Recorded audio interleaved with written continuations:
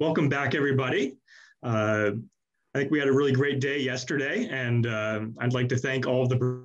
Uh, you know, yesterday we we talked a lot about South America and Mesoamerica, and today we're moving on. We're going to be talking about Asia and Europe is. And in the afternoon, we're going to talk more about analytical methods and hear a number of talks. And uh, of course, we'll end the day uh, with our poster session and uh, and continue that. So yeah, so why don't we just kick it off right now? Uh, our first paper uh, in the Asia and Europe uh, Obsidian Sourcing and Archaeology session is uh, Exploitation of Obsidian at Psytuaje Rock Shelter, North Central Caucasus, Russia, by Katerina Doronicheva, Lyubov Golovanova, Vladimir Doronichev, Galina Poplevko, Andrei Nedomolkin, and Stephen M. Shackley. So Katerina, why don't you uh, start it off? Uh, good evening. Can you see my screen? No, not yet. Um, can see you though. one second, please. Does it work now? Yes. Yes. Good. Okay. um, I don't have a stable uh, uh internet connection, so there may be some problems with internet because I am in the Caucasus right now. um, dear colleagues, uh, I would like to present our preliminary results of uh, obsidian exploitation and uh, represent in a general news site documenting the Pleistocene Holocene uh, boundary in the North Central Caucasus the Elbrus area uh, discovered in uh, 2018 and called Psytuaje rock shelter. Like the epipaleolithic industries in Southwest Asia, the epipaleolithic industry of Caucasus is notable for the first appearance of variable geometric microliths, which represent a distinctive tool group in the epipaleolithic assemblages in the Caucasus, dated from uh, the late uh, glacial to the early Holocene between approximately 20 to 10,000 years. Modern archaeological data from the Caucasus also show distinct regional peculiarities and a specific pathway of epipaleolithic development in the Caucasus. Uh, the Elbrus region dividing the greater Caucasus Mountains into the western and eastern parts also is the location of the Zayukovo-Baksan obsidian source. Our research shows that the Yukov obsidian was actively used in the Paleolithic of the Northern Caucasus, as you can see on the graph as left. Uh, Psytuaje rock shelter, discovered by our team in 2018, is located about 70 kilometers northeast of the highest European volcanic mountain peak of Elbrus, and about 8 kilometers south from the town of Zayukovo in the Baksan River Valley. The rock shelter is situated in a deep, up to 200 meters terraced and forested valley of the Fanduka or Sarachuka River, and about two to three kilometers upstream from the middle Paleolithic site at Sarachuka Grove. Psytuaje rock shelter is formed in rhyolitic inky and tuff of the Lower Chegem Formation. The rock shelter is uh, more than 100 square meters. Psytuaje rock shelter likely represented in the Pasta Grota, which was partially destroyed by later erosion. In 2018, a small test excavation was undertaken in the rock shelter to examine the stratigraphy of the deposits, and in 2019, the excavation started at the site. They uh, will be continued in the current season. Uh, the profile mainly represents the upper part of the rock shelter deposits. Free radiocarbon dates on bone from layer 2 at uh, were obtained in the radiocarbon laboratory in St. Petersburg, Russia. You can see them on the slide. The dating result uh, indicates that the final epipaleolithic assemblage recovered from layer 2 at Psytuaje rock shelter dated from the very beginning of the Holocene. Falling to the Pleistocene Holocene boundary, the layer 2 assemblage occupies a specific position among epipaleolithic sites in the Northern Caucasus. Pollen uh, analysis conducted for Psytuaje rock shelter indicates that layer 2 formed under warmer and dry climatic conditions. At this stage, coniferous dominated wood associations occupied higher elevations in the area, whereas hornbeam and elm forests with participation of oak, linden, and other um, trees dominated in the Fanduka River Valley. In total, more than 1,000 bones uh, were found in the rock shelter, uh, are mainly represented by Caucasian uh, wild horse, and uh, some other. Almost all of the animal species identified belong to the widespread Caucasian species that are present in the modern Mesophilic fauna. The analysis of microstratigraphy and space distribution of lithic artifacts in layer two shows that the main concentration of artifacts coincides with the distribution of bones and is confined to the um, uppermost uh, 20 centimeters of layer two. The main artifact concentration is in quadrant C10 and also quadrant C11. The assemblage from layer 2 in Psytuaje rock shelter comprises in total 634 artifacts made of flint and obsidian, including one tool from Horn. The assemblage allows us to identify two contexts that characterize the main activities of the epipaleolithic humans in the site. The technological context related to the stone knapping and production of blanks for tools, and the tool inventory related to subsistence. As you can see on the graph, flint was the main raw material at layer 2 at shelter. Results of petrographic and geochemical analysis indicate local origin of flint, probably from sources located less than 10 kilometers from Baksan River Valley and Chegem River Valley from the site. Um, results of the XRF analysis indicate that the obsidian artifacts are made exclusively of obsidian originated from the Zayukovo source, located 6 to 7 kilometers to the west from Psytuaje rock shelter. Only nine artifacts are made from other types of raw materials that include horn, slate, andesite, ignimbrite, and sandstone. The technological context of the lithic assemblage from layer 2 includes cores, fragments, chips, uh, core treatment elements, laminar blanks, and laminar and ordinary flakes. Among the 11 cores, unipolar cores prevail. The 41 technical plates or core treatment elements indicate active on-site uh, production uh, and reduction of cores. The layer 2 assemblage also includes two non-flint artifacts that are related to stone knapping. In layer 2, the vast majority of laminar blanks are fragmented. Complete laminar blanks are not numerous. Their length range from 12 to 65 millimeters, and blanks longer than 40 millimeters are rare. In general, the analysis of metric characteristics of laminar blanks suggests that the knapping technology was aimed to the production of platelets with uh, from 5 to 12 millimeters. The assemblage from layer 2 external shelter comprises in total of 56 tools, including the two tools described above. Uh, points include fragments of Vachon points and the shoulder point with the shoulder formed by abrupt retached. Back platelets are mainly represented by fragments. Abundant truncated tools are made by abrupt retachment blades and bladelets. Geometric microliths are quite numerous but include only rectangles. Most end scrapers are made on blades. One scraper is made on a crested bladelet and two scrapers are made on flakes. A single burin found in layer 2 is made on a bladelet and can be defined as a double angled burin. We also report the first preliminary results of use-wear analysis of flint and obsidian tools from layer 2 at Psytuaje rock shelter. The research is ongoing due to the hard illness of our use-wear specialists. The goal of use-wear studies is the detection of a possible use of artifacts and photography of use-wear microtraces. All artifacts have a very good preservation. A small sample of 15 obsidian and flint artifacts selected from layer 2 assemblage at Psytuaje was used for the preliminary traceological study. The method developed by Semenov was uh, used. The study allowed distinguishing different categories of tools that have been used as hunting weapon and for butchering hunting prey brought by the epipaleolithic inhabitants to Psytuaje rock shelter. Traces of use-wear were found on uh, 10 tools analyzed for the moment, seven from flint and three from obsidian on which traces of use in various economic operations are found have a good uh, and, have, and have good preservation. We defined meat knives with uh, traces of use as meat knives uh, on. The edge of working zones of the knives is strongly smooth, has a characteristic arc shape. and there are characteristic semilunar fractures.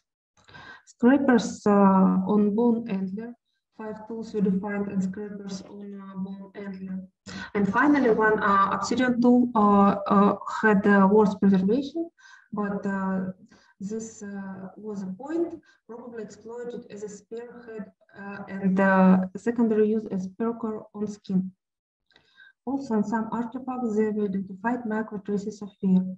Here you can see a table that demonstrates uh, different types of raw materials and categories uh, of uh, those. Also, in some artifacts, they have identified macro traces of wear, smoothing, and abrasion resulted from the tool mounting in a wood, wooden shaft. Finalizing my report, the technical and topological characteristics of the lithic assemblage from layer 2 Psytuaje rock shelter described above are consistent with the final epipaleolithic age defined earlier for this assemblage. Based on the assemblage composition and the tool set represented in layer 2 and taking into account the remote location of the site from other epipaleolithic sites known in the area, rock shelter cave site can be considered preliminary as a human habitation campsite that was probably used as a hunting camp. Like other epipaleolithic sites in the Caucasus, the epipaleolithic humans at Psytuaje rock shelter subsisted mainly on Caucasian goat, wild caprets that migrate seasonally, which the epipaleolithic hunters of the Caucasus uh, target uh, at elevations below 1,500 meters above the sea level, both in the forested and uh, open environments. Also, they were found tools used for butchering hunting prey, uh, meat knives, bone antler working, scrapers and bone antler, and probably hunting. Preliminary results of analysis of lithic and faunal assemblages indicate that in layer two, humans were engaged in intensive knapping of flint and obsidian, and production and use of tools made mostly from uh, these uh, two types of raw materials for butchery and consumption of hunting prey, represented mainly by ungulate animals. Thank you. Right, thank you, Katerina. Uh, does anyone have any questions?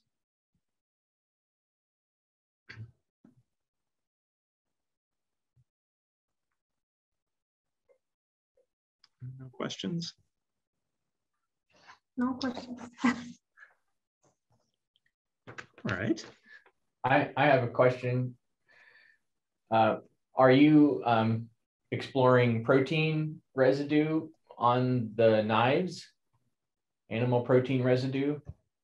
Um, yes, we um, work um, in that direction uh, with um, both uh, middle paleolithic site in the same uh, valley uh, called Sarachuk and this site, yes, but um, the results are pending.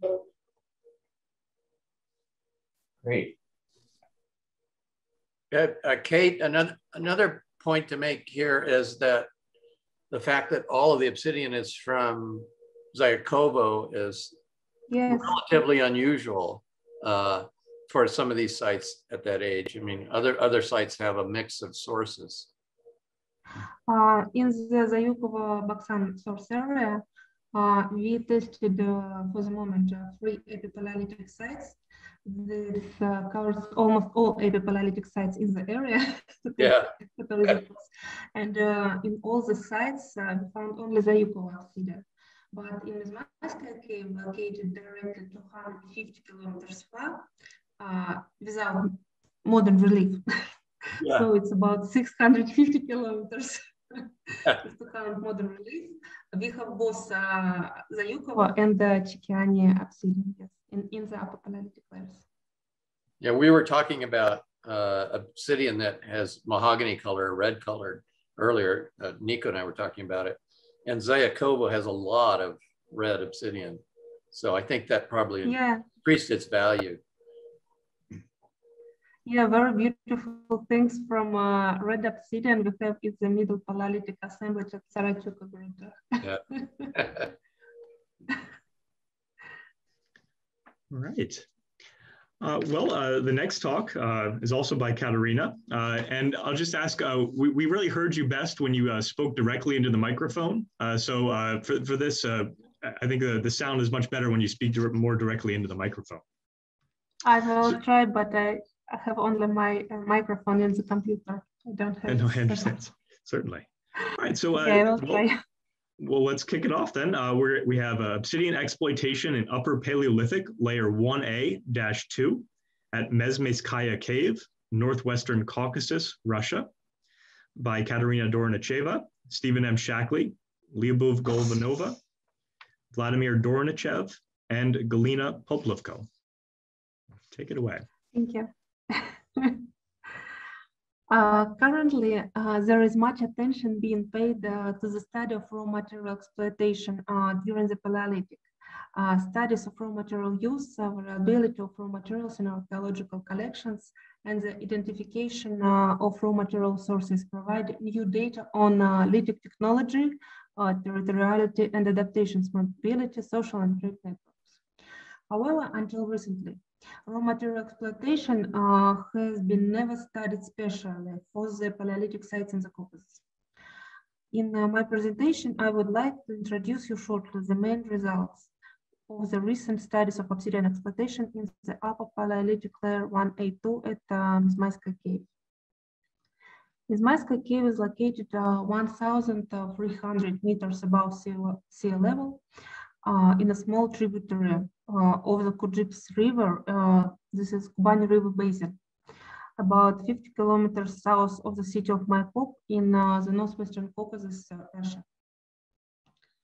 It is more than uh, 500 square meters, up to 10 meters in height and faces southwest. So this is a huge cave. Since 1987, uh, when uh, Lyubov and her team started excavations on the site, over 100 uh, square meters have been excavated to the maximum depth of 5 meters.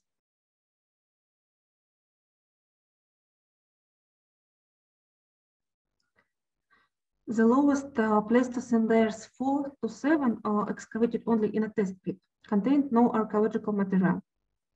The Pleistocene strata are most completely preserved towards the interior of the cave.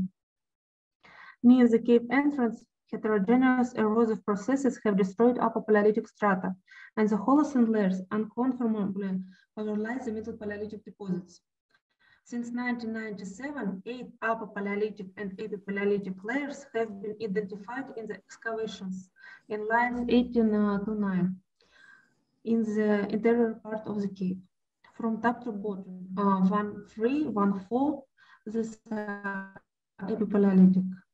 And uh, layers 1A1, 1A1 uh, slash 1A2, 1A2, 1B1, 1B2, and 1C. These are uh, Paleolithic, including early upper Paleolithic layers, beneath which is found stratum 1D, lying atop the uppermost middle Paleolithic layer 2, and containing no archaeological finds or bones.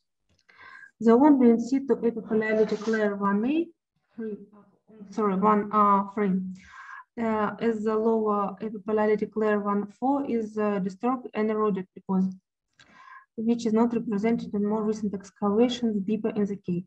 All upper layers are inclined to the northwest towards the left wall of the cave and preserved in situ. The early upper assemblage from Mezmaiskaya cave, layers 1C to 1A, dated by a robust series of radiocarbon uh, and estimates between 33 to 27,000 years, are characterized by a developed bladelet technology and a variety of tools made on bladelets and microbladelets, including numerous um, gravette, and microgravette points. Blades, bladelets, and microbladelets predominate among total flakes. Bladelets and microbladelets are most common among laminar blanks, while blades are relatively infrequent. These industries are similar to the South Caucasian early Upper Paleolithic and Levantine Akhmara. Bone tools and ornaments are numerous and varied. At Mezmaiskaya, 25 radiometric, mostly AMS dates have now been obtained by five different laboratories uh, for the upper Paleolithic layers, including more recent AMS determinations using ultrafiltration obtained by the Oxford Radiocarbon Accelerator Unit from humanly modified uh, cut-mark bones.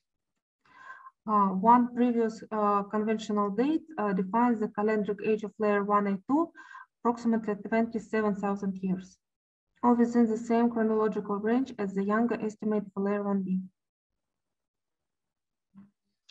So far, more than 42,000 uh, lithic artifacts, including uh, material derived uh, from water sieving, have been found in all upper paleolithic layers at Mezmaiskaya cave, and you can see, as you can see on the table.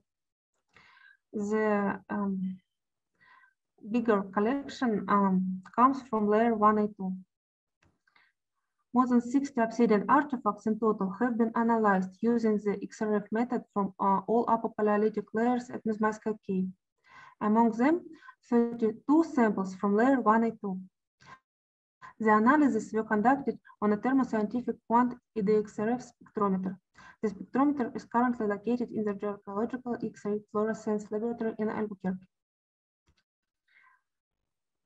The sourcing studies identified that only uh, two obsidian sources, the Yukovo or Baksan, located in the north central Caucasus, about 80 kilometers northeast from Mount Elbrus and uh, about 250 southeast from Mezmaiskaya, and Chiki, located on the Javakheti Plateau in southern Georgia, in the Lesser Caucasus, about 450 kilometers southeast from Mezmaiskaya, were used exclusively by the Upper Paleolithic humans.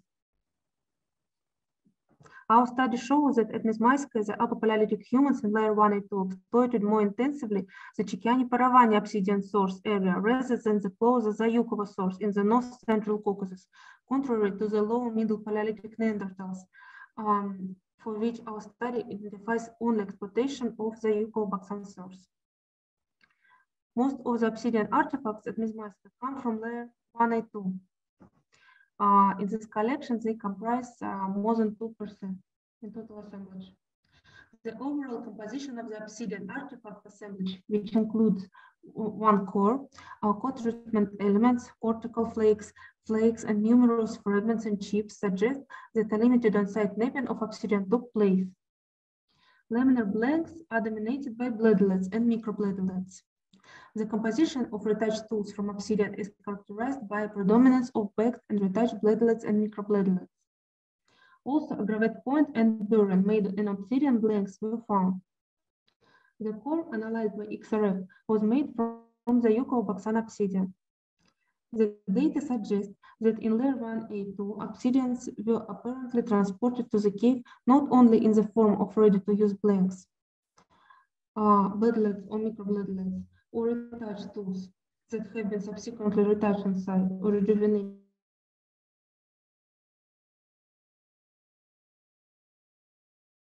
But also as unworked pieces of raw material for subsequent of some change in obsidian transportation and use in layer 1A compared to previous layers. Also, we think more data are required for more confident comparison and conclusions. The on-site obsidian tool production in layer 1A 2 is additionally confirmed by the presence of obsidian artifact concentrated uh, on quadrant M11. You can see this on the slide. It includes 63 obsidian artifacts.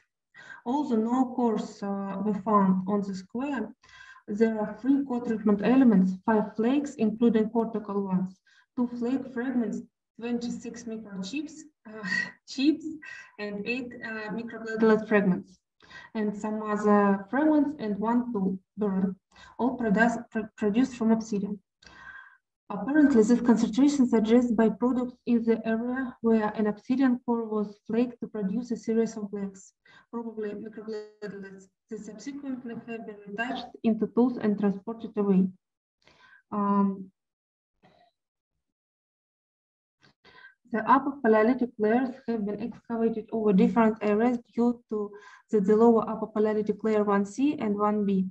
Apparently um, appeared already in lines 18 and 17 and were excavated since 1997, while the top upper Paleolithic layers uh, appeared only in lines 13 to 12 and were excavated only in excavations deeper in the cave. The distributions of obsidian artifacts uh, also varies.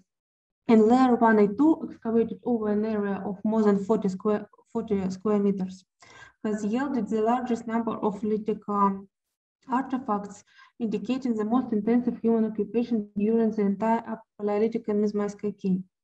The layer also produced the largest number of obsidian artifacts, uh, and um, most of them have been found mostly on lines 10 to 12 and 14. You can see this on the table. Our study suggests that the early apophyletic humans transported obsidian mostly as ready-to-use blanks. Uh, presumably, they transported um, Chikiani obsidian as uh, ready-to-use um, blanks and tools, uh, or attached tools made on uh, bladlets and microbladlets. And as prepared cores, uh, this is for the Yuko obsidian. It also indicates that the early apophyletic humans more intensively exploited the Chikiani Paravani source area in the southern Caucasus rather than the closer Zayuko source in the north central Caucasus. And the exploitation of the South Caucasian source increased towards the end of uh,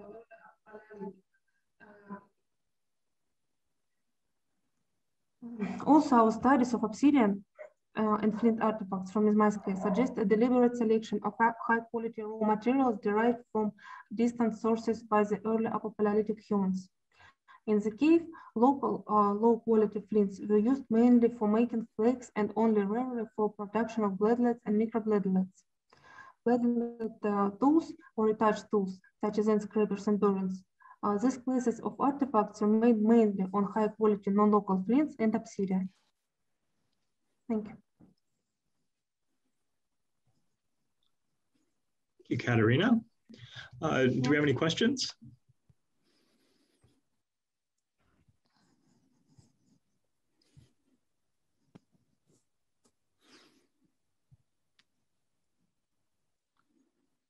All right, no questions?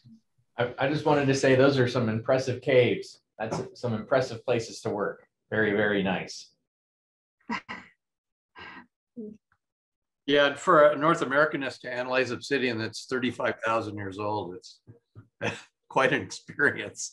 yeah, no, it's incredible. And you have Neanderthal use and, and everything. Yeah. It's really interesting. Yeah. yeah, it's pretty neat. Well, wonderful. So we're, we're a little bit ahead of schedule. Uh, so why don't we kind of give some time to catch up? Our, our next scheduled talk is at 940. Uh, so maybe we'll take uh, whatever 15 minutes here and uh, and wait for the start uh, and as we move on to Japan. So we'll take 15 minutes here. Katerina, I have one question for you. Um, a, a, colleague of mine, uh, my old advisor, is, is working on some cave sites in uh, southern Ethiopia, and they have obsidian, and they're doing some hydration work on it. Are you have you thought about doing hydration work on the obsidian just to get a sense of of how to how to calibrate the carbon dates you have with obsidian hydration at all? Is that something that's on that's possible?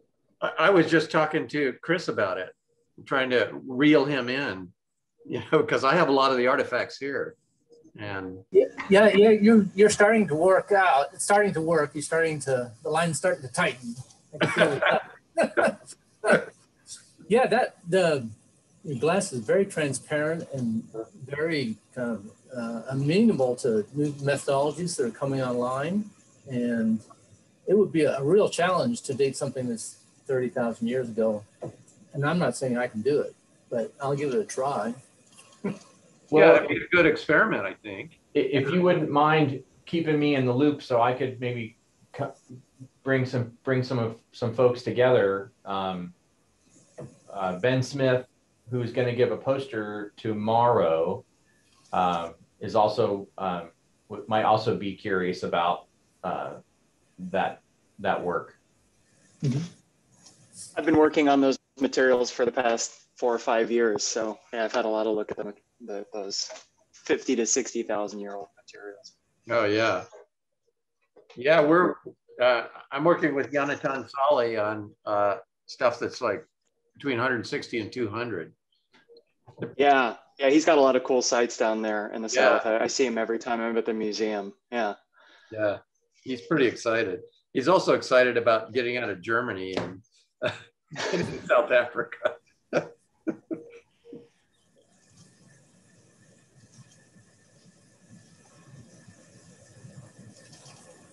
Well, has anybody uh, uh, applied obsidian dating in, in, in Russia in the last decade? Does anybody know? Have there been any preliminary studies? Or? No one knows? Can you repeat your question? So I was, I was asking, this, have there been any applications of obsidian hydration dating in Russia in the last decade?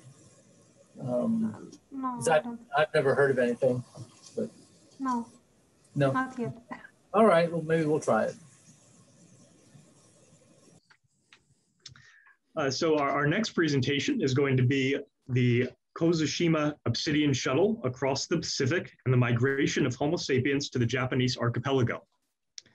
This is by Nobuyuki Ikeya. And uh, we, we want to thank you for, for joining us here. I looked up the time in Japan, it's basically the middle of the night. So, so thank you for, for being here in person. Okay. Can you hear me? Okay. Uh, let's get started. Uh, it's a midnight in Japan. I'm Nobuyuki Ikeya, archaeologist of Meiji University. Meiji pre uh, my presentation title is The Kozushima Obsidian Shuttle Across the Pacific and the Migration of Homo sapiens to the Japanese archipelago. Before starting, let me explain the first photo. Uh, what you see here is a distant view of Kozushima Island from mainland Japan. The first island of the right is Kozushima Island, which is 55 kilometers away from the viewpoint. And the Kuroshio current, black current, flows here. Outline. Uh, my main purpose today is to present the archaeological evidence for the maritime transportation of obsidian during the earlier Paleolithic EUP in Japan based on the provenance analysis.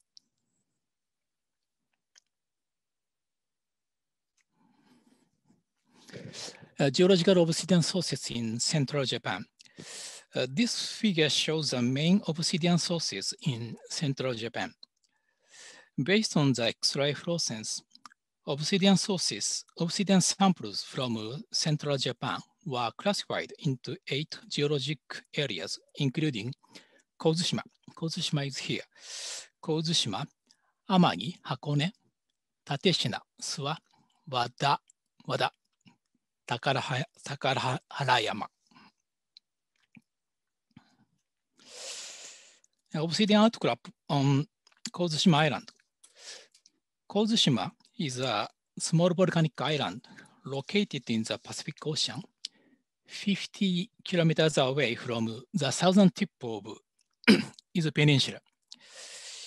Izu Peninsula and Kozushima are separated by a channel with a maximum depth of more than 10,000, oh, sorry, 1,000 meters. The channel has never uh, has never been connected to the mainland by a land bridge, uh, even during the last glacial maximum. Kozushima Island offers five well-known obsidian outcrops, Onbasejima, Sanukazaki, Kannonura, uh, Nagahama, Sawajiri.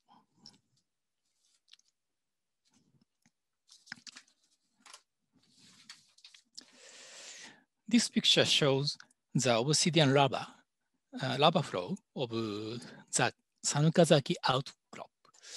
Uh, black color is obsidian lava.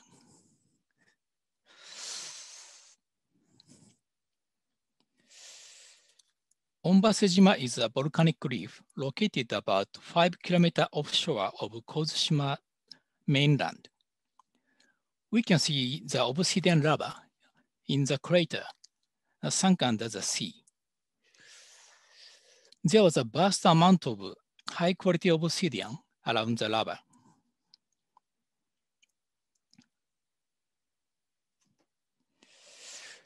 Large scale EDXRF provenance analysis. This analysis relied on the X-ray spectrometers uh, shown here.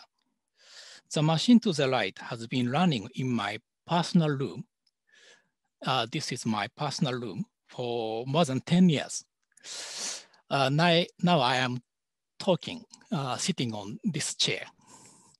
I analyzed about 40,000 archaeological obsidian using these devices.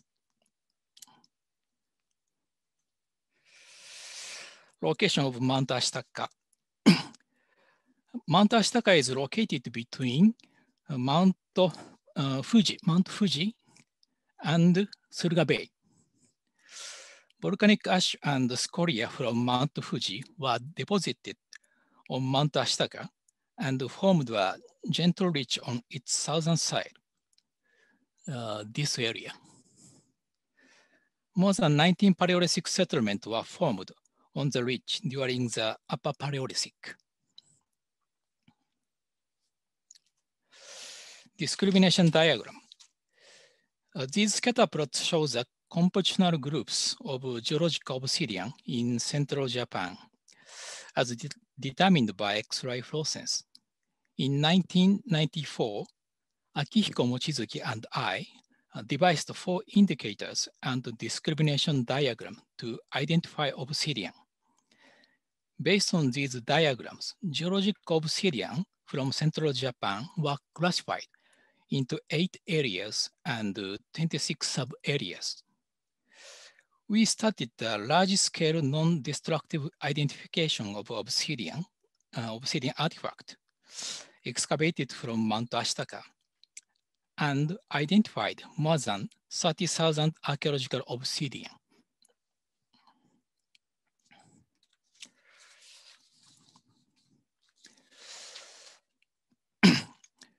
Amount of obsidian from different sources in uh, cultural in the cultural layers. The photo on the left uh, shows a stratigraphic sequence of upper, upper members of Ashitaka loam, upper members of Ashitaka loam, uh, in which combination of black soil band and reddish scoria, uh, black band and reddish scoria are repeated.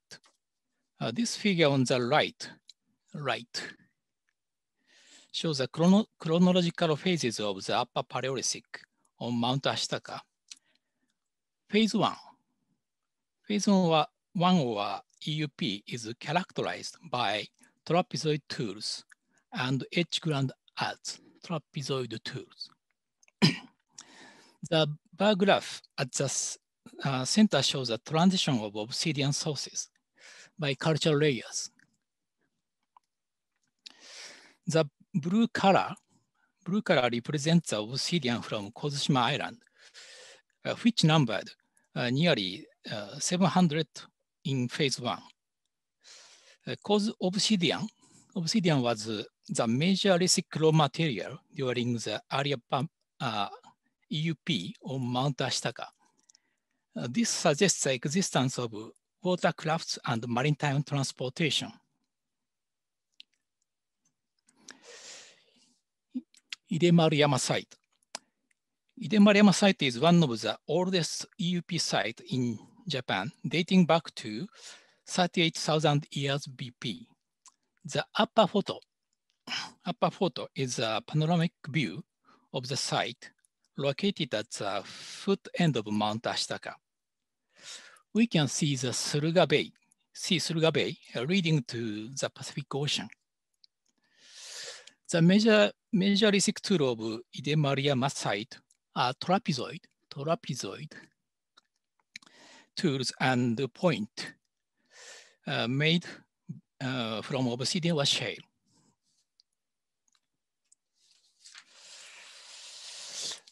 Identification by EDXRF and uh, verifying by NAA. The scatter plot on the left shows the identified obsidian sources from the Idemaruyama site.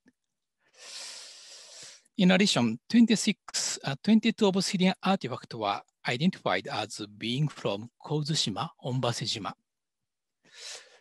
Uh, considering the importance of these data, it is necessary to validate the result using another high-resolution method. The scatter plot on the right is a discrimination diagram for identifying obsidian excavated from Mount Ashitaka, obtained through neutron activation analysis, NAA. A total total of 15 artifacts from Ashitaka Phase 1, including Idemaruyama, were submitted for NAA. These sources were identified through X-ray fluorescence analysis. But before revealing the X-ray result, 10 obsidian samples from 10 different geologic sources, 100 samples in total. These are geologic obsidian were submitted to Michael Glascock at the Archaeometry Laboratory of the University of Missouri. Based on Dr. Glascock's values, I created the scatter plot as the right side figure shows. The value of values of Ashitaka phase one artifact shown by red triangles overlap with geological obsidian, including the Kozushima source. The result of cross-checking on this scatter plot were identical to those obtained from X-ray fluorescence analysis. Kozushima obsidian shuttle. Uh, this picture shows the sea voyaging, sea voyaging for the Kozushima obsidian outcrop by skin on frame kayak, uh, skin kayak. Kozushima obsidian excavated in the Japanese mainland means that it would have made a return trip across the sea. According to the result of provenance analysis, obsidian transport continued for more than 4,000 years.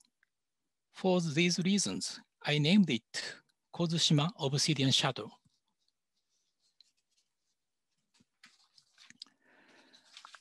A local sea kayak guide, my friend Toshiaki Shiojima, uh, made successful voyages to Kozushima uh, several times.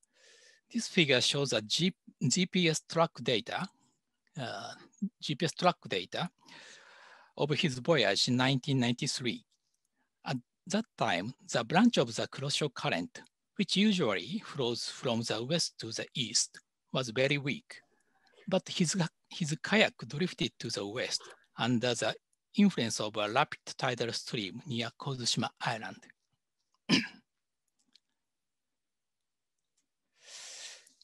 Distribution of the Kozushima obsidian during the EUP. Kozushima obsidian has been identified not only at Mount Ashitaka, Mount Ashitaka, uh, but also in the uh, coastal area of central Japan. Please observe this map. The blue part of each circle graph, blue part, uh, circle graph shows the ratio and quantity of Kozushima obsidian uh, in relation to other sources. Other sources. It is clear that a certain amount of Kozushima obsidian was transported to central Japan during the EUP. migration of Homo sapiens to the Japanese archipelago.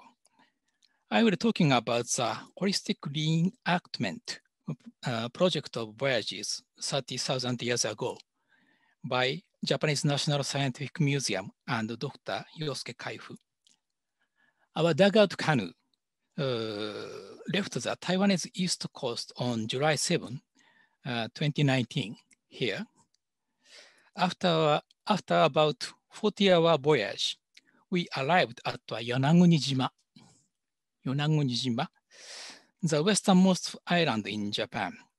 I designed uh, this uh, canoe and supported uh, the crew from the escort ship. The expedition aim was to verify the means and routes of Homo sapiens migration to the Japanese archipelago at the beginning of the EUP.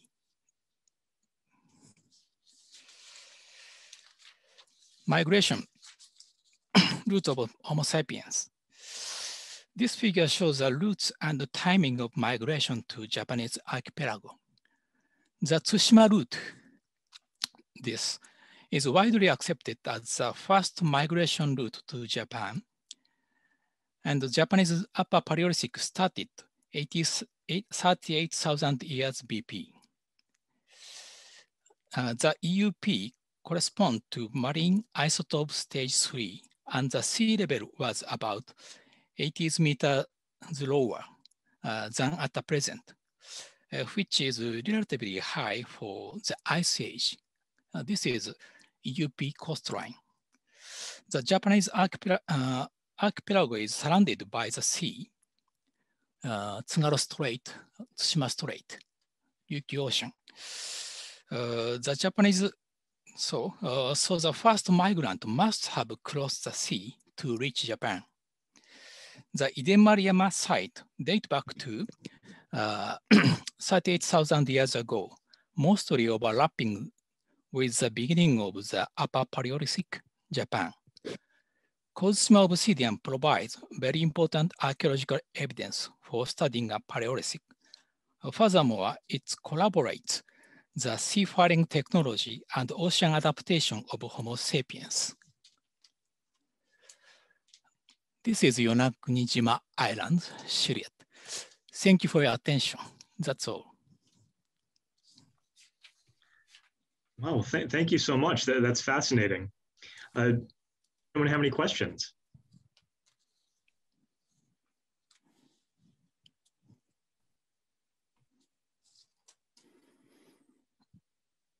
Uh, Dr. Ikeya, did, hi. Did, hi. Did you um, you so you made a, a replica boat from skin? Ah, uh, no, I don't didn't. But uh, uh, my friend uh, Shiojima uh, uh, made a skin kayak, and uh, yeah, I try to ride and uh, paddling it. Yeah. That would be a long, long trip on a replica boat. Interesting. So you're saying 80, the 80 meter um, lower lower was 38,000 years ago. Mm-hmm. Mm-hmm. So it joined was one big island. Or, uh,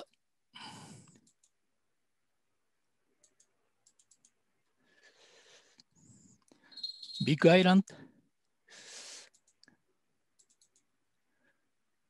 Uh, you say uh, Cosmo City, uh, Kozushima Island? Mm -hmm. No. Mm -hmm. uh, if uh, sea level uh, was lower, uh, 80 meters lower than present, uh, Kozushima Island uh, might uh, link to uh, neighbor island. Mm -hmm. uh, in this way. But uh, cause, uh, as I mentioned, uh, this channel was uh, very de deep and uh, never connected, uh, even in the during even during the uh, uh, ice glacier. Mm -hmm. Mm. Was was the uh, was there continental glaciation then? Was it were there potentially you know, ice, yes, yes. icebergs and things like that? Yes, uh, I mean the LGM, uh, last glacier maximum. Mm -hmm. Challenging, yeah. Interesting. Other questions? I have a question on your on slide number 15 there 15. You have um, this one. You've got a lot of sources from the island, and then there's a source pretty close by that has there's hardly any obsidian from that source. Do you know why they would be going to the island instead of, you know, just back on land a little bit? Uh, uh, uh, you say why uh, Paleolithic people uh, cross the ocean, right? Right. Instead of going north to that. Uh-huh. Um... Uh-huh. Yeah, yeah, yeah. Uh, yeah, of course. Uh, mm, uh, in this region, uh, there is a high quality of Syrian mm, around there, and uh, many people ask me why. uh, uh, yeah, Ashitaka habitants uh, there to cross the uh, cross the ocean. It is very uh, dangerous. Mm -hmm. But uh, recently, the Paleocean people uh, do the fishing, uh, and I think, uh, uh, yeah, uh, some habitants live live there, uh, and mm, uh, sometimes mm, maybe uh, the major, uh, uh, yeah, they they do fishing. Mm. So that uh, they know the existence of Kozushima obsidian. I think I think so.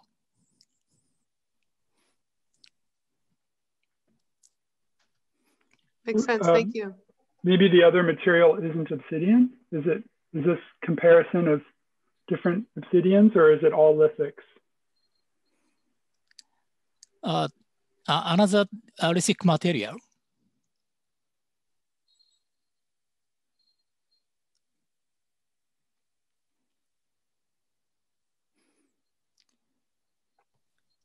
Sorry. I was asking. I was asking if the pie chart is showing all lithics or just this type of obsidian versus other obsidian. Perhaps they're using local cherts or something else. Uh-huh. Uh, uh, you asked a chart. Uh, I was just wondering if the, the pie chart uh, that chart. doesn't have much obsidian, is it because it's not, the other material isn't obsidian? Uh-huh. Is this all obsidian on this graphic? Yeah, uh, this pie chart, this pie chart, sh uh, pie chart shows the uh, obsidian uh, ratio, uh, not include uh, uh, other uh, lithic material uh, such as uh, uh, mm, chert or uh, sedimentary rocks. Only uh, pie chart shows only obsidian. Okay. Hmm.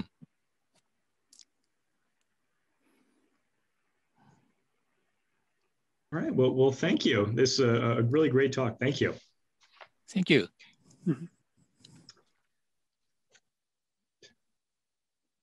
So uh, moving forward here, uh, our next talk is entitled Archaeological Research of Khrami Valley, Transportation of Obsidian in Neolithic Chalcolithic Times, Preliminary Results of our New Archaeological Research by Saba Jokhadze. So just share my screen. So you see the presentation, yes? Okay, that's yes. good. So let's get back to Caucasus again. Um, today I'm going to talk with my presentation about the Caucasus region, South Caucasus region, and the, its central part, which played a great role in the development of uh, late prehistoric populations and the archaeological cultures. Uh, just to introduce, uh, I'm going to show you, most of you already know, but uh, the significant uh, obsidian sources in the South Caucasus. And at the very north of the many existing sources is located the Chikiani obsidian dome. Uh, the Chikiani uh, obsidian uh, is very good quality, very black homogeneous, but can be turned into reddish brown or even green variations. You see this picture, it's a modern quarry exploitation and huge obsidian blocks. So the obsidian appears at Chikiani as a segregation of in the uh, one meter thick rhyolitic flows and the flows goes in the east. So these flows are dated around 2.8, 2.9 billions ago with by different analyses. You can see the obsidian on the spot, how it looks like. And uh, landscape is quite changeable in uh, Chikiani and uh, in summer it looks like this and in winter it's uh, snow cover more than five months. Uh, just to show you the, how it goes, the archaeological context in, in the South Caucasus, we have a very dominant culture uh, called Shomushulaveri culture. You can see the spread of the settlements. This uh, culture was uh, identified in 60s and then different international teams and archaeologists, they worked on these sites. The, the sites are numerous, um, more than these, but I'm just showed you the ones which has been excavated and publication. Um, so uh, these sites are um, are spread in uh, Azerbaijan, in South Georgia, and Armenian territories. Just to show you the quick uh, quick examples, you can see the mud brick architecture, well-developed pottery technology, the numerous kind of bones and stone tools artifacts, but also with a high percentage of obsidian use and the quality is really uh, big, uh, high high level. Um, to see on the uh, smaller scale on the South uh, Georgian territory, you see this green line indicates the south border of Georgia. And you see the, mm, if you see my, my cursor, so um, you see these Neolithic settlements, Shomushulaveri settlements, and the blue indicates the Chalcolithic settlements. So these uh, two, uh, two chronological period doesn't have much similarities uh, with the archaeological material and so on. Uh, but the main thing which which uh, this population they have is the use of obsidian. Both of the cases we have a more than 95% the lithic industry depend on obsidian, uh, obsidian. And the use of Chikiani source is important because um, last three decades, they the different scholars, they have a um, they have made the sourcing of the artifacts from these settlements and it's clustered together with Chikiani obsidian, which has a kind of finger, fingerprint with a high barium and low zirconium. It's um, uh, so uh, it indicates uh, the area in, in the central part of Caucasus, this was published some 15 years ago by, by Professor Badalian. So uh, these yellow lines indicates the area where the, the mostly in late prehistoric populations, they used uh, uh, more, uh, mostly the Chikiani obsidian source. So we always were thinking about uh, how was the mm, the possible exchange roles, exchange of uh, these uh, obsidian materials, and uh, for us, it's really important uh, in South Caucasus, the Khrami River, which uh, which is the biggest river in in in, uh, in, South Georgia, and it looks like this. You see the picture, and also the right tributary, Tochiani River, which connects exactly this link to the exactly Chikiani uh, spot. Uh, the the, the um, River is looked like this, and how important was this uh, uh, this exchange process for the uh, Neolithic population in the lowlands of Khrami River? So that's that's why we conducted archaeological surveys in the uh, eastern vicinity of Chikiani source here in the circle and also in upper stream of Khrami River. Um, and this map indicates the digital elevation model, as you see, and uh, just show you uh, how, how is the difference between elevation. So the Neolithic settlements is located in the lowlands and they have to travel to the highlands of Javakheti Plateau. The difference is like mm, maybe 2000 meters, something like this. Um, and uh, we wanted, so our goal was to find the Neolithic evidence in the Neolithic evidence in the highlands of uh, Lesser Caucasus, because we know that uh, all the time they have traveled to, this, to the to the this area, but we don't have much evidence of it. So we wanted some kind of uh, short-term occupation sites or workshop and so on. Um, so the uh, surveys were conducted uh, in uh, 2020 autumn, it was really hard uh, with the pandemic, but uh, we managed to somehow work there. And uh, of course, we have a different periods, different chronological periods and the results, but we're going to show you today the, some of the preliminary results of workshop, what we found, and the rock shelter. Both are late prehistoric uh, evidence of, uh, of in, in the uh, highlands of Caucasus. Um, Lesser Caucasus, of course. Uh, the workshop area is located in the northeast part from Chikiani source. It's around four kilometers. Um, and the position of the spot of workshop is really important. I, we think that it face to, faces to Chikiani source and also the uh, River valley, which then connects to the main main river. Um, so it looks like this on the on the area. You can see on the distance the main Chikiani source and the left side the Chociani River.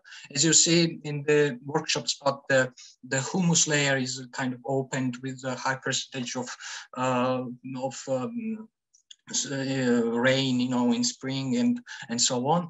And uh, it is easily detected the uh, different kind of chipping floors. You see this kind of uh, ellipse form platform and uh, there is a numerous uh, significant number of uh, obsidian uh, debris, the flakes, the broken tools and tools also.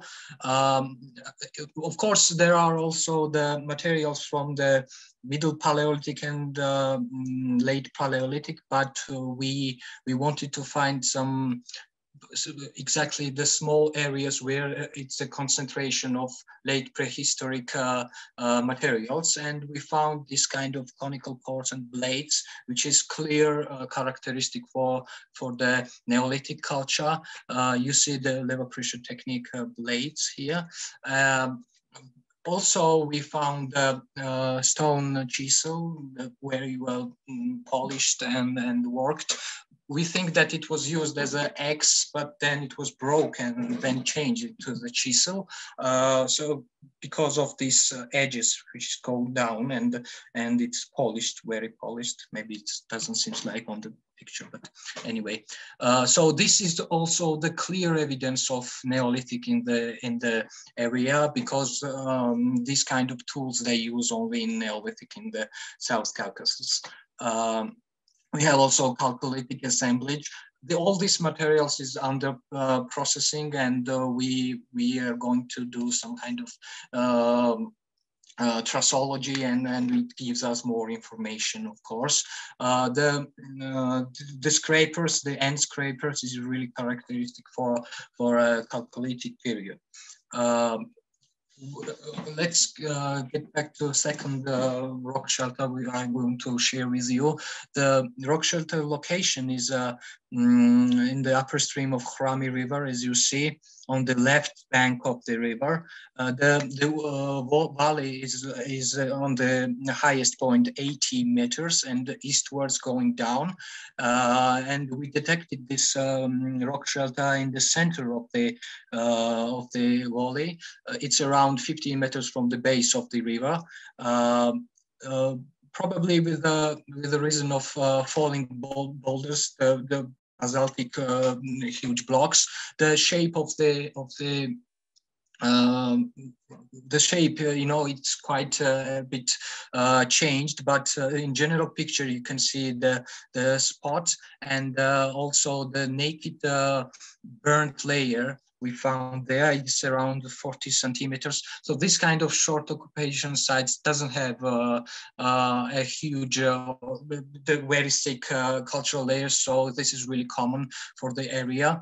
Uh, but uh, so when we talked about the artifacts which was discovered in this layer, it's quite tricky. We can't say that it's uh, exactly this period or something, but uh, we think that it's uh, late prehistoric in general. And uh, in future, maybe if we will um, work there, because this sorry, the site is under danger also because uh, of the falling the boulders and also the villagers, they always move on this uh, layer. So in quick future, maybe we, we can uh, excavate some part just to get the date or something, you know.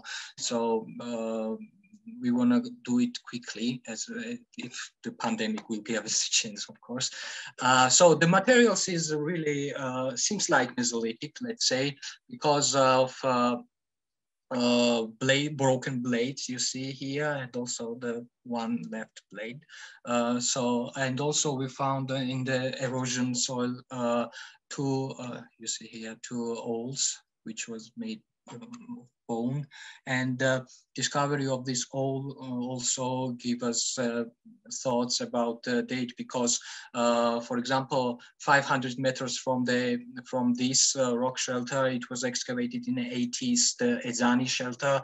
They had uh, 20,000 of artifacts but none they have bone tools. So maybe it gives us the information that it's a little bit later but it's really hard to say at this time so uh, if we summarize all of this, what we have here, we have a Neolithic culture, the Shomushulaveri, very dominant, strong culture. And also we have this uh, uh, Chalcolithic period sites and all these populations, the contact, permanent contact with Javakheti highlands. And uh, we don't have much, as I told you, much evidence of it. But uh, in, with these uh, new results, we think that it might be to, to cover all this, uh, all this gap.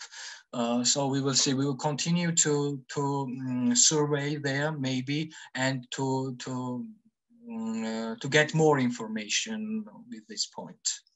So uh, you can, we just uh, thank for the funded organization and so on and the mm, bibliography of used photos in the presentation. Thank you very much. Please give the questions if you have.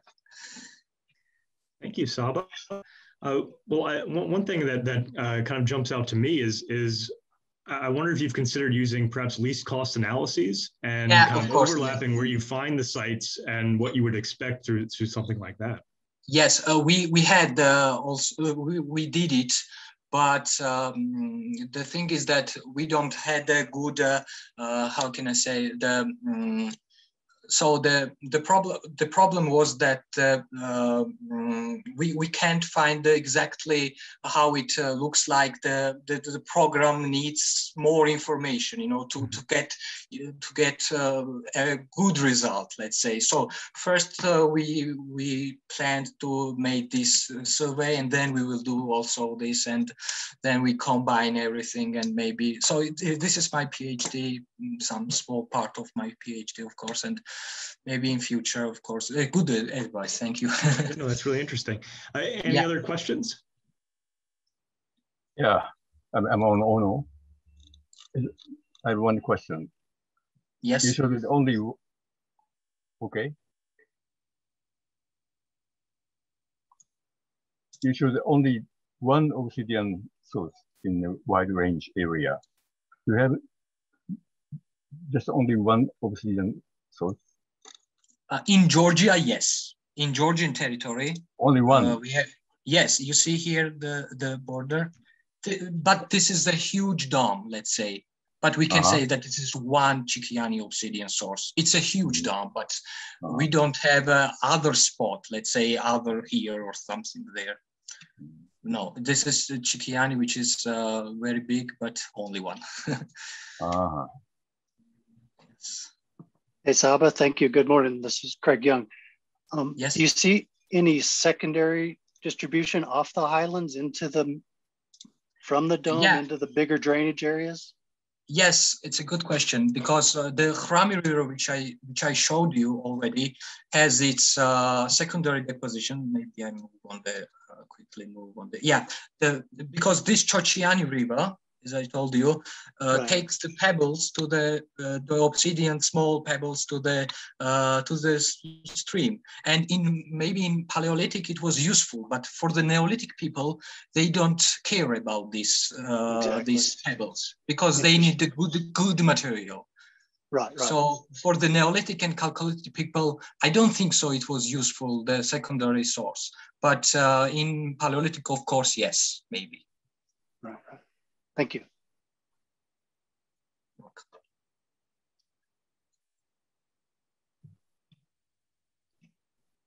Any other questions? So I will stop sharing then. Right, well, well, well, thank you, Saba. Very great work. Welcome. Uh, so uh, right now we're going to take uh, a coffee break. Oh, yes. Yeah. I have a one question. Yes. Uh, what about the hammerstones? Hammerstones? Yes. We don't have any hammerstone yet from the workshop area because you know it's a numerous number of materials there and uh, this material is quite mixed i mean because this Chikiani obsidian and the territory around it was used from i don't know middle paleolithic to the iron age so it's mixed everything you you, you need to really precise archaeological surveys to to find out the exactly spots you know? It's really hard. But with with the point of uh, of uh, uh, these hammers we don't have yet. Sorry. It's it's really hard to distinguish also because uh, you know you see this is it or not? It's really hard. Uh, and the context is i understand and can can you distinguish between uh, pression and uh, and uh, percussion. Yes, yes, it can be done. Yes, of course, yeah. And the uh, most of the yeah. No. Yeah. Uh, the mo- I want to say that the most of the Neolithic, Neolithic. Uh, I'm talking about the culture I showed you, the Shomushulaveri culture. No. Most of the blades are made by by pressure technique for sure. Okay. Thank you and con congratulations. All right. Welcome.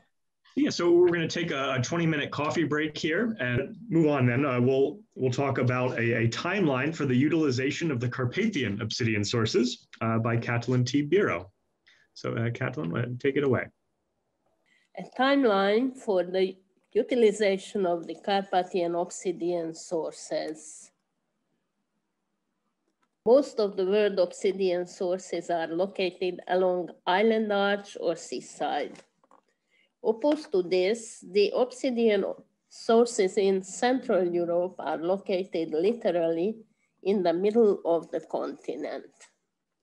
Looking at the paleogeographical map of the region, however, we find that in the not too very distant geological past, the upper Miocene, these conditions were met for the current area of the Carpathian Basin, known as the Paratethys Ocean and later the Pannonian Lake. The formation of the Carpathian obsidians took place in those times dated between 9 to 15 million years. This continental position of the Carpathian obsidian had significant consequences on the accessibility and archaeological distribution of these obsidians. We must also note that the sources are relatively small and typically secondary. The name itself is a bit misleading as the sources are not in the Carpathians, but in the Carpathian Basin, more specifically in the Tokaj Prešov Mountains, and they are also not related to the Carpathian geological period, which is lower Miocene, whereas the obsidian were formed in the upper Miocene stage. As it is well-established name already, we use the term as created by Olwen Williams and colleagues. Carpathian obsidian are classified into three main categories. The oldest, highest quality and most popular being C1 or Carpathian 1 on the territory of Slovakia, close to the Hungarian border. C2, Hungarian obsidian, is located at the southern and central parts of the Tokaj Mountains in two regional centers around Tolcsó and Mad Erdőbénye. These varieties can be distinguished fairly well on the basis of macroscopic properties. Rarely, we can come across obsidian of reddish tint mahogany obsidian among the uh, specimens. This variety was also known and used, though only in very small quantities. The history of Hungarian obsidian research dates back to the second half of the 19th century. Pioneering personality of Hungarian archaeology, Flóris Rómer, introduced the subject into the focus of prehistoric archaeology, presenting the first obsidian artifacts to the general public. At the same time, he promoted the collection of data by involving the general public, landowners, teachers, even simple farmers. He was implemental in bringing the Eighth World Archaeological Congress to Budapest in 1876, where he presented, among others, the first archaeological obsidian distribution map for that time Hungary.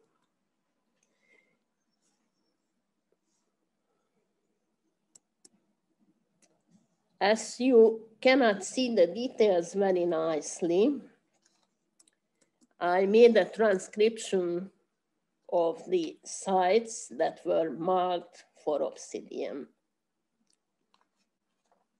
His efforts were followed by several researchers in the 20th century. In the 1930s, a wave of regional data collection took place in Poland by Kostrzewski, uh, 1930, in Romania, Martin Roska in 1934, and in Slovakia, Jan Šák, 1935. The data collection was continued for several chronological periods in Hungary in the 1950s. The introduction of archaeometrical analysis from the mid 60s onwards also resulted in further data points.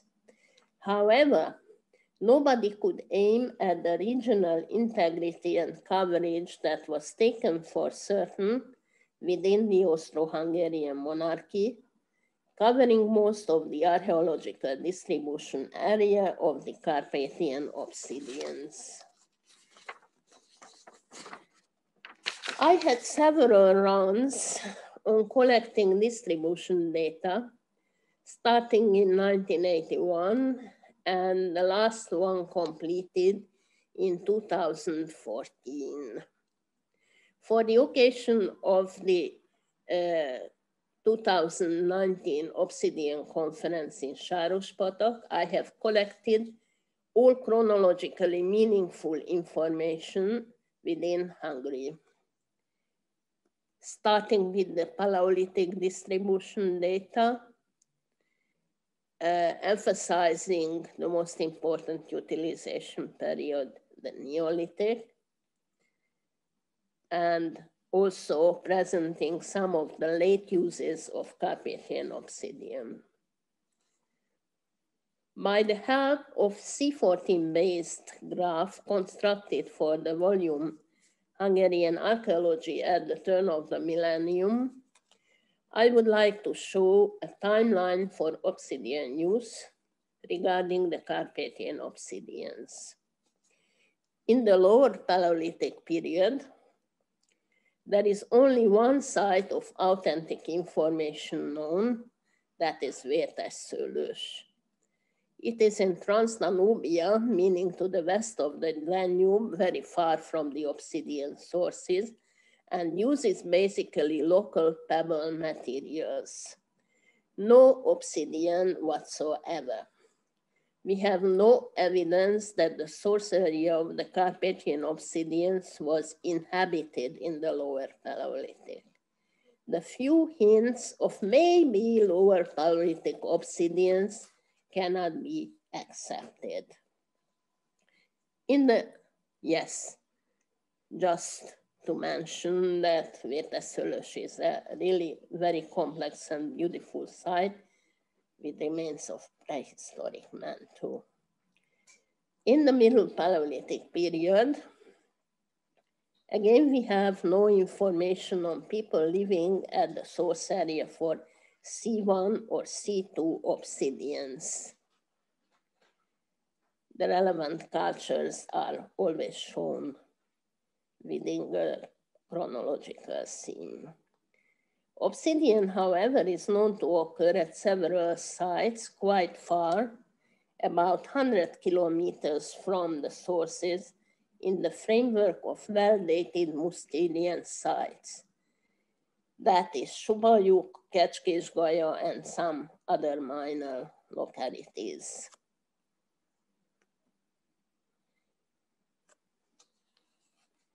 In the region of the C3 sources, we have evidence of local workshop activity on the source. At the same time, we have no information on the distribution of three obsidian on archaeological sites. At the chronological boundary of the Middle Paleolithic and the Upper Paleolithic, we have a few very important sites with obsidian. We go back to the former site to see Pilisszántó 2, Pilisszántó II is a cave in Transdanubia with Würm 1 maximum fauna and indifferent archaeological material. The single obsidian flake, however, is the oldest known obsidian item to the west of the Danube, about 300 kilometers from the source.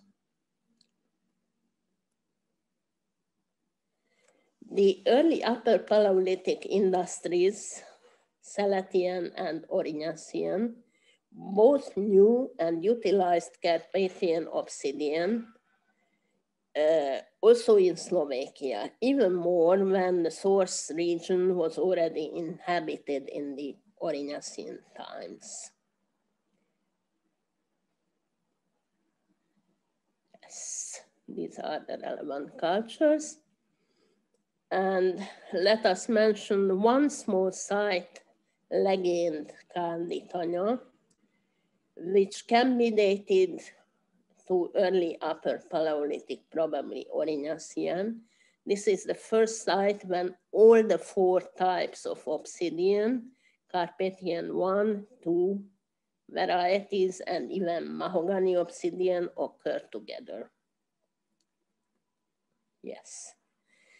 It was also used in some very interesting leaf point industries of early Upper Paleolithic character in the environs of Miskolc and cave sites around the city. Yes. Uh, the late Middle Paleolithic Gravettian culture utilized C1 and C2 sources as well.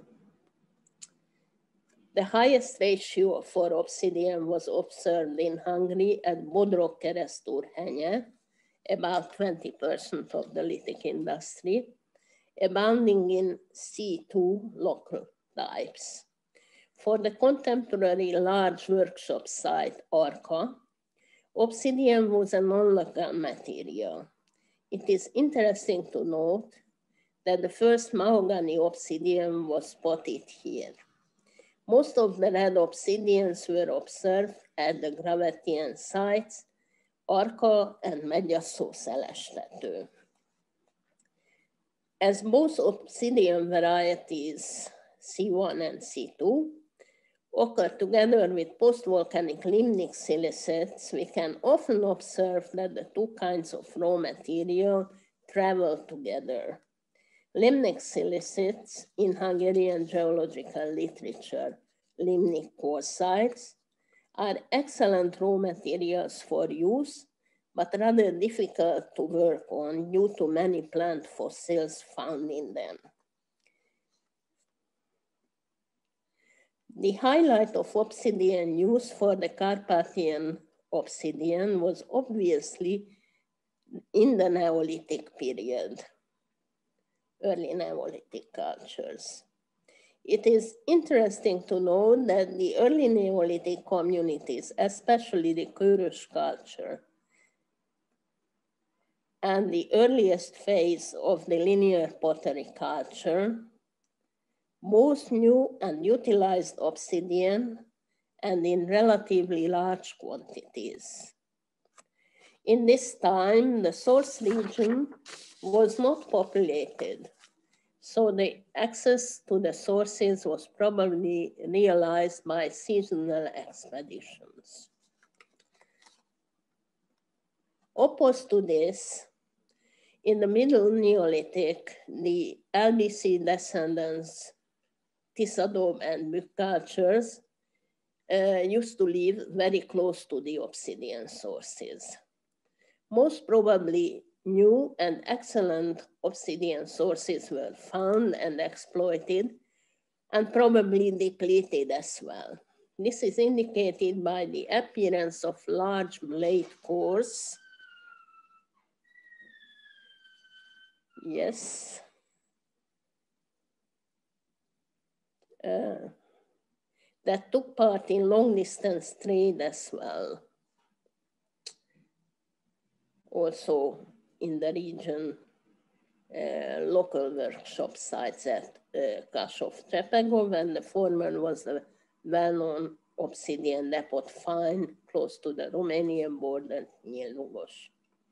After the Bükk culture, the immediate neighborhood of the obsidian sources was depopulated and minor inferior sources were in use, probably by expeditions and raids. Yes, this is still belonging to the Middle Neolithic horizon, workshop sites around the obsidian source areas. Here we are at the late Neolithic, and most of the activity is related to Lengyel culture, which is very well known for its industrial efforts to mine and to work raw materials. Yes. On the territory of the Lengyel culture of Trans-Danubian origin, a clear advance to the obsidian sources can be observed, whereas at the Trans-Danubian homeland, certain sites seem to operate as local distribution centers. One of them is this site, Sarka in Szehely. The most typical element in the toolkit were microblade cores, and microblades. We can observe the longest distances of archaeological obsidian distribution in this period. In the Copper Age, projectile points appear. They are typically found in funeral context. They are also characteristic of the first part of the Bronze Age again a special funeral site of the pit grave culture. The importance of the stone is slowly decreasing, but they are definitely present on their own right till the late Bronze Age. This uh,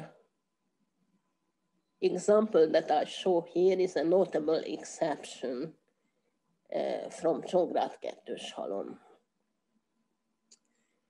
For the stone artifacts of the Iron Age, we have to consider secondary use as, say, fire flint. Yes. The pieces come again from graves of the Scythian late Iron Age context. In modern times, there is a growing interest in obsidian by collectors tourists and jewelry producers and buyers that make sourcing a challenge, especially if experimental knapping is involved. It is not the subject of the current talk, but we have a growing set of analytical information on Carpathian and other European archaeological obsidians whereas C1 and C2 obsidians often occur together, we have certain instances along the borderline of the Carpathian obsidians where the site was supplied from several sources.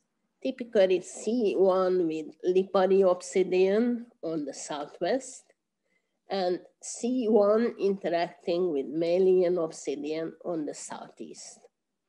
Hopefully in the near future, a lot of new information will be available by the publication of the last Obsidian conference in 2019.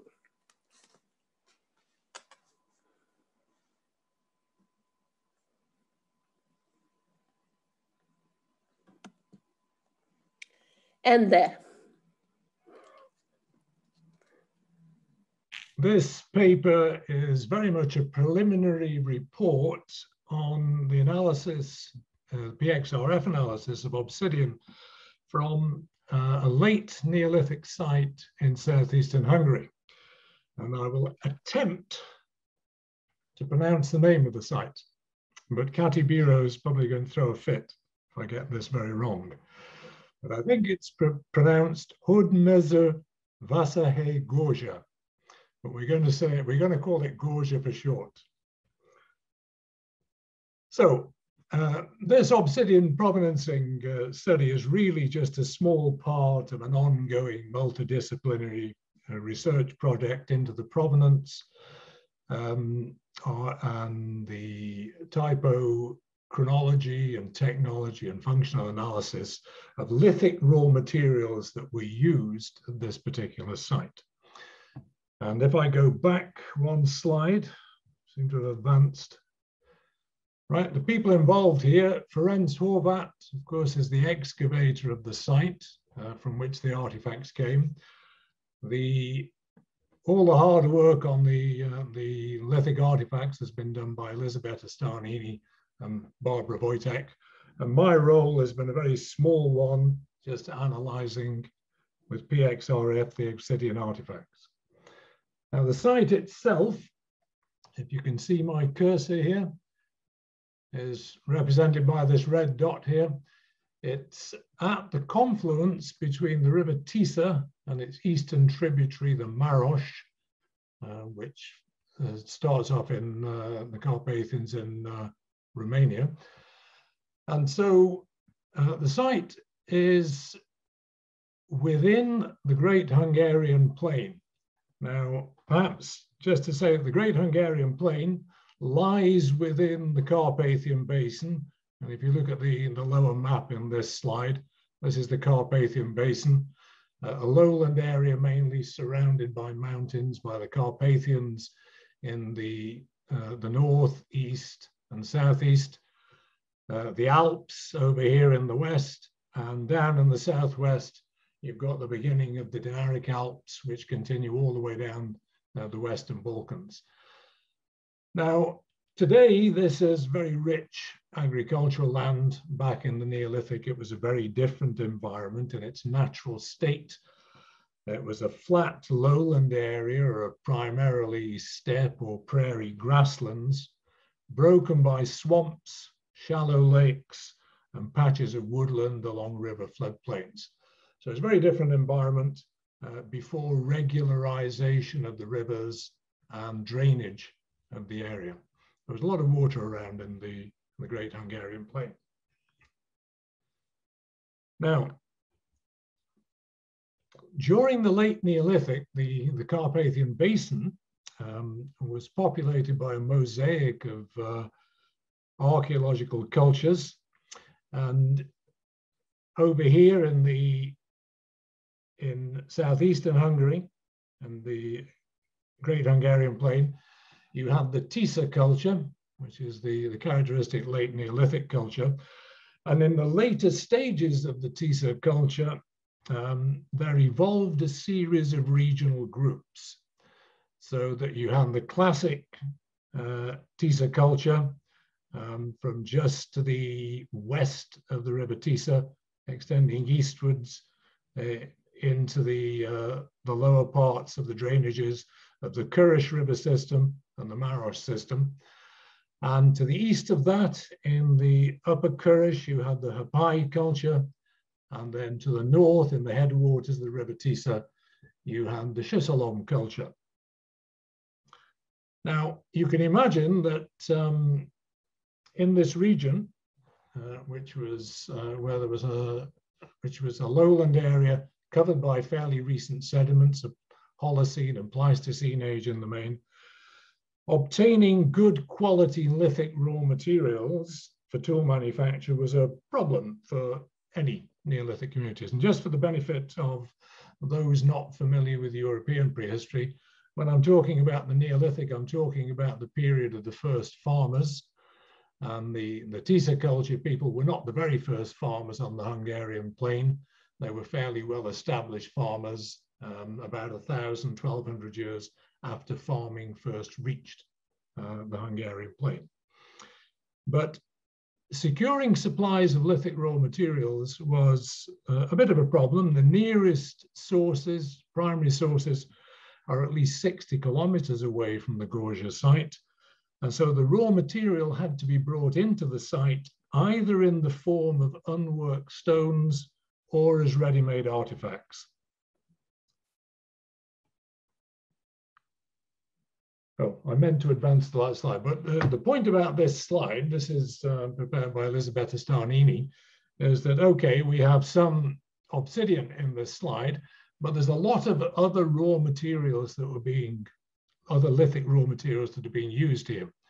Uh, there was various kinds of flint, and it was coming from uh, considerable distances away. And the obsidian is really only a small proportion of the overall lithic assemblage. And that's a very important uh, thing to grasp about um, the Neolithic around these, in this particular area of Europe. So this is Gorzsa, um, two views from Google Earth, uh, the three-dimensional view over here, or the street view, where you can see that it's actually a settlement mound. It's a tell uh, rising about four or five meters above the, the floodplain of the Tisa. And it's quite a big site. It covers approximately uh, five hectares. And Ferenc Horvát's excavations, uh, which I think took place between 1978 and 1996, examined about a thousand square meters of the site and obviously about uh, several meters depth of sediment. So it's a, a, major project. And his excavations revealed a late Neolithic sequence spanning the middle and late stages of the Tisa culture. And radiocarbon dates span from about 4,850 to 4,500 BC, Cal BC. So you basically had a settled community here um, that remained there and developed there continuously over a period of several centuries. And so just as you have um, in the Near East and Southeastern Europe, you get tell settlements developing. Uh, the other thing to note uh, about this slide, if you can follow the cursor just in the lower part of the slide, uh, you know, Google, the Google Earth photo picks up these old um, um, river features, these old river channels so you can see that the, the river channels are shifting about through time. Uh, you get seasonal flooding, or you, you had seasonal flooding in this area. And there were constantly shifting bodies of water. Now, because raw materials were uh, having to be acquired from some distance away, um, and it's likely that they were being acquired through participation in exchange networks, uh, through cultural connections.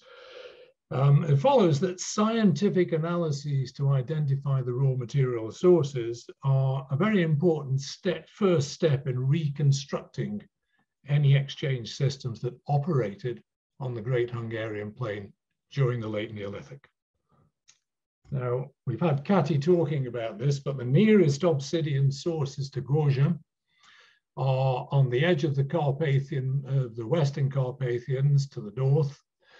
And we essentially there have um, three source groups. We have the Carpathian three source group in the Ukraine, the Carpathian one source group in Eastern Slovakia, and the Carpathian two source group um, in Northeastern Hungary.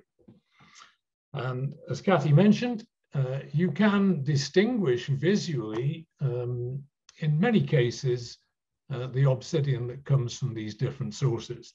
So typically the Carpathian 1 obsidian uh, which is very high quality stuff in the main.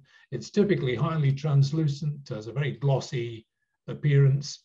And in some samples, uh, it's often speckled uh, with black or dark gray speckles or even stripes and bands. So it's very distinctive type of obsidian. Carpathian 2, generally speaking, is visually rather different. It's uh, less translucent, characteristically black or dark, dark gray in color, and usually only slightly translucent at the edges in when you see thin pieces. And there are two subtypes, but I would hesitate to um, Carpathian 2E and Carpathian 2T, which we can distinguish by XRF, but I would hesitate to try and distinguish them visually. And then in the Ukraine, we have Carpathian 3 and Carpathian 3. Um, it's not one of my pictures down in the lower left of this slide. It's black, it's relatively glossy, and you get these rare white inclusions in it, um, normally plagioclase. Uh, and as you can see from that example, has a slightly hackly fracture. So it probably wasn't such good material for knapping. I've never tried it, but um, I assume it wasn't. And it wasn't as popular in prehistory, um, in the prehistory of Central and Southeastern Europe as the Carpathian 1 and Carpathian 2. Um, and I'm just going to cut off my, um, if you'll bear with me, my WhatsApp. Now, oh, before I say that, the, the straight line distance between Gorzsa and the Carpathian sources, um, you can judge by the scale, is on average, I suppose, between about 220 and 260 kilometers. Now, of course, the work at Gorzsa, the obsidian characterization work, is by no means the first uh, characterization work that's been done on sites on the Hungarian plain and the, even in the late Neolithic sites. There's been a lot of previous research. Some of it's involved lab-based techniques like neutron activation and um, prompt gamma activation analysis, um, which usually looked at small samples of material from these sites. And then later on, there have been some PXRF studies, and we can discuss, of course, uh, um, ad infinitum, the pros and cons of lab-based versus PXRF. But the great value of PXRF, of course, is it's extremely flexible, low cost. Uh, you can take the instrument uh, to the actual sample. And more important than that, because it's quick, because it's cheap, you can analyze more and non-destructive, you can analyze every piece that you have from a site. And that's perfectly possible because in sites this far away from the, the sources, the obsidian rarely forms more than a small proportion of the assemblages, and it's perfectly possible to analyze every piece in the site. Now, there was uh, very recently a study by Daniela Riebe, and I don't know if that's how she pronounces her name. I, I think she's based in the States, uh, although she has a German sounding name. And she published uh, an article recently uh, in which she examined and she analyzed by PXRF um, samples from the Herpály culture and the Tisa culture. And she analyzed in total 203 artifacts from seven sites. Uh, nearly all the material she looked at came from the Carpathian 1 source, this nice translucent banded uh, stuff, which is very good for knapping. Uh, but she did find some Carpathian 2 material, not very much, she found Carpathian 2. She found one piece at each of four sites. Um, what was interesting is that two sites that belong to the Tisa culture down here, uh, the Carpathian 2 material came from the 2E source in Hungary. And at two sites that belong to the Herpály culture, they came from the Carpathian 2T source. So um, not unreasonably, she assumed that this was culturally determined and that uh, the, Pi, uh, Pi culture communities uh, belong to um, one exchange network and the Tisa culture people belong to another or to a set of networks. Now we'll come back to that in a little while. Now, this is not Daniela Riebe. I was just making the point that Daniela Riebe used a Bruker Tracer 3 to do her PXRF analysis. Uh, I was at that time using uh, a Niton XL3T instrument. Uh, it has similar capabilities to the Bruker Tracer. Uh, it's not the latest generation of, of um, analyzer. Um, neither of them are. Um, but um, it does the same job effectively. Uh, you, it's less flexible than the Bruker Tracer in some ways, but it's much more user-friendly. It's a great instrument for actually training students to use because it's so easy to use.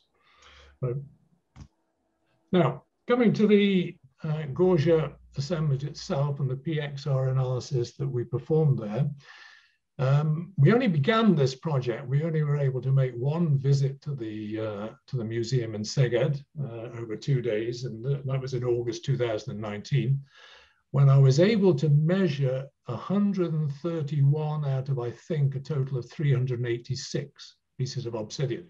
So roughly a third of the obsidian assemblage from the site.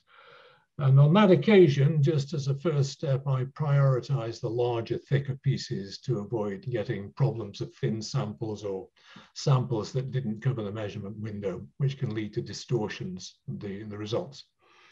Um, I was to do a, a follow-up visit at the end of 2019, but we all know that the COVID pandemic um, started around that time and that put paid to any further visits. Uh, so I hope to get back there this year, but um, we'll see what happens. Now, the results, well, very, very briefly, uh, it's very obvious this slide. Uh, of the 131 pieces that uh, I analyzed, uh, 126 pieces uh, could be matched very clearly to Carpathian 1. And the, the ellipses here represent the range of variation in geological samples that were previously measured with the same instrument. And so you've got 126 dots within that Carpathian 1 ellipse there. So very clearly, uh, the vast majority of the stuff at Gorzsa is coming from the Carpathian 1 source. Now, in the one third of the assemblage that I analyzed, there was no Carpathian 2 or Carpathian 3, but we don't expect Carpathian 3 uh, down here anyway. But what I did find was several pieces that I couldn't match with any known European or Anatolian obsidian source. Now, that's not a problem, uh, or what was the problem was to save time, I didn't measure the light elements on the instrument because that would have added two minutes measurement time for each sample. So I left out the light elements, which meant that I didn't measure silicon. But I did manage to measure one piece right at the end of my visit. And that one piece, um, and this is just a rough estimate, it gave um, an SiO2 content of over 80%, which would be unusually high for obsidian and certainly for Carpathian obsidian. So I'm guessing that uh, the four or five pieces that I couldn't, uh, I couldn't provenance uh, are probably not obsidian at all, but some other silicious material, probably a, a high quality form of chert or flint that just happens to be black and shiny. But we'll determine that uh, when we go back.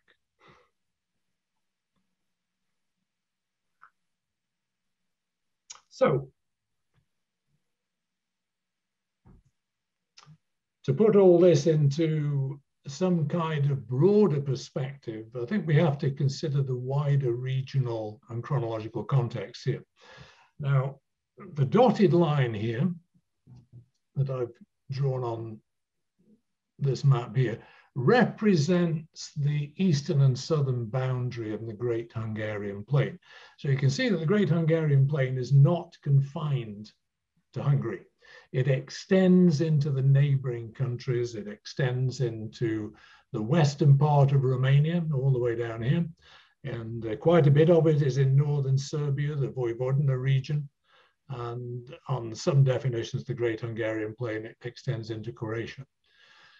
And there's been a lot of obsidian provenancing research done recently in Romania by not just by me and my uh, Romanian co-worker Adina Boroneanț, but by other people, um, um, Florin Drașovean working with Michael Glascock, um, Paolo Biagi has done work down in this region here, in the area known as the Banat, which is the biggest part of the Hungarian plain that falls inside Romania.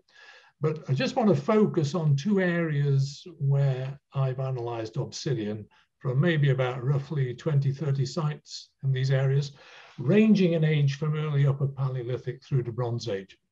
So up here in the northwest, which is relatively close to the obsidian sources, this is the Oaș region of Romania. And down here within the Banat, uh, I'm calling it the Arad Plain. The city of Arad is somewhere here. And we're on the Mureș Plain, the, the Mureș or Maros River Valley, not very far from Gorzsa.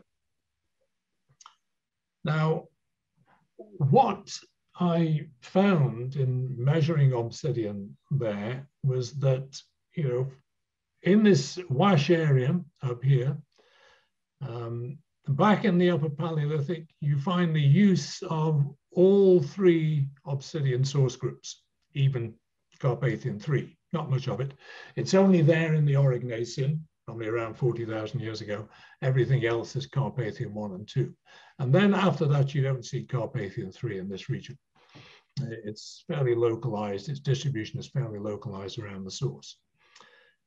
Um, but generally speaking, between these two um, regions, there is a marked change that takes place after the early, after the first few centuries of the early Neolithic. Uh, around 5,800 BC, before 5,800 BC, uh, you find Carpathian 1 and Carpathian 2 being used. So the very early Neolithic people here are using Carpathian 1 and Carpathian 2. Then in the later part of the early Neolithic and then onwards into the late Neolithic and the Copper Age and then the Bronze Age, you don't see Carpathian 2 anymore. You only see Carpathian 1. And if you go further east in Romania, you get the same pattern down into Bulgaria, you get the same pattern down into Serbia, you get the same pattern. You get this change after about 5,800. Now, interesting question. Why is there Carpathian II obsidian in the later Neolithic of southeastern Hungary, but not in Western Romania? And I think the uh, I don't know the answer to the question, to my own question, but I think our colleague from Georgia actually touched on a possible answer to the question uh, in that you know, obsidian could be transported not just by people, it can also be transported by natural processes. And one obvious natural process is rivers. And that uh, we've got to remember that these Carpathian obsidians, these are not lava flows, it's this pyroclastic material, it's little uh, volcanic bombs and small pieces. That stuff can easily get transported down rivers and end up in river gravels. So it's not beyond the bounds of possibility. I'm not saying this is what happened, that uh, some of this, this little bit of Carpathian 2 obsidian we find down in uh, uh, the southeastern part of the Hungarian plain might be being picked out of river gravels. Um, you know, so that's something for the analyst to bear in mind when they're examining the size of the pieces, when they're examining the cortex. But there, there are alternatives. Now, how does that explain Carpathian 2 here and not here? Well, simply because of the way the rivers flow. The rivers come down here. There's no way you're going to get obsidian, a river transporting obsidian from here or into the Oaș or into uh, or up the Mureș Valley just not possible. So if you're going to have river transport of obsidian, yes, you'll get it down here, which you won't have Carpathian 2 obsidian, you'll get it down here, but you'll never get it over here. So final remarks on this. Um, as I said, uh, our provenance studies of the Gorzsa obsidian are very much a work in progress. And uh, the other thing, of course, we discover is that not everything that's black and shiny uh, is obsidian. Uh, so you can get other materials that look a little bit like obsidian in small pieces and turn out not to be when you do the geochemical analysis. Um, the other very important point, I think, is when you're getting, you know, 50, 100 or kilometers or more away from these sources, obsidian is only one of a vast range of silicious rocks that were being used by Neolithic people. And it's, you know, and they were not, uh, to them, it probably wasn't a particularly special material. It was just another silicious rock. And it's not until really we get into the Chalcolithic period in this region that we, we start to see obsidian being used uh, as a special material. It starts to crop up in Chalcolithic burials, rich Chalcolithic burials like the Varna burials with all the gold work. Well, you get something similar in Northwest Romania in the Chalcolithic with gold work, copper, and nice arrowheads made out of obsidian. So we always have to bear that in mind. And I think the other important thing about this is what PXRF has allowed us to do is to analyze every single piece. And I think that's extremely important when you're studying these sites. So I'll end there and thank you all for listening. In particular, I'd like to thank my co-authors who did all the heavy lifting on the lithic analysis here. So thank you very much. Well, th thank you, Clive. Uh, any questions for Clive?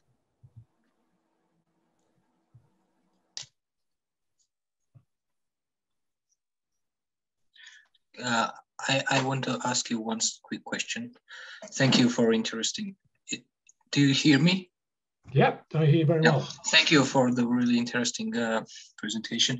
I just want to ask you about the management of producing tools because do we have the sign that the materials were produced on the settlement or it was totally produced in on the on the spot of the source and then it was brought the uh, materials like like a half ready or something Okay, well, I think that's a question for my co-author, Elisabetta, if she's with us.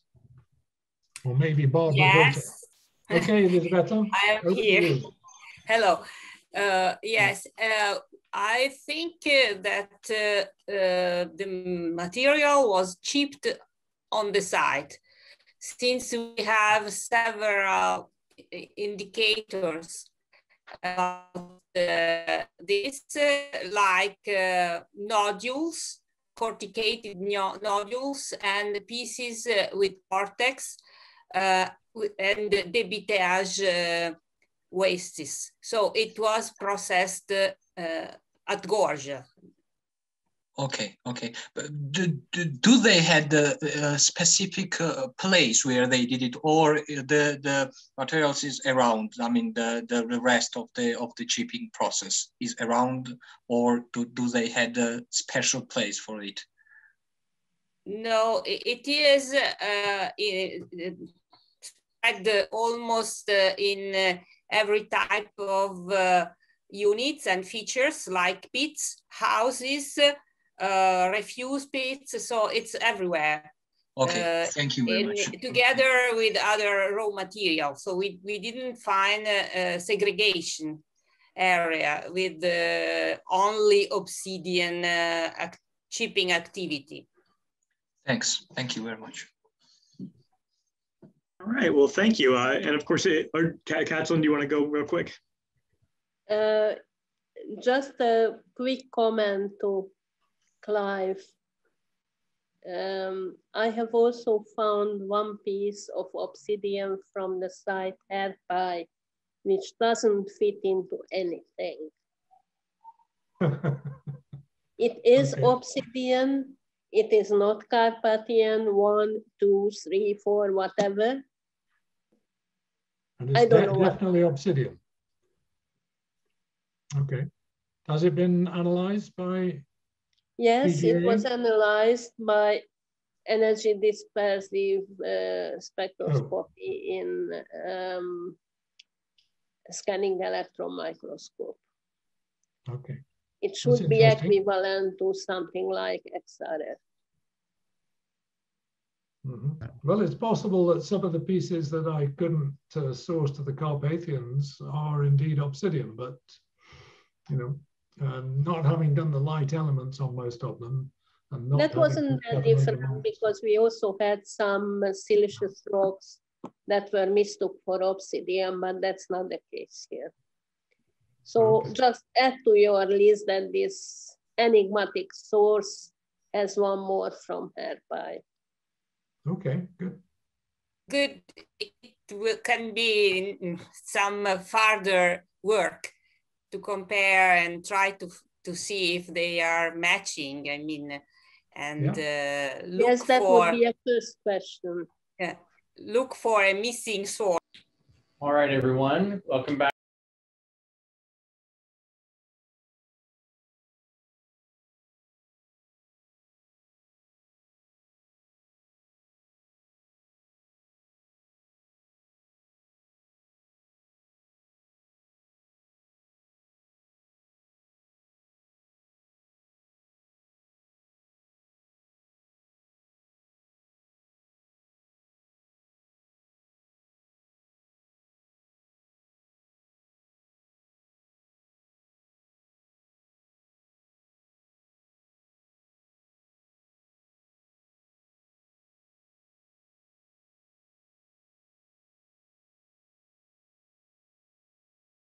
Um, we are moving out of uh, sort of the regional study of things um, to more uh, uh, sort of theme-based talks. Uh, the first is uh, analytical methods uh, in the afternoon. That'll bring us through the rest of the day, and then we'll start a new another theme tomorrow morning. The first paper is a pre-recorded one titled Chlorine sodium dioxide as a geochemical index of obsidian aging by Franco Forest, Foresta Martin and Enrico Massaro.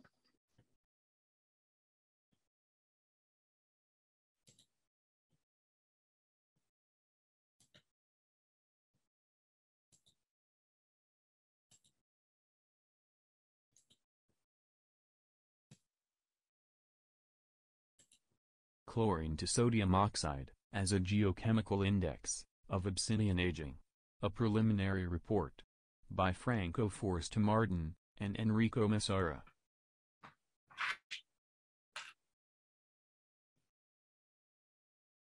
In a previous paper, Foresta Martin, Rotolo, Nasri and Carapezza, 2020, proposed a new geochemical method to determine the provenance of the four Italian obsidian sources, widely exploited during prehistory.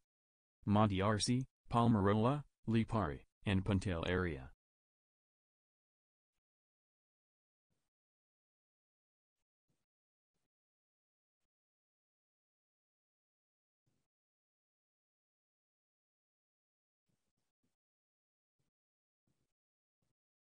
The method is based on the amount of chlorine, a minor element in igneous rocks, with average concentrations of a few hundredths of weight percent.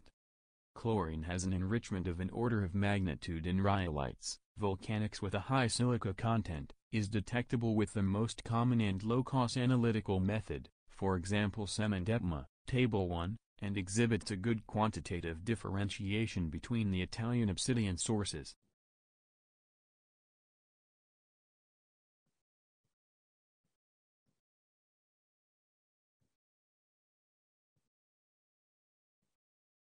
The solubility of chlorine in magmas increases with the content of network-modifying cations, Lowenstern, 1994, especially sodium, an element that also exhibits a good quantitative differentiation between the Italian obsidian sources, Labordinec Italii, 2006 and 2010. Tykot, 2002.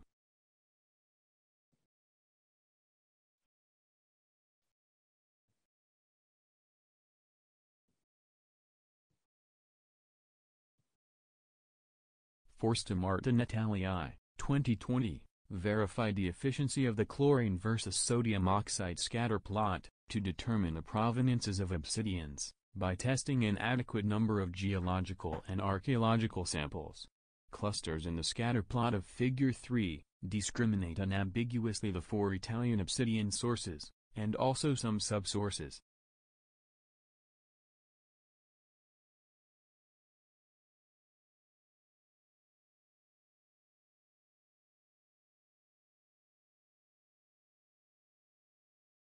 This study, we are investigating the geochemical relations between chlorine and sodium in the obsidians of the Italian outcrops, taking into consideration the various subsources of the volcanic systems that have generated obsidians.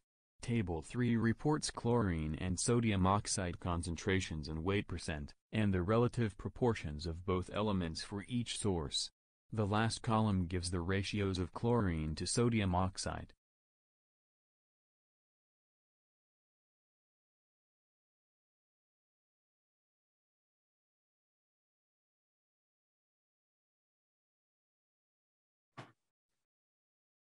The ratios of chlorine to sodium oxide decreases according to the sequence, Lipari, Pantelleria, Palmarola, and Monte Arci. This sequence follows the growing formation age of the obsidian outcrops.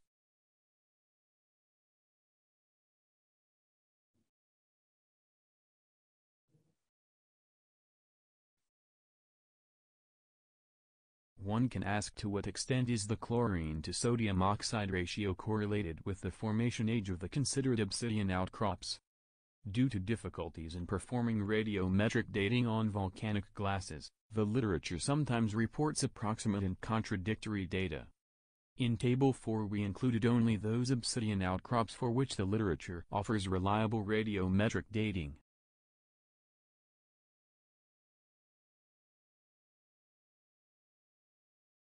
The mean values of chlorine to sodium oxide ratio, relating to the five selected obsidian outcrops, appear well correlated with the radiometric ages.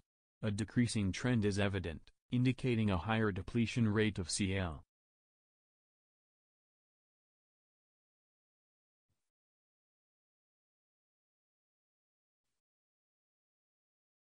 Data indicate that the chlorine to sodium oxide ratio, R, is a slowly decreasing function of the time. We suggest using it as an age indicator of obsidian sample formation. Let's consider the time scale tau of this decrease, that is the time in which a significant change, typically by a factor of about 2, of R is produced. This time can be defined by equation 1, it can be either constant or depending on the value of R.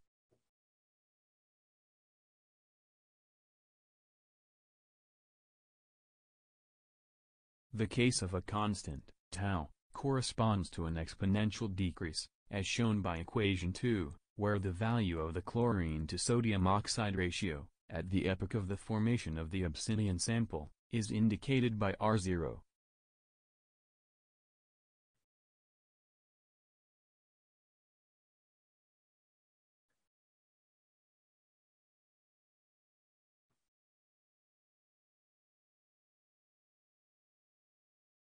Another interesting case, corresponds to a time scale that increases for a decreasing value of R, which implies that the decay of R, is fast for obsidians with a high content of chlorine, and becomes slower and slower, when R reaches low values. The simplest case is to assume that the inverse of tau, is proportional to R, as given in equation 3.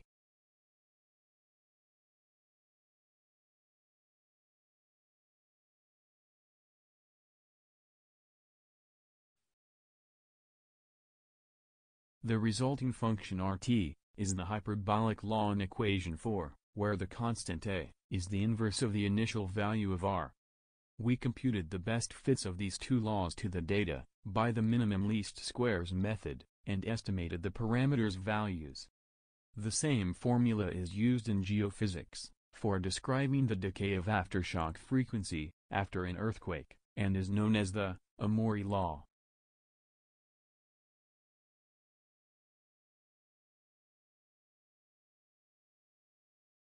Best fit values are written in the formulae of figure 5, where the dashed green line is the exponential law, the red solid line is the hyperbolic law. The two laws describe well the aging of the obsidian samples, but the hyperbolic one is slightly closer to the data points than exponential. With reference to r, we have estimated an error of about 5% for its higher values, and 10% for the lower ones.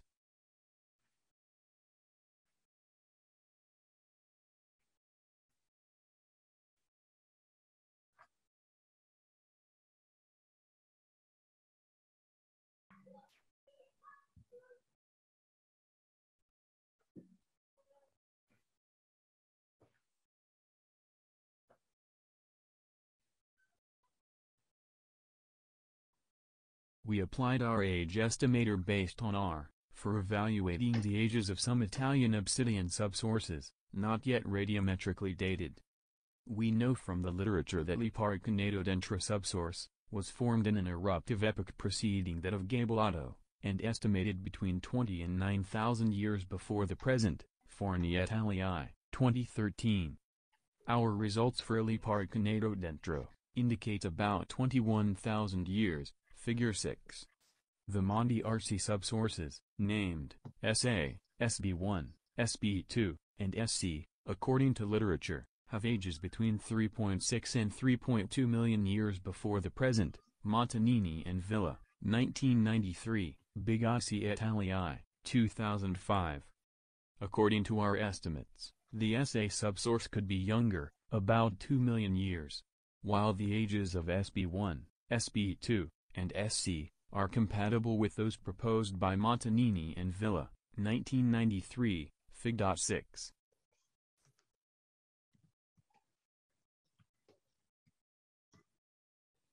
We applied our curves also to estimate the age of obsidians from the Greek island of Melos, using the chemical data of Kastovsky et al. 2019, relative to a group of 8 obsidian samples, mean value of R equals 0.016. Age estimates reported by literature for Melos obsidians are quite different. Durrani et al. 1971, between 8.95 and 8.35 million years, Arias et al. 2006, about 1.6 million years. Our exponential law, figure 7, green curve, gives an age not consistent with both the two estimates of literature. While the hyperbolic law, red, results in a very good agreement with the age values of Durrani et al. 1971.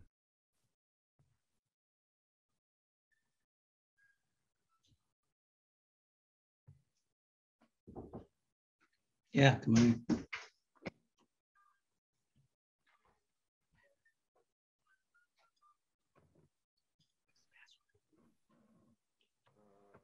Duck. Concluding remarks. We put forward the hypothesis that, the R decreasing as a function of the obsidian age, depends on a number of alteration processes that the volcanic glasses undergo. For example, microfracture, hydration, Zero. by groundwater, ion U. exchange, devitrification, Lipman, P- P. 1965, Jezek and Noble, 1978, Fisher and Schmincke, 2012. It seems that these chemical and physical modifications act with comparable times of occurrence for the different obsidian outcrops, despite the different initial conditions of the progenitor magmas. To test if the decay of R through geological times could be used as a geochemical proxy of radiometric dating, we intend extending the curve calibrators, carrying out, on each sample, both R and radiometric measurements. Testing of the law validity for samples out the Mediterranean area.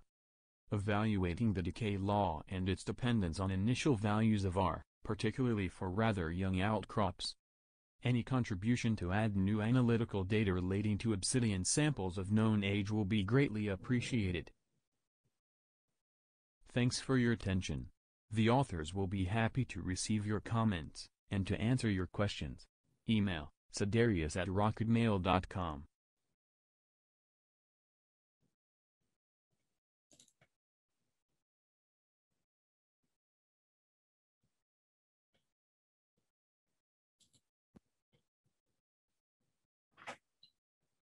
Okay. So I encourage you to um, to reach out to the authors if you have comments or questions uh, about their work. Uh, the next paper is going to begin uh, a little early, uh, which is my responsibility. So I'll, I'll go, I'm ready to go now. Um, and uh, so I'm go ahead and start mine.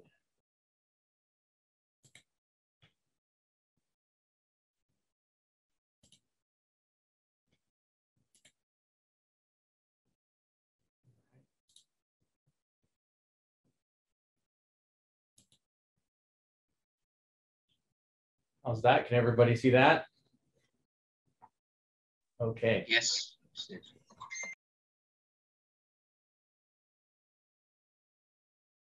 All obsidian objects, applying the Mahalanobis distance statistic in ternary diagrams with R.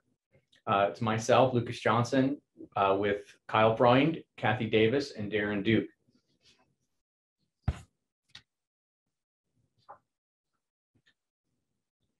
Historically, XRF analysis that thicker objects maximize fluorescence efficiency for mid-Z elements such as strontium through zirconium. The thickness threshold of four millimeters is often cited as it is the point at which incoming X-rays, all incoming X-rays are absorbed by the sample uh, for obsidian, uh, zirconium in an obsidian matrix. However, in practice, 2.5 millimeter thick samples can use similar part per million values. As Kathy Davis and others have shown, parts per million become skewed when objects are at, a, are at or thinner than 1.5 millimeters in thickness. The skewed and overestimated parts per million are typically caused by normalizing to the Compton scatter peak or some other physics-based parameter of the calibration. For example, uh, Jeffrey Ferguson in 2012 illustrates this issue by overlapping samples of varied thickness. Here we show Glass Mountain samples with varied thickness. The, uh, the thicker sample shows higher elemental peaks and Compton scatter, as well as higher count rates per second, or what we term, what we use as valid count, as it is known um, in the Bruker software. These samples and all the samples in the presentation are analyzed at 40 kV for 240 seconds using a Tracer 3 SD. Here is an example of glass mountain obsidian with varied thickness for illustration. Over here to the right, there's three, three different spectra. Following factory recommended calibration procedures, comparisons of, of ppm for these three samples from the same rock show significant differences in at least three elements. This elemental difference is caused by the Compton peak normalization and results in certain elements being either under predicted or uh, over predicted as sample thickness decreases. These issues can affect confidence sourcing of shatter fragments and most pressure flakes unless data are transformed uh, to ratios or relative peak percentages. The exclusion of these data in sourcing project can significantly affect archaeological interpretations of mobility and tool manufacture or retouch taking place at great distances from obsidian sources. The reason for this lack of confidence for the, the use of ratio data is that source library samples consist of larger, thicker, thicker samples termed infinitely thick. For thick source library samples, valid count is highly clustered in distribution. In this, in this case, those samples with thicknesses at four millimeters or greater return valid counts between 3,000 and 5,100 counts per second. Again, here, uh, valid count is a proxy for uh, sample thickness. A recent project in, in the Western Great Basin, some 800 artifacts were analyzed. Their count rates per second range from uh, 218 to 3,550. This distribution, this distribution alone suggests PPM will be highly skewed when compared to a thick source library. The use of ratio or other transformation uh, is the default sourcing method. This slide shows the range in valid count for 400 Bodie Hill specimen, part of a simulated bipolar reduction exercise that produced more than 12,000 flakes, all of which were measured for length, width, and thickness and analyzed with EDXRF. The experimental study uh, reduced cobbles to produce a, a, variety of core reduction and retouch flakes, as well as small, small shatter. So the Bodie Hill obsidian show a noticeable skew in most parts per million compared to the results of larger samples.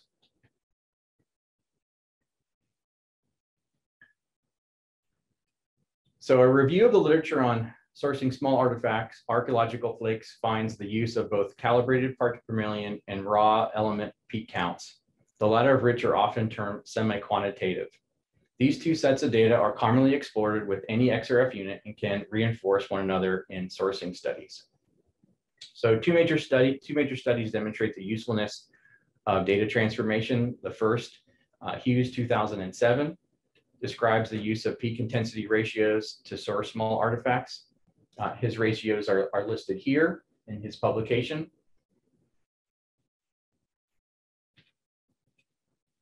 Uh, Ellery Frahm also outlines the use of part per million ratios and are provided of strengths in his article.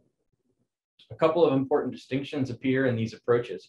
First, some North American sources do not contain strontium or, or low, low amounts of it. So in order to use it as a ratio, values must be relatively high above the detection limit. In other words, part per million must be higher than one to five part per million. Frahm, on the other hand, working in the Caucasus region, shows that strontium values for regional sources contain about 20 ppm or higher.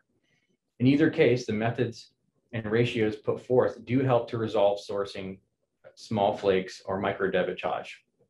It is important to note that peak element peak intensities and by extension peak ratios are instrument driven and therefore specific to the instrument and likely not comparable between labs.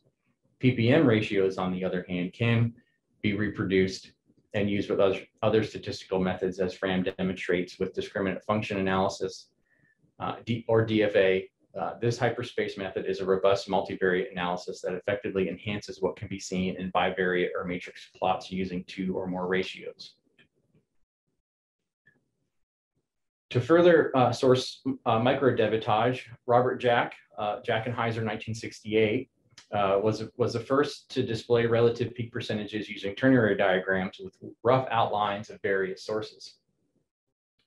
Hughes 2010, much, uh, much later, offers a more refined use of relative elemental percentages displayed in ternary diagrams. And he targets these three elements uh, because they are adjacent to one another on the periodic table and respond similarly to variations in specimen thickness. Here you can see uh, strontium, zirconium, and, and rubidium. In these plots, small artifacts are plotted with dashed ovals representing the range of variation of a given source. These ovals are inferred from extensive knowledge of how particular sources vary based on thickness and diameter. Of note, these three elements are normally used to discriminate many California sources, thus they may not be effective elsewhere, but it is easy enough to substitute other mid-Z elements. Many statistical programs offer the ability to plot relative uh, uh, percentages using ternary diagrams as uh, here, as you can see here, as well as, as we see in a few other presentations. Uh, but more robust statistical methods that require uh, range of variation require additional steps. A ternary diagram, often referred to as the simplex in geological sciences, is a useful way to visualize relative contributions of three variables when the three are summed to 100%. In geology, it is often used to determine the relative percentages of feldspar and rock compared to other mineralogical components. In geochemical studies, ternary diagrams take the sum of three elements and determine the percentage of each relative to the sum and plot each one on, on a side of the triangle axis.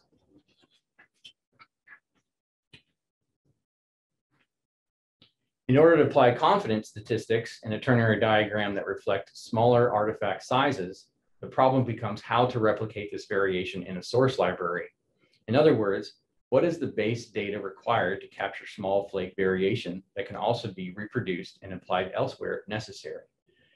Here's an example of 24 sources plotted on a ternary diagram with only large source samples. You can see the relatively small confidence regions depicted for each source. With the introduction of small pressure flakes or shatter taken from each larger sample, the region, the confidence region of variation increases significantly. The introduction of small flake samples shows a bimodal distribution by valid count.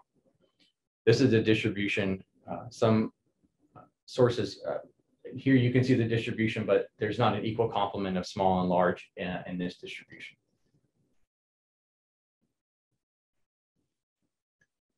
Including relative peak percentages for small samples calculates a larger range of variation as represented by the 95% confidence region. Confidence regions in ternary diagrams also have a history in the geological sciences and various methods for their calculations have been described. Here you can see a list of those references. Most of the, of the past and recent literature uses a modified Mahalanobis distance statistic or, or D statistic and may require extensive calculations to compute depending on how many variables are included. The use of the D statistic is commonly used in geological studies to determine outliers in multivariate analysis from a calculated centroid, uh, citing Glascock 1998 and 2019. The resulting computations show a, a modified z-score that is not related to the Euclidean unit of measure. Uh, in other words, a concentration of zero to n. A z-score estimates how many standard deviations a sample is from the mean for a given element, but the D statistic provides a non-Euclidean non variable uh, value expressing a distance central tendency. Programs such as JMP by SAS provide an upper control limit, as you can see here in the bottom of the slide, to determine the limit 95% uh, variation of, of it, and any samples above this line are considered outliers. The issue with the type of D statistic is that it limit it, the limits move with additional with addition and subtraction of samples from a source population. The D statistic in obsidian sourcing is often coupled with discriminant function analysis to ensure that there is no overlap between sources in a single geographical region. Once the D statistic is minimal or the outliers have been removed, the discriminant function analysis is run to show no, no overlap between source groups. All of this is done prior to sourcing artifacts. Uh, in this example, um, the Queen obsidian source in Western Nevada, um, three of them are confused with the Mount Hicks source um, using rubidium through niobium. So we would want to go back and inspect these. Using recent case study Confidence regions were calculated in R with the ggtern package and other dependent applications, such as ggplot2. The code is straightforward and can be expanded for visualization or, addition, or additional groupings. The basic data include various source groups with relative elemental percentages already calculated. Different from geological studies of relative mineral concentration, its application to obsidian sourcing requires thorough evaluation of geochemical groups and a complementary distribution of small and large samples. It is important to note that this method is not intended to substitute for the use of ratios described earlier, but to supplement if necessary and to expand on earlier work of Jack and Hughes enabling a reproducible procedure for calculating statistical confidence regions using three variables displayed in two-dimensional space. In some instances, dozens of sources can be plotted to re reflect geochemical resource map, although sources with similar geochemistry will overlap. Many sources from northwestern Nevada situate in the lower left corner and must be replotted using uh, element ratios to separate them further. Work in North Central California, for example, examined hundreds of artifacts as part of a larger water management project project area is at the confluence of uh, multiple indigenous groups that resided in the Central Valley, as well as in the uplands of northwestern Nevada. Multiple residences were investigated where tool retouch occurred. Thus, most samples were of small pressure flakes and other retouch flakes. Here's the figure showing that many of the small specimens emphasize California obsidian sources, as well as those near the modern uh, day, day, day states of Nevada and California. Here you can see the need to, to use um, other ratios to separate Buffalo Hills, Bodie Hills, and South Warners more confidently. Another substantial sourcing project occurred uh, within the area of northwestern Nevada during investigations to restore freshwater springs. During the analysis of the XRF results, multiple obsidian source regions were identified. In order to illustrate their regional diversity, a ternary plot was used. Here, two major clusters of artifacts are shown. In the center is a group showing sources local to archaeological sites, as well as sources imported from Northeastern California. The other group in the lower left-hand corner plot includes the grouping of three major northwestern uh, Nevada sources. While overlap is present in the ternary plot and the three northwestern Nevada sources appear as one group, the addition of bivariate plots show a clear separation. In this example, the use of iron peak intensity ratio is necessary for the separation. Uh, in these peak intensity bi, uh, bivariate plots, 95% confidence ellipses are shown for both large samples and those with large and small samples obtained. You can see that how the ellipses changes. Large and small samples are represented by the dashed line.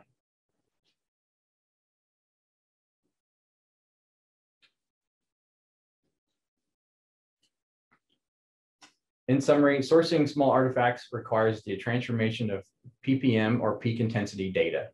These transformations minimize the difference in element concentrations between those of infinite thickness and those with suboptimal size. Important transformations include geographical specific ratios and may include the need to determine the relative percentage of at least three elements. But even with these transformations, some very small, thin specimens may exhibit more variation than equally transformed, thick reference materials.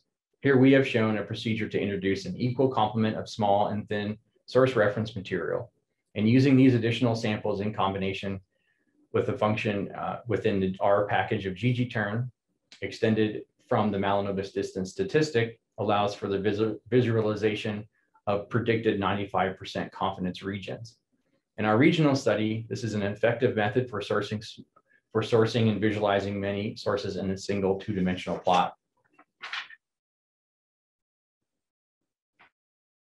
Thank you very much.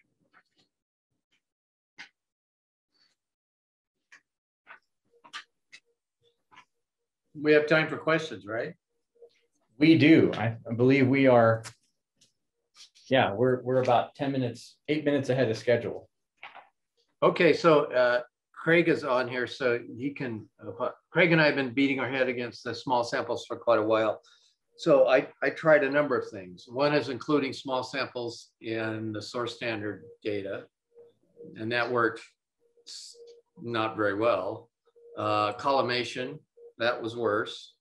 And uh, I, so I started, well, let, let me use multivariate statistical analysis. The problem with that for archaeology often is you violate the 3p times n. So you have a lot more variables than cases. And so that means you get sum of squares, uh, empty cells in the sum of squares across product, product matrix. And that means it's going to associate no matter what. Let's say you have a, you can imagine a, a matrix, what they say in hyperspace, that's, you know, it's 360 degrees, it's a ball. And in the middle, you have a number of empty cells. It's going to take uh, a variable over here on the right side and a variable on the left side, and it's going to stick them together. So you always have to be careful of that. The other thing, going back to my talk, whereas I was emphasizing barium, is that you guys in the Great Basin, uh, strontium and barium tend to follow each other into mineral hosts. And so when strontium's low, so is barium. So I guess you're kind of stuck uh, as far as using those heavier elements. Cerium sometimes works too, but that's still the same problem. Um, what else do I have here? I noticed that, uh, I didn't look at all of it, that rubidium and zirconium seem to have a more normal distribution than the other elements. Uh, have you played around with that at all?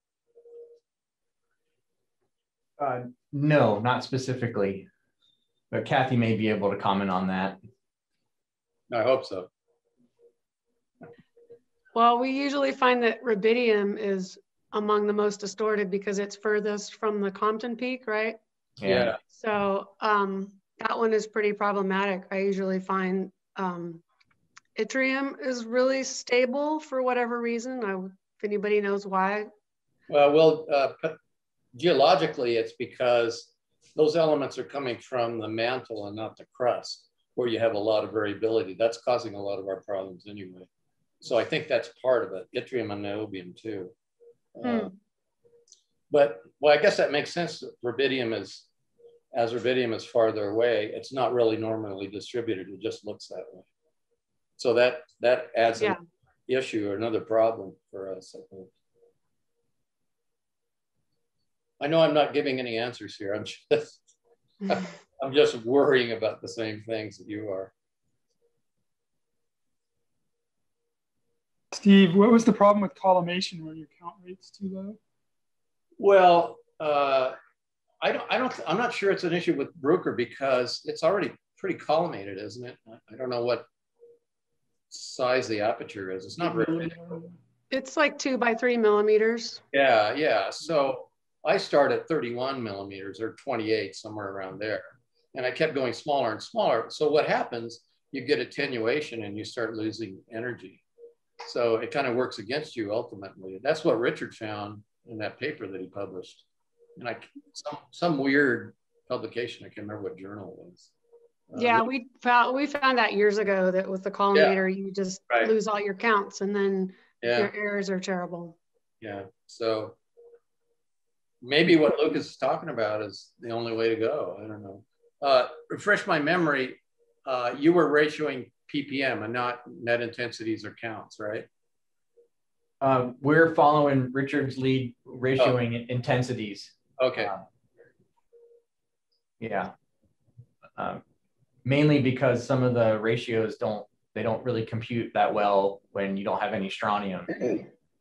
Yeah, and I think it's less an issue of normality too that I'm, yeah. I'm worrying about. Yeah. The other not... thing with the ppm ratios is that it, well, I mean, this is good and bad. It adds the errors of your calibration line, right? Right. And so in those numbers, you have, um, you also have what your um, detection limits are which is, you know, the, they will reflect your detection limit like in strontium when it's low. Um, uh-huh. Or any other element, really. Right, which is good, but you don't, the resolution, you know, the separation of your sources isn't as good. Right. Well, uh, I just reviewed a paper for geoarchaeology from a group in Alaska, and I don't know if you guys have been talking to them, and they've they've been uh, using a, Mahal, a Mahalanobis and D uh, system too. Technically, I can't talk about it, but uh, I'm pretty sure it's going to be published in geoarchaeology. So it looks like that group up in Alaska is going the same direction. Well, you know, the, the JMP statistic that you can pull in, you know, you can pull in all three elements and look at yeah. outliers. Realistically, that upper control limit provides a 95% right. limit. Right. It's yeah, just, I, use JMP too. It doesn't display it in a nice ternary diagram with a whole bunch of other sources. So it's doing, it's functioning the same thing, um, but it's hard to, to do it for, you know, a whole, you know, like a huge source, you know, a whole, whole regional study. You kind of oh. have to do them individually one at a time and already know that they situates with Napa Valley, for example, and then you have to include it in that. So it takes a lot more time um, it, eh, than just using the, the, the R program. Well, I've only done that once or twice with JMP, but at least it identifies where the outliers are. So at least you have that information and then you can go from there. You can, then I, then I focus on those. Right. Come out and say what's going on. I mean, there's other, eh, there's, there's petrological issues that can occur. You get wall rock reaction in a single source, and that screws up the chemistry. And a lot of times when we get these outliers, that's really what it is. Now, do you, are, is there any way to really know that? No, but uh, that that is a possibility. Right. And just fractionation too. I mean, this stuff's happening at about a thousand degrees C or a little less than that, and all kinds of things are happening. At least that's what I use to explain it all away. oh, Sounds good make, to me. Makes sense. yeah, you analyze enough stuff and you realize that some stuff is just uh, these oddities. Kathy and I have seen things too that just respond in a, in a weird way. It's not predictable. Um, so. Yeah, Matt's not here uh, right now, but he sent me uh, I'm here. mahogany piece and I'd never seen anything like it. It's not in Craig's database. It's, I don't know, who knows what it is. It, but all the rest of them were from Cerro del Medio. And there is a mahogany chunk and at Cerro del Medio. So it could be that uh, when something else was happening in the melt. I don't know. I'm here, Steve. I was just eating. just eating. Okay. Yeah, you didn't want to see us spit all over the, the screen, huh? Yeah. Yeah, yeah. Has, has that been resolved since I sent it back to you? No. In fact, uh, it's it's still sitting here on my desk. Um, I had sent it to Mike as well, and he couldn't he couldn't he couldn't pin it down. So did, did he take a chunk off and do it in NA with NAA? No, no, because it's already pretty small. Yeah, I know. So, so it's smaller than that, but we don't have isotopic source data, so it won't really happen. Steve, where was that one from? Ask Matt. I don't. I don't that know. one is from uh, from Pickery's Pueblo in northwestern Oh, yeah. New Mexico. Right. So a total unknown, huh? Yeah. Huh. Although there is um, there is a, a really glassy red uh, rhyolite that that I, I'm finding in the collections as well. Um, and I wonder if this is because it's so small, it's just a fragment off of one of those that maybe got burned or something like that to give it a slightly different luster. Um, I'm, I'm going to introduce our next speaker. Pardon me for, for interrupting. Uh, the next paper is Portable X-ray Fluorescence for Non-Destructive Provenience Studies in, uh, on Sardinian Obsidian by Valentina Mameli, Carlo Lugliè, and Carla uh, Cannas. Exactly. Okay, good afternoon, everybody. I am uh, Valentina Mameli, a material chemist coming from uh, Sardinia, so an Italian island. Let me first thank the organizing committee for uh, having given me the opportunity to tell you about uh, our studies, our preliminary, let's say, studies on uh, Sardinian obsidians. Indeed, today I'm going to give a talk uh, about the attempt of constructing. Let me now share the screen before continuing. Okay. Hope you are all able to see my screen. Looks good. Yes, it's good. Okay, perfect. And uh, so I was saying that uh, today I'm going to give a talk about, uh, um, uh, let's say, uh, the attempt of constructing an analytical routinal method by exploiting X-ray uh, fluorescence. uh, to be more precise, an X-ray um, fluorescence spectrometer that we had in our laboratories for uh, didactical uh, purposes. And um, in order to uh, try to distinguish among the obsidian subsources of, of Monte Arci.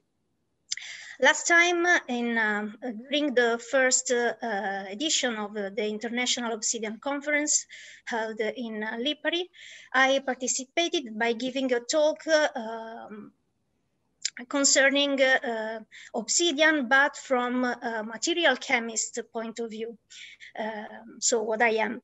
And uh, indeed, our work was aimed in um, deepening the nature of these materials and uh, uh, in particular uh, trying to correlate the uh, magnetic, uh, microstructural and morphological um, uh, properties of this material that can be defined more than a glass. In, in, indeed, it is actually a nanocomposite. But today, beyond this work, we actually mm, we actually worked on another matter uh, indeed, uh, during my bachelor thesis and master thesis, I tried to study um, uh, Sardinian obsidian uh, for archaeometric uh, purposes also. So um, actually since then, uh, I work on other research fields because I work on um, mm, nanomaterials and magnetic materials. So as you can see, I'm not working um, um, exclusively on this, on this field. But uh, after this uh, preamble, let's start with this talk. Uh, most of you uh, more, knows more than me, probably better than me, let's say, that uh, in, um, in the Western Mediterranean, uh, we can identify uh, four um, main obsidian sources located in uh, four Italian islands, Palmarola, Lipari, Pantelleria, and Sardinia. in particular, in Sardinia, there are four obsidian subsources um, that um, that are considered um, as uh, um, archaeologically uh, significant. And uh, they have been named, uh, as you can see here, um, Sardinian A, B2, uh, B1, and C types. First of all, I would like to um, highlight that for a provenance study, um, the aim is identifying um, some qualitative or quantitative chemical or mineral mineralogical variance among the natural sources of a, of a raw material that should exceed the um, those uh, intra-source intra-source uh, variances. Usually, as you know, uh, portable X-ray fluorescence is uh, one of the most commonly applied analytical technique for provenance studies. Indeed, it permits uh, qualitative and semi-quantitative analysis. And if you have a, a portable uh, instrument, you can also uh, use it directly in, uh, in situ. And uh, now with the, this um, um, new instrument, we can also apply this this technique in a non-destructive manner. But of course, we know also that uh, this technique has uh, uh some disadvantages, uh, which are intrinsic on the, um, on the physical uh, mechanism, so in the relaxation phenomenon of, of the atom. Indeed, we know that the probability of uh, uh, X-ray fluorescence depends on the atomic number. So we are able under uh, air atmosphere to uh, detect elements with the atomic number higher than uh, 17. And so the, um, the discriminative tools are limited to this kind of elements, so heavier elements. And also quantitative analysis are limited by matrix uh, effects. So it means that uh, the intensity of the peaks are not directly correlated with the, um, cannot directly correlated with the concentration. And uh, therefore, uh, quantitative, quantitative data can be extracted only by means of uh, standard uh, of known uh, chemical composition. In our preliminary study, uh, we have used, uh, as I said before, an XRF spectrometer that we had in our laboratories for other uh, purposes. And uh, it is a Lithos uh, model from Assing SPA, so it's an old instrument actually. It's, I think, 20 years old. And, um, and we applied this um, the analysis by means of this instrument to different kinds of samples. First of all, we analyzed milled geological samples because uh, uh, this is uh, somehow an ideal samples in order to see if uh, we could be able to distinguish among the uh, four obsidian subsources from Monte Arci. And then we move on uh, with other geological samples, in particular intact samples with different uh, um, thicknesses and uh, um, different morphologies. And then uh, we analyzed mm, just four archaeological samples. So in particular, we, um, after collecting the, the, the data, we um, analyzed them by using Origin software and calculating the integrated areas um, for decay alpha lines and um, calculated also the um, those uh, ratios between these uh, integrated areas. And the analysis was done by univariate, um, univariate analysis. It means that we checked for discriminative um, ratios without any multivariate um, assistance, let's say. The, uh, the beginning, we uh, try to find the best experimental conditions in terms of signal over noise ratio, because of course, if we need to uh, get the integrated area of the peaks, we need, uh, in particular for those which are not so intense, we need to um, have good quality data. And therefore we choose the bigger beam shutter and uh, a measurement time of uh, 16 minutes. As you can see, it's quite long analysis because uh, um, this is an old instrument actually. So today we have in the market uh, really, um, uh, let's say, uh, optimized instrument. So we test first, as I said before, on uh, uh, this method on uh, milled geological samples, 16 samples, four for each subsource. And uh, with um, uh, our surprise, we uh, were able to see that the um, mm, SC groups, but also the SA groups can be easily distinguished, of course, in this limited number of samples, um, uh, by this method. So to check if this method can work also on a um, wider number of samples and in particular on intact samples with all the um, uh, the limit of uh, imposed by their morphology, we uh, collect from Professor Carlo Lugliè 30, uh, 38 uh, samples of unknown provenance in order to test it, uh, test them in a blind test.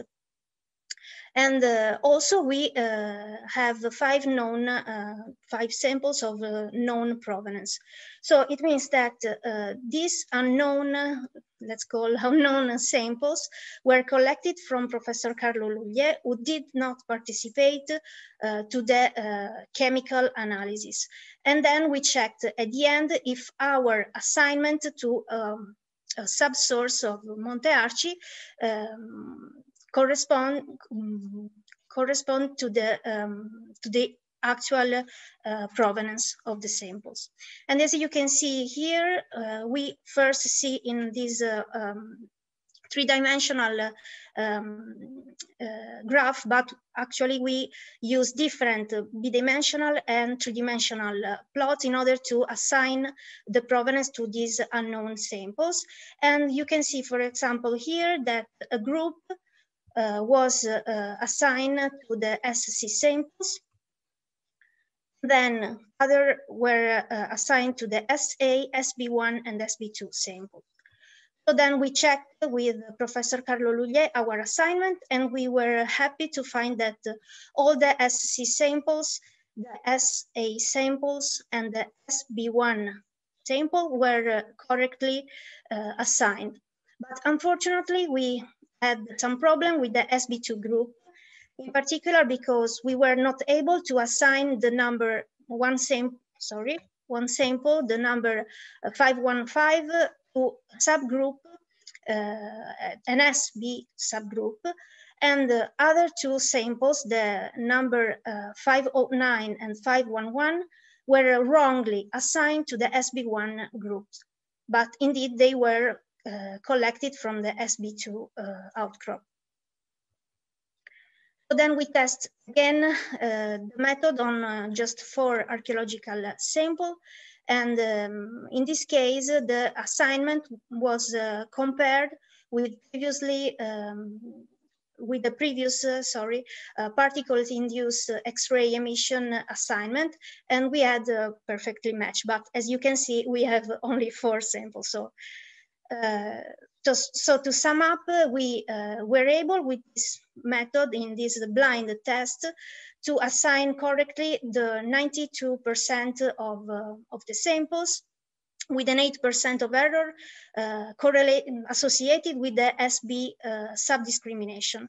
But of course, this is for us just a, starting point because we are aware that we need to have a st statistic uh, significance. Uh, we have to enlarge the number of samples to be tested. And also I think that uh, it should be simplified the data analysis step. And for this reason, I'm uh, now working uh, on trying to um, to find other ways, let's say. For example, changing the, um, the analysis from uh, discrete variables as uh, the intensity ratios to continuous variables. So working directly on the XRF spectra in order to uh, avoid any, um, any loss of, um, of information. And also, um, we, uh, I'm also working, uh, changing from univariate to multivariate analysis. Because of course, we know that uh, for a provenance study, we need that this, this should be effective, of course, but it should be also routinal. So it means that we should apply it on uh, uh, a lot of samples. so for this reason, now I'm working on uh, different aspects also, we uh, recently uh, acquired a new instrument, the Tracer 5i from Bruker for another um, for another uh, um, uh, project, but uh, we have acquired also the matrix matched calibration developed from Bruker in collaboration with with the group from Professor Glascock. And, um, and so we are going to compare our data with those obtained on uh, directly on concentration by this, uh, um, by this instrument. And also I'm going to work on, uh, on changing the, um, for example, the uh, data analysis based on the intensity ratios, moving from the origin software to other software, for example, PyMCA that is specifically um, developed for uh, X-ray based uh, data, let's say. And so with this, I come to the end of uh, this talk. I would like to thank Professor Carlo Lugliè Professor Carla Cannas for their collaboration and also Euro European uh, Union because uh, they are finding, funding my um, fixed term research uh, position at the University of Cagliari and uh, all of you for your kind attention.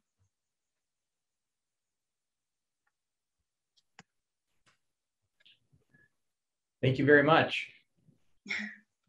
We have uh, we have some time for questions, I believe a few minutes for questions.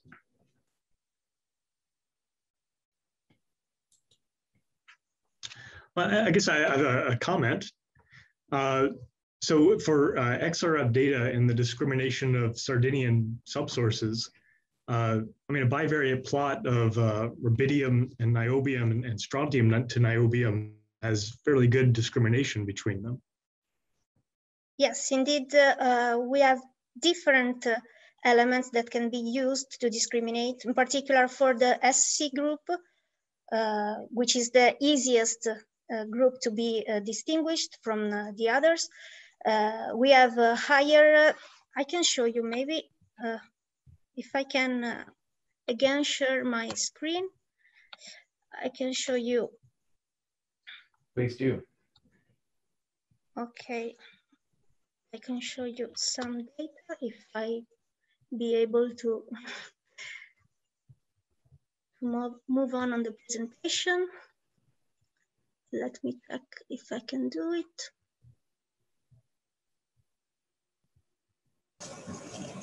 Um, ah, okay, okay. So, for example, here I've just plotted the 16 uh, XRF spectra for the um, milled samples, okay? And uh, I've just grouped there, them uh, based on their uh, provenance. And uh, as you can see here, we have, for example, for the SC group, we have a higher intensity uh, of titanium. Of course, uh, here the spectra are normalized for the highest peak, that is the iron one, so the most intense peak. And so it's like uh, seeing uh, all these uh, peaks um, as um, over the intensity of the iron, okay? And you can see here, for example, that for titanium, we have the highest content for, uh, or let's say the highest intensity um, for the SC group and the um, lowest intensity for the uh, SA. And, the, but of course, the uh, most uh, interesting uh, um, peak, peaks are the rubidium and strontium ones, but also zinc, for example, because we have um, a higher intensity for the SA group. Okay, also for the manganese, as you can see here.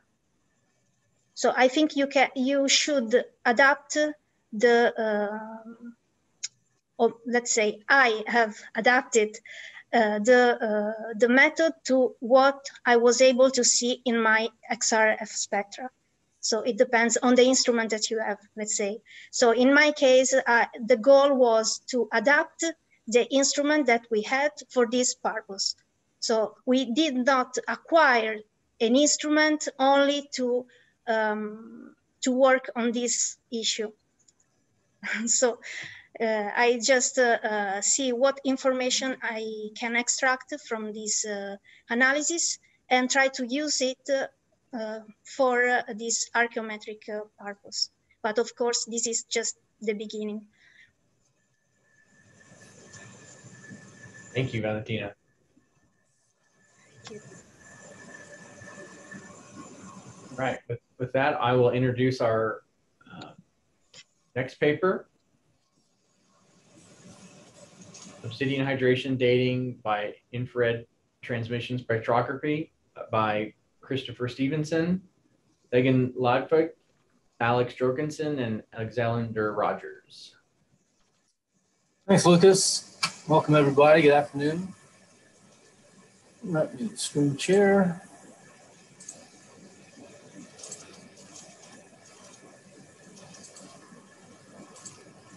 We're good to go? Yeah, great. Yeah. Okay. Uh, this project is part of is the methods development methods development section of a larger project concerned with looking at Maori social networks in New Zealand and their development over time. And um, PRXF, PRXRF is a large component of that, but my responsibility is to uh, are to add uh, endocrinology to these various archaeological sites, of course, in conjunction with radiocarbon dating, which is because of the late time, light, the late time period of Maori society is, is often often problematic. Um, so this this is uh, this talk reflects kind of experimental uh, some experimental results dealing with uh, and using infrared spectroscopy. My um, uh, my role here is to provide a chronology for these archaeological sites and by using city hydration dating, which has been tried two or three times in New Zealand, starting uh, very early in the 60s. Um, and, you know, it's gotten better and better over time, but no, no one's ever been satisfied. So we're taking one more stab at it. Uh, and the New Zealand crowd's a hard crowd, and they really have to be convinced. So it's kind of the, the show me state of, uh, uh, of the international world. And so, you know, of course, the problem is it's been the same for decades. It's converting uh, the amount of gain in of diffused water into the surface of glass into time based upon an, an experimental rate. And so it's the question, the, the focus of this is, is coming up with a new methodology to improve our precision um, and it's really it's very important in New Zealand because the, the chronology of, of that uh, that culture, the Maori culture, is very short.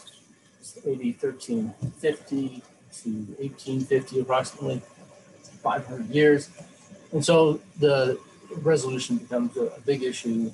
And um, in addition, to, in addition to, to um, and this project seeks to kind of improve both. So uh, but start out with with kind of I, I want to suggest a, a, change in terminology that that is important, I think, because it redirects the way we think. so traditionally we talk about the hydration layer and the thickness of the hydration layer. And those are a set of concepts that kind of what they do is they lock you into a mentality or a way of thinking, and it's very hard to get out of it because you, you start going down an intellectual path uh, looking for inappropriate solutions. Because the hydration layer is in fact not a layer. Okay, it doesn't meet the definition of a layer. It looks like a layer at it's when it's small and, and at 600x magnification, it looks like something that's resting on the glass. But in uh, if you if you look at much thicker hydration layers like the one from Africa here, it's 30 microns thick. Uh, you actually see that actually it's, it's, not a layer. There's no sharp discontinuity. Um, it's actually a, a, gradient. And so, uh, and that's, and our, our kind of reconceptual, well, our conceptualization of the problem is that it's, of course, it's a diffusion process and there's, there's no layer development. There's, mass gain, there's molecular increase of uh, the number of molecules, uh, or there might be, in this case, an absorbance increase when you use uh, infrared spectroscopy. And so that kind of aligns our terminology with, with the problem at hand. And so if we, um, but it's like kind of like quitting smoking, you know, you're kind of hooked on the terminology. So if I make a mistake, you know, uh, uh, forgive me. So we have our our mass uh, our our uh, diffusion zone. We call it diffusion zone as well. Zone of diffusion, zone of zone of accumulation, and uh, the conceptually uh, is quite straightforward. Water um, water vapor uh, is absorbed onto the surface of a newly knapped artifact, and over time it diffuses into the into the uh, surface of the glass to form this, this water concentration gradient. And if you look right below it, if you look at the the dark blue line here represents the the, the diffusion uh, diffusion profile. This, this, is done by secondary ion mass spectroscopy (SIMS). So you can uh, this sets up a defines the problem nicely. There's really no uh, there's really no depletion um, of the of the obsidian, and water is the kind of mobile species that works its way into the glass. Uh, there and there's you know, there's a hint of some kind of enrichment at the surface, but basically once you get past that that first tenth of a micron, uh, molecular molecular water is the only active species um, that's creating the, um, uh, the stress zone of, of uh, molecular water. So we kind we went back and looked at this at, at, this process in detail, and over the last year or so, uh, just kind of get our, our thinking straight, and and to define what the mechanism is. And uh, uh, this work is based on kind of a new, early new paper by uh, a fellow by Kuroda and his research team out of Japan, who uh, who thought through the problem very well, and in when when glass is when glass is molten, uh, there's the, there's the first stage of diffusion that goes on, and that alters the structure of the glass. So the water that's in the magma in, in the magma chamber or in the in the vent uh, is transformed into hydroxyls and hydrogen. And what it does is it connects with the glass network and and it opens it up. So if you see here, you can see that hydroxyls link themselves to, to silica and hydrogens um, uh, can link themselves to, um, to uh, the oxygens. So what that does is that puts doorways or pathways, establishes pathways that are that run throughout the glass. So there's lots of void space. There's lots of space in that glass, and molecular. Uh, and once the glass cools and becomes solid, those pathways are still there.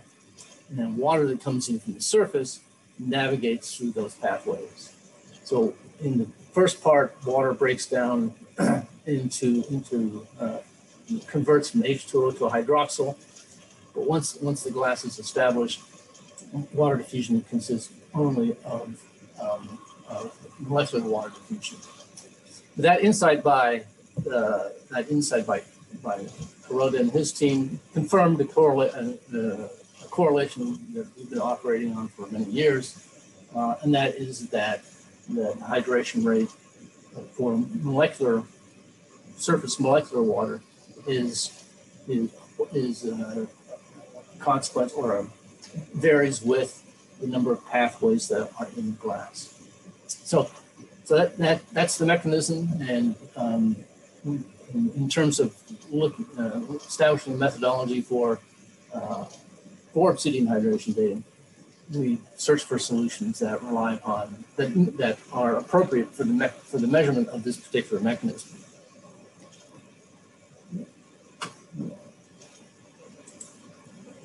So uh, we we we have in the past we have used infrared transmission. I, have used photoacoustic spectroscopy for a number of years to measure water on the surface of glass, and uh, it was okay, but it didn't have, as you'll see, you know, more, didn't have the range that we need, range in the mid infrared to, to monitor all the different expressions of, of structural water and diffused water that's on the surface of the glass. So we discarded that and we went to transmission spectroscopy. And um, it's, it's, it's suitable well, it, it's suitable uh, because it, it can excite and measure uh, the vibrational responses of, of water when they are subject to infrared light. So in the, uh, graphic here, uh, in this approach, we simply put a, a sample, a flake, um, or, a, or a cut section uh, from a flake uh, in the path of the, of the infrared beam and the the water molecules will vibrate, absorb energy, and give us an, give us an infrared spectrum. And so the uh, and the water will express itself at, various wavelengths, which I'll show you. So, um, and uh, infra- mid-infrared is very sensitive to, to measuring water uh, in, in, glass. Um, normally in infrared, you know, water is an interference, uh, but in our case, uh, it's very strong interference. But in our case, it's um, it's, it's the, the, amount of, of water, the number, the number of molecules of water that we actually want to, to measure. So in our in our application in New Zealand, New Zealand is is a it's not a transparent glass, and so it, it poses uh, uh, a little bit analytical dif difficulty. But uh, if your glass is transparent, like I've been seeing today, like for Chickenianosaurus or the Pachuca sources. The really good news is that this, this technique has the potential to be uh, non-destructive to the artifact um, and give you chronometric information. So that, that good news is coming up at the, at the very end. Um, I'm going to show you the methodology that we have here uh, for, for non-transparent glasses. So we can break our analysis. So we have an artifact with a hydration zone on it uh, of accumulated water, and we want to measure the amount of water that's accumulated in prehistory, and then we want to measure the amount of structural water um, uh, within the glass. Uh, you know, once it's solidified, once it just came right out of the out of the volcano, because it's the it's the amount of structural water that determines how fast the surface water can penetrate into the, into the. So two analytical steps. Uh, and the first one is to measure the structural water of the, of the sample. And on a, on a prepared, on a prepared on a cut thick section or a cut, or a cut and polished coupon. And it's straightforward using using the Beer-Lambert law has been around for a century.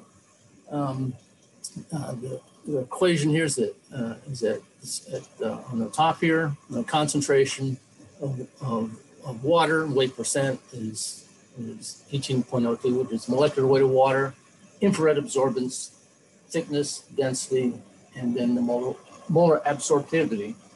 And that, that being that being how much energy is absorbed um, by water species at a specific wavelength. So, um, so in applications wise, um, molar absorptivity has already been figured out back in 1984 by Newman and others. And uh, that's well established. And then, uh, so we're interested in thickness of the sample, not of the layer, thickness of the sample, and thickness of uh, and, the, and the glass density. Two variables necessary to establish concentration. And so we have two infrared peaks. The, the 4500 peak is the one that we use to uh, measure, measure hydroxyl or structural water. And we measure, here's a, here's a polished coupon and we simply measure it with a micrometer. Uh, and then we measure its density by the Archimedes method, right? by the immersion method. You can immerse it in water or, a, or you immerse it in a toxic heavy liquid. I prefer the heavy liquid um, just because it gets rid of all air bubbles.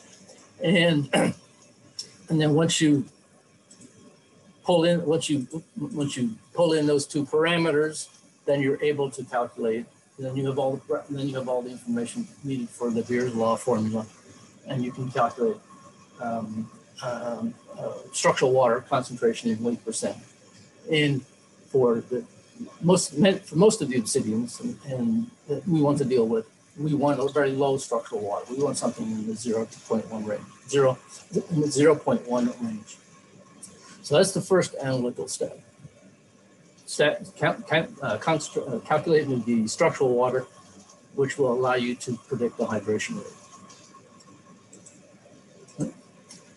Then the second part is, is that we have to actually cut a little slab off, off, the, off the flake to make it transparent. It has to be thinned down to about uh, under a millimeter.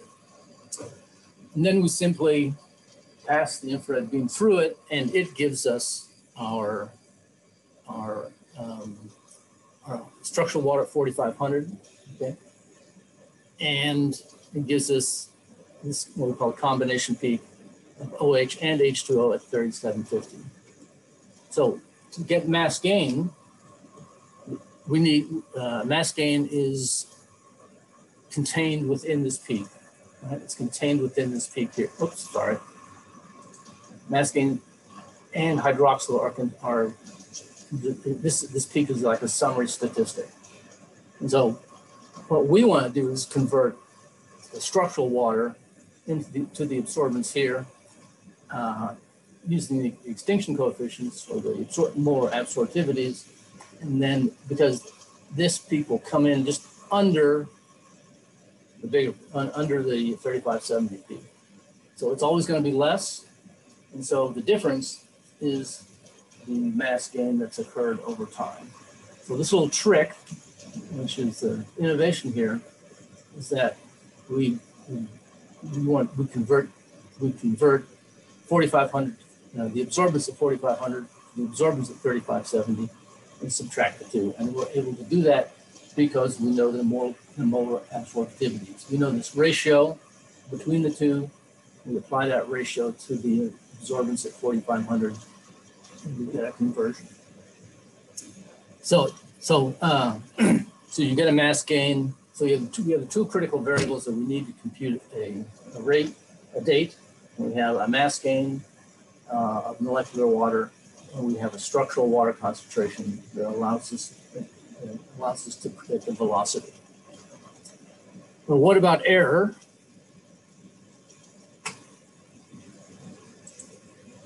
So we looked at we looked at our, our errors, uh, our coefficients of variation. So we have four potential four, four potential uh, contributors of error: the absorbance, density, thickness, and then the extinction coefficient. And uh, we we looked at we looked at those individually, and uh, and there's some and the summed error, and we uh, we come in at an error of about 1.8 percent. Okay, for those four different uh, uh, four different measurements. That, that, so this, this error applies to calculation of structural water. This, this error applies to the calculation of, of, of gain, molecular water gain or hydration gain. So because you're measuring two, two peaks on the same sample, um, density and thickness uh, cancel out of the equation. Um, but their contribution to the equation to the error is, is almost infinitesimal. So you basically end up with the same error, just under 2%. So that, that's encouraging. So we have we have the variables that we need to calculate our rates. Um, we have uh, we have our, our structural water, we have our mass gain, and of course, hydration. Diffusion processes are temperature dependent, and so the hydration temperature is estimated, soil relative humidity is estimated, and then uh, below this are, are our calibrations that, that relate structural water to hydration rate. So we get, for the Arrhenius equation, that allows us, which we implement to extrapolate from our high temperature experiments at 150 degrees. Um, we developed uh, prediction equations for, for the activation energy and for the pre-exponential. Okay, so this is the pre-exponential. This is the activation energy. And that is used to uh, calculate the hydration rate in absorbance for your archaeological artifact. Okay. So, um, so it's all kind of cut and dry right now. So the methodology is set up. These, these equations, um, uh, they, they, they look coherent, but you know, we're still in the evaluations process as to how widely applicable they are. So this is, so this is the method for um, for opaque obsidians, uh, but but it, it is it does have its problems, right? It's destructive. Um, uh, samples aren't transparent, so you know a lot of obsidians you know uh, uh have to be um, well, you know, uh, samples have to be thin. And then the biggest drawback is in this, is in this uh, conversion process. With a small amount of error for the 4500 uh, uh, uh, measurement for the 4500 peak becomes amplified because you're actually multiplying it uh, 129 times. So uh, so you end up in, in, the, in the four to five percent error range. So that's not that that's not good. Um, it's not hideous, but it's not good, and so there's room for improvement there.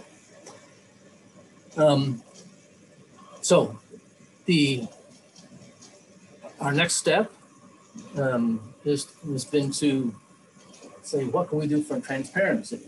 So looking at all of the all the cities in Mexico and the Caucasus. This has some, some uh, applicability there. And the there's a there's another water band out here for 5200 that we didn't look at in, in this in our first application because uh, because in, the, in mid-infrared um, you, have, you have a your water diffusion zone it might be only one micron I shouldn't say thick. I can't say thick. uh, it might be. Uh, it's going to be. You're going to have very very low molecular uh, molecular concentration on the surface, and so that 5200 band is is not very sensitive in the mid infrared. But that's because the mid infrared loses energy in this region. But if we shift to, we just simply change the source in the same instrument uh, to a white light source, our our energy, our energy, our background energy um, becomes very high in this region now, and so we can measure the 4500 peak you see here, and we can measure the 5200. So 4500 peak is your structural water, and then this 5200 peak is your um, surface water. Mm -hmm. So uh, we get both variables that we need without any, any subtraction and without any um, uh, conversion. Um, and, and, and, this now becomes detectable, uh, non-destructive, I mean. And so, but how precise is it? Well, don't quite know yet. These results are only about three, three days old. But one of our samples is AltoCon. Um, that has an optically measured hydration layer of two microns. Um, and um, uh, what this green peak represents is actually four microns because the, the, the infrared beam passes through two sides of the artifact. So it, it, it, uh, it picks up two surfaces, and so it doubles the response. So uh, you simply have to divide the, absor the absorbance in half.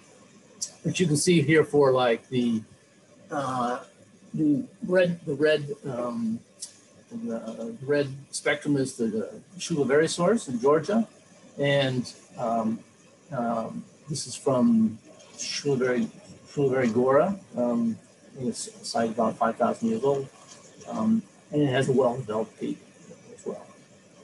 So um, this, if you have a transparent obsidian, um, the analysis of, of uh, the degree of hydration becomes substantially easier and um, uh, and and straightforward, and it becomes non-destructive.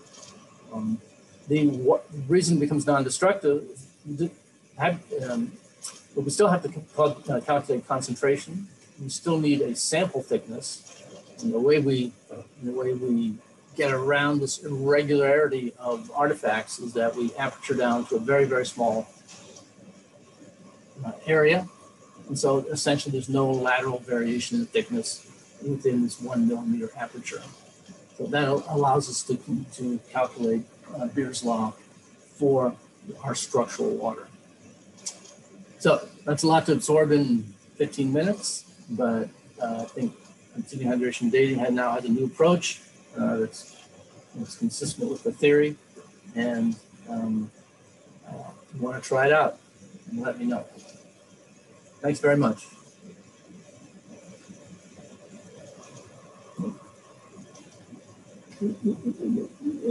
Thank you, Christopher. Yeah. That's a lot. That's a lot to take in. That's a lot to take in. Actually, it's very simple. It's actually two analytical steps um, for, for opaque obsidians, and it's just one analytical step for um, for uh, trans, transparent obsidian. So, I mean, you, for the for the what I just showed you on the for the transparent material, you put your sample within the beam path of the spectrometer. 30 seconds later, your analysis is done. Uh, so it's, it's gotten substantially easier over, over the years. Any, any questions? Uh, can I ask you? Yes, please. Uh, with a huge respect, Christopher. Thank you for the um, interesting uh, presentation. My question may sound a little bit stupid, but I want to ask you. So, uh, how hard it will be to use the method you described for the sources which has very extreme environment? I mean, the, for example, very high percentage of precipitation and so on. How it will affect on your method? Thank you. On precipitation, um, well, the most artifacts will be in the ground, and um, the, you'll, uh, and you'll have you know, you'll have the rainfall. You can have light precipitation, but as long as the soil is maintained at 98% humidity, you're fine. Okay? The the the rain well, the rain is not going to erode the artifact. It's only if the if your soil pH is very alkaline, um, and you have heavy rain, that will start to dissolve the artifact, you know, um, with exposure over the centuries. Thank you. Yeah. Thank you. That's been very noticeable in, in places like in you know, Central America and so forth.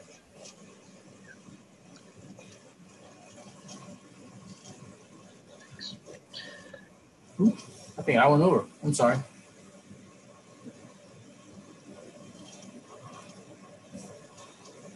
No problem. So we're in the midst of a, of a little coffee break here. Um, we'll resume the uh, the next paper in about 10 minutes. So feel free to um, um, take a little short break or uh, if you want time for some extra questions. Some of us are here that have talked earlier in the day.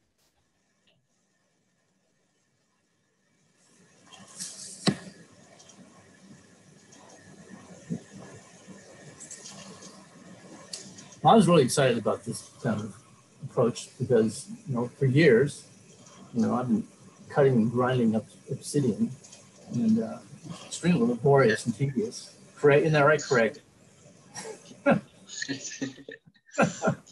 and, you know, it, with my dissertation, I think I did 900 slides, you know, grinding each one down. And I just said, I'm not going to do this anymore.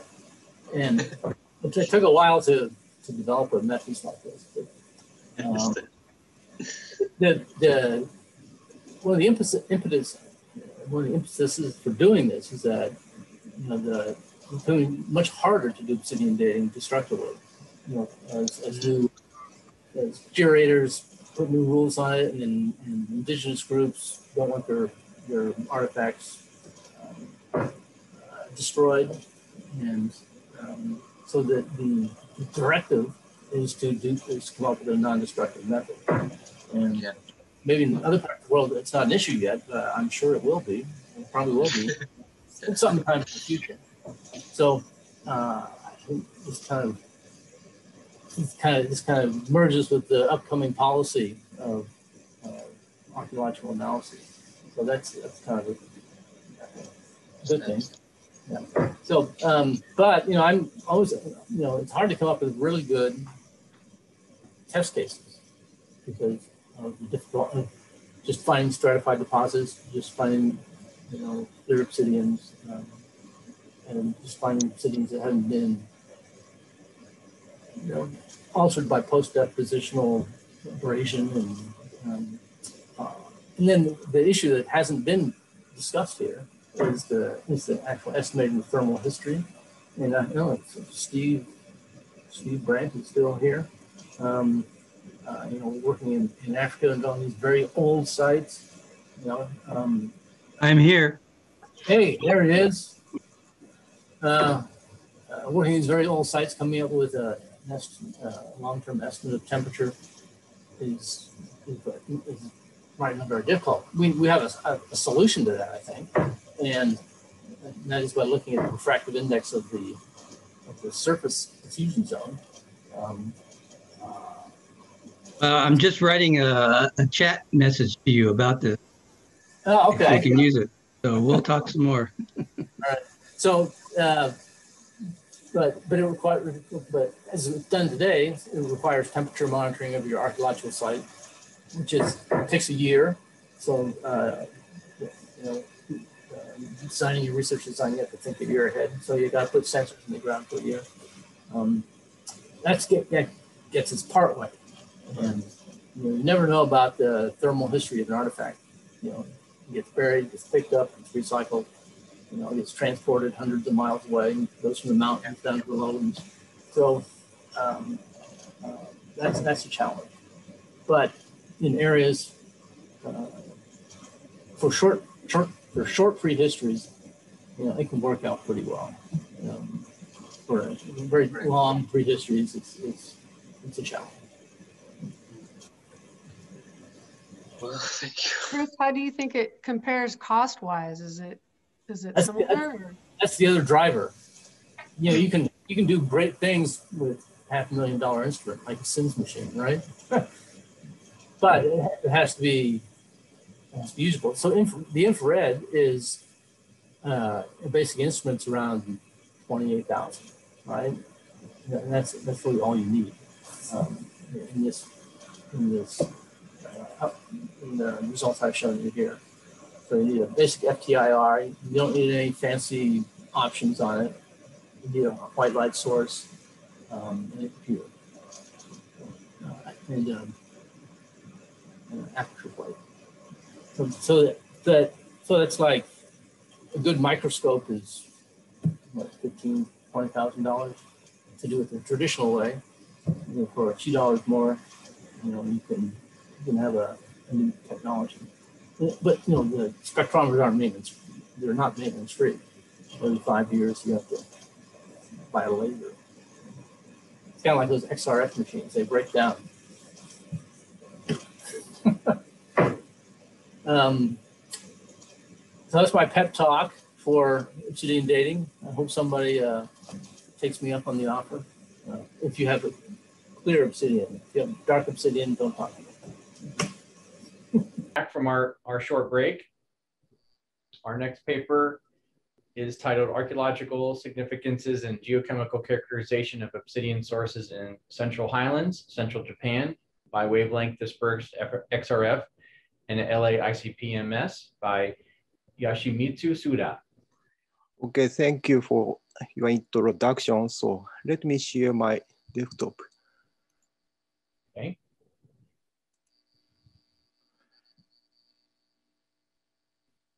Can you see my slide? Okay. Yes, looks great. Okay.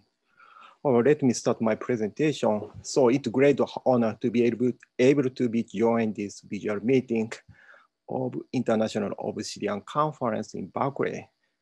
So today I'd like to talk about archaeological significances and geochemical characterization of obsidian sources in the central highland, central Japan. It is well known that there are five big or major obsidian sources around Kanto Plain, which are called Central Highlands, Takahara-yama, Hakone, Amagi, and Kozushima.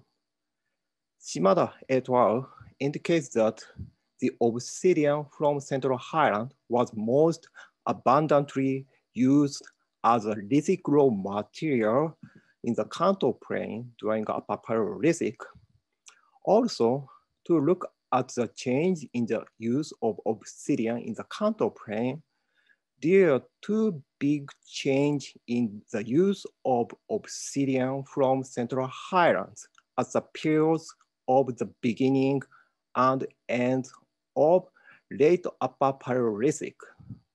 Many researchers have been pointed out the relationship with the impact of LGM, but the discussion based on the evidences of paleoclimate change and human activities in these source area is quite insufficient. So based on this, the group of Meiji University have been performed the archaeological excavation and paleo-environmental research in Hiropara site and the bog at Central Highlands.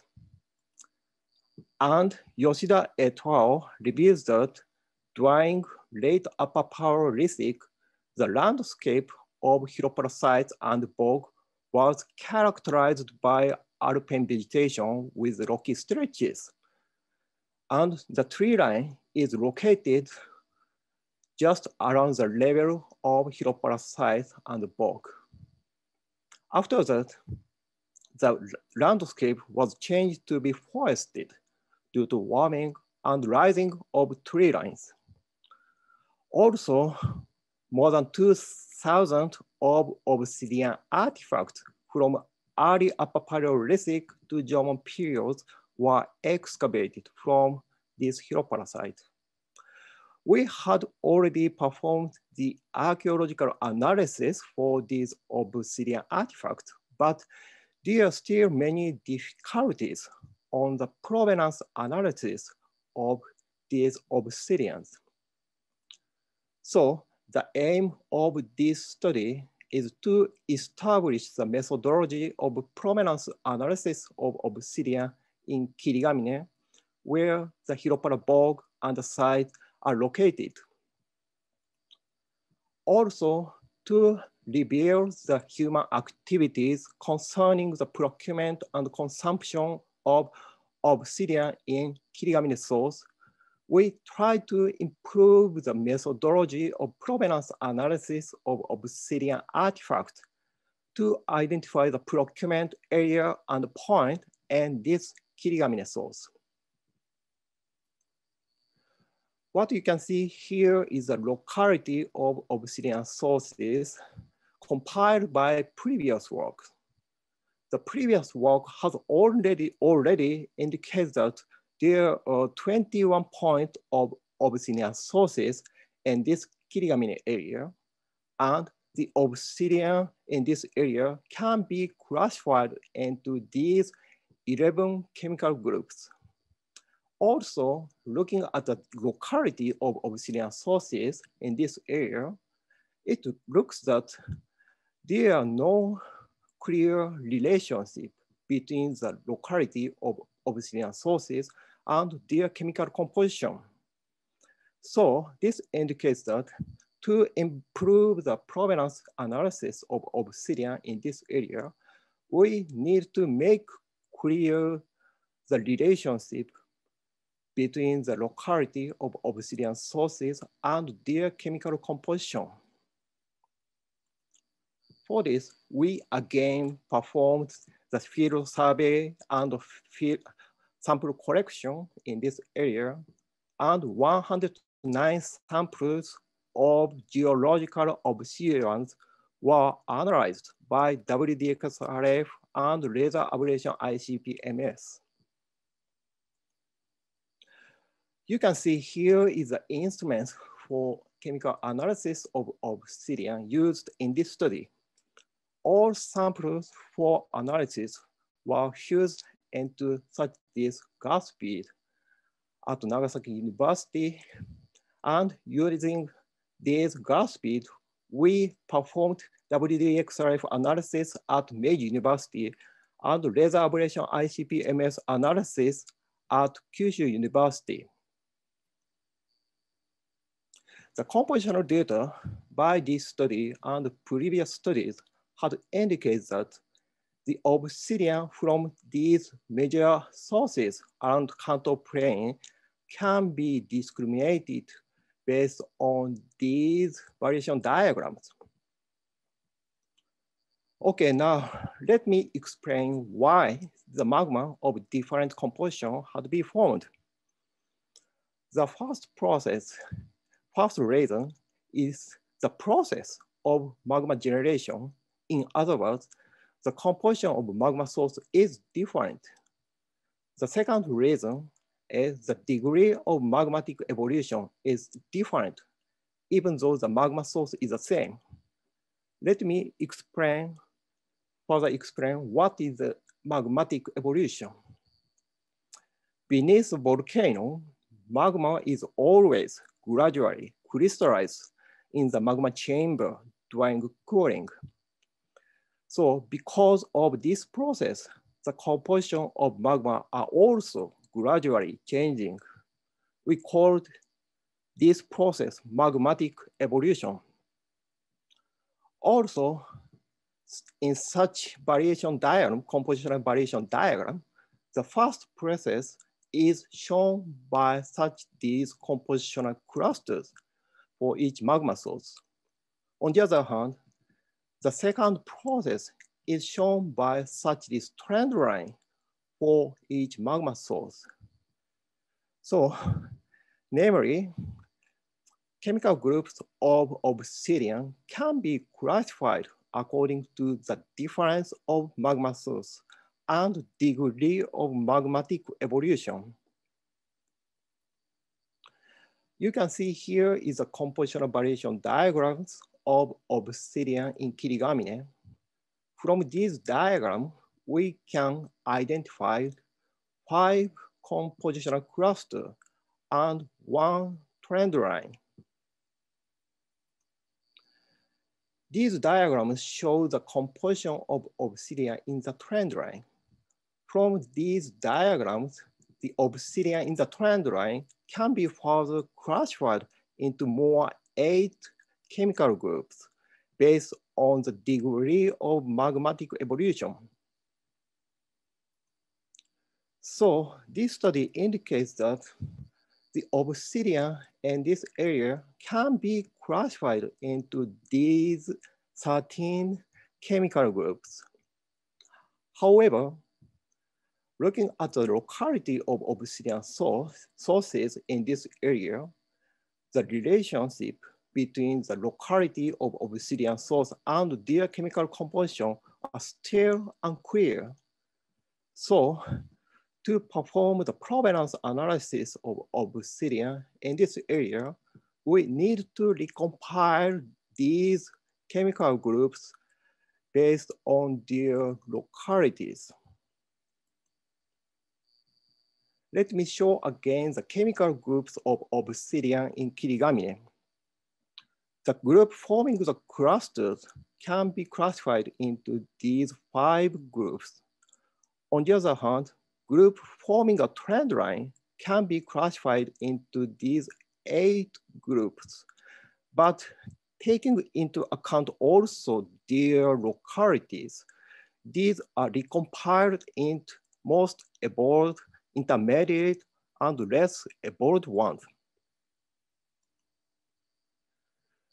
You can see here is the locality of obsidian sources for each recompiled chemical groups. As you can see here, to perform this recompilation for these chemical groups, the relationship between the locality of obsidian source and their chemical composition become rather clear. Based on, based on this, we perform the provenance analysis of 40 obsidian artifacts excavated from these Hiropara sites. You can see here is the discrimination diagrams based on WDXRF analysis. In this diagram, the composition of obsidian artifacts are also plotted. The result indicates that roughly two-thirds of obsidian artifacts were classified into these empty chemical groups, and including some W, K, AGH, O1 chemical groups. This result also supported by these discrimination diagrams based on laser ablation ICP MS analysis. So this study indicates that the prehistoric human settled in this Hiropara site exploded obsidian at around the area close to this Hiropara site. Of course, this study need more investigation and need more provenance analysis of obsidian artifact. But this study was able to be shown the relationship, correlation between the locality of obsidian source and their chemical composition. Finally, let me talk about our ongoing studies for the provenance analysis. You can see here is the instrument installed in our laboratory. Of course, these instruments have both advantage and disadvantage on the analysis of obsidian artifact.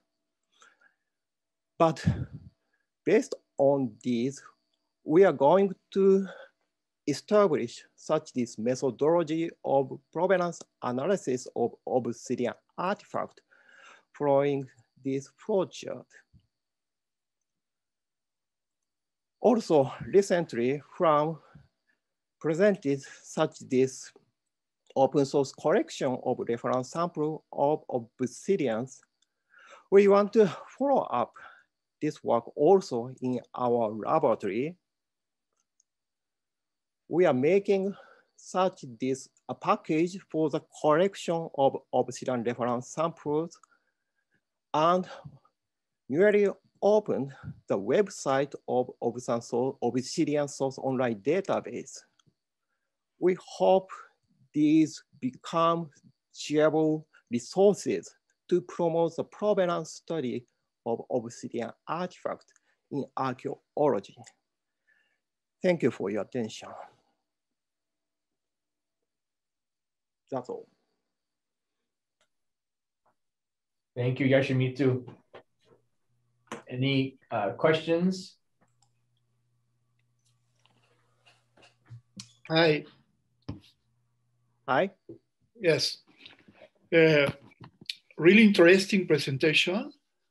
And uh, I observed it in uh, different obsidian sources that uh, mm -hmm. that the obsidian flows was obsidian flow uh -huh. was the last e eruption or mm -hmm. the last volcanic event. Mm -hmm. At, in the evolution of the magmatic chamber, uh-huh. uh, some process uh, produce the obsidian at the last volcanic events. Yeah, I, I can. It's now I cannot imagine the volcanic activity itself in this area, but so of uh, some of age data is obtained in this area, but it's quite narrow at a range of a few million years. So, but uh, so I, these data, compositional data indicate some different composition of magma flow or magmatic activity occurred in this area. And so to look at this distribution, uh, I suppose the last eruption of of rhyolitic magma produce such this uh, obsidian is such this green green one because it overlaps the different uh, another another kind of obsidian distribution area. But so it still become it need more in, investigation for the linkage of the geological interpretation. Interpretation. It's okay. yeah. Uh okay. I believe your presentation are really important mm -hmm. because you can define the chemical range, the chemical change. Yeah. And uh, that means uh, if uh, it's really important to study the geological evolution of the volcanic process. Yeah, yeah, exactly. And in uh, in Mexico, uh, mm-hmm. many obsidian sources are mm-hmm. around uh, big volcanic mm-hmm. uh, calderas. Uh-huh. Yes. When, what is the composition variation? yes, and, yeah. and uh, mm-hmm. the the volcanic process start uh, a basaltic composition. Basaltic, uh-huh. And after, mm-hmm. uh, when uh, the caldera, a, a, big explosion of the caldera, mm-hmm. the caldera fell down. Mm-hmm. Yeah, yeah. Start uh, radial fractures, uh-huh. fractures. At, at these fractures, after start to grow the obsidian domes. Uh-huh, uh-huh, uh-huh. Yes. Yeah. Uh, the chemical study mm-hmm. identify different source. Different, uh-huh, okay. But uh, according with your presentation, mm-hmm. is the same volcanic origin, this the same magmatic evolution. Mm-hmm. Uh, this is important because sometimes uh, the chemical study said Mm-hmm. this obsidian is from here, this obsidian is from here. And it's the same area. Yeah, yeah, exactly. Yeah. yeah, I convinced that uh, so the composition of magma is completely represented in the composition of obsidian. Yeah, it's very important tool to the composition of the obsidian to reconstruct the volcanic history such that like that. I think so that. So also I want to I didn't mention that uh, so this this source including some of the uh, deposition derived by the derived from pyroclastic flow, pyroclastic also including including in this uh, obsidian source such as Takayama source is a is a deposition of deposition originated from the uh, pyroclastic flow. But uh, so volcanic vent is located here Higashimo, uh, says, I said that uh, Higashimochiya. So it must be a volcanic event occur here and uh, volcanic pyroclastic flow is, yeah, is flooded. It's, it's many around the area. But so, I, uh, detail of the history, I cannot now reconstruct it. I would also suggest that that applying, you know, perhaps dating techniques, you know, fission track dating or whatever, might help untangle, uh, you know, these complexities because, you know, these aren't unique uh, to, to just Japan. You know, there's all all, all around the world, uh, people are facing these issues in, in, defining things.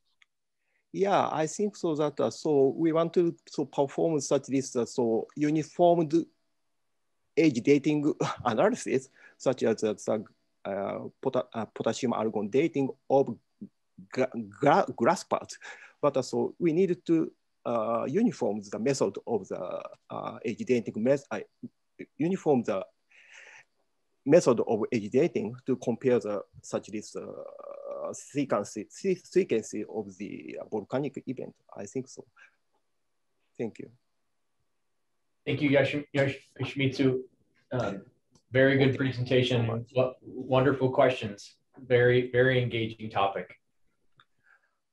Okay, thank you for your comment.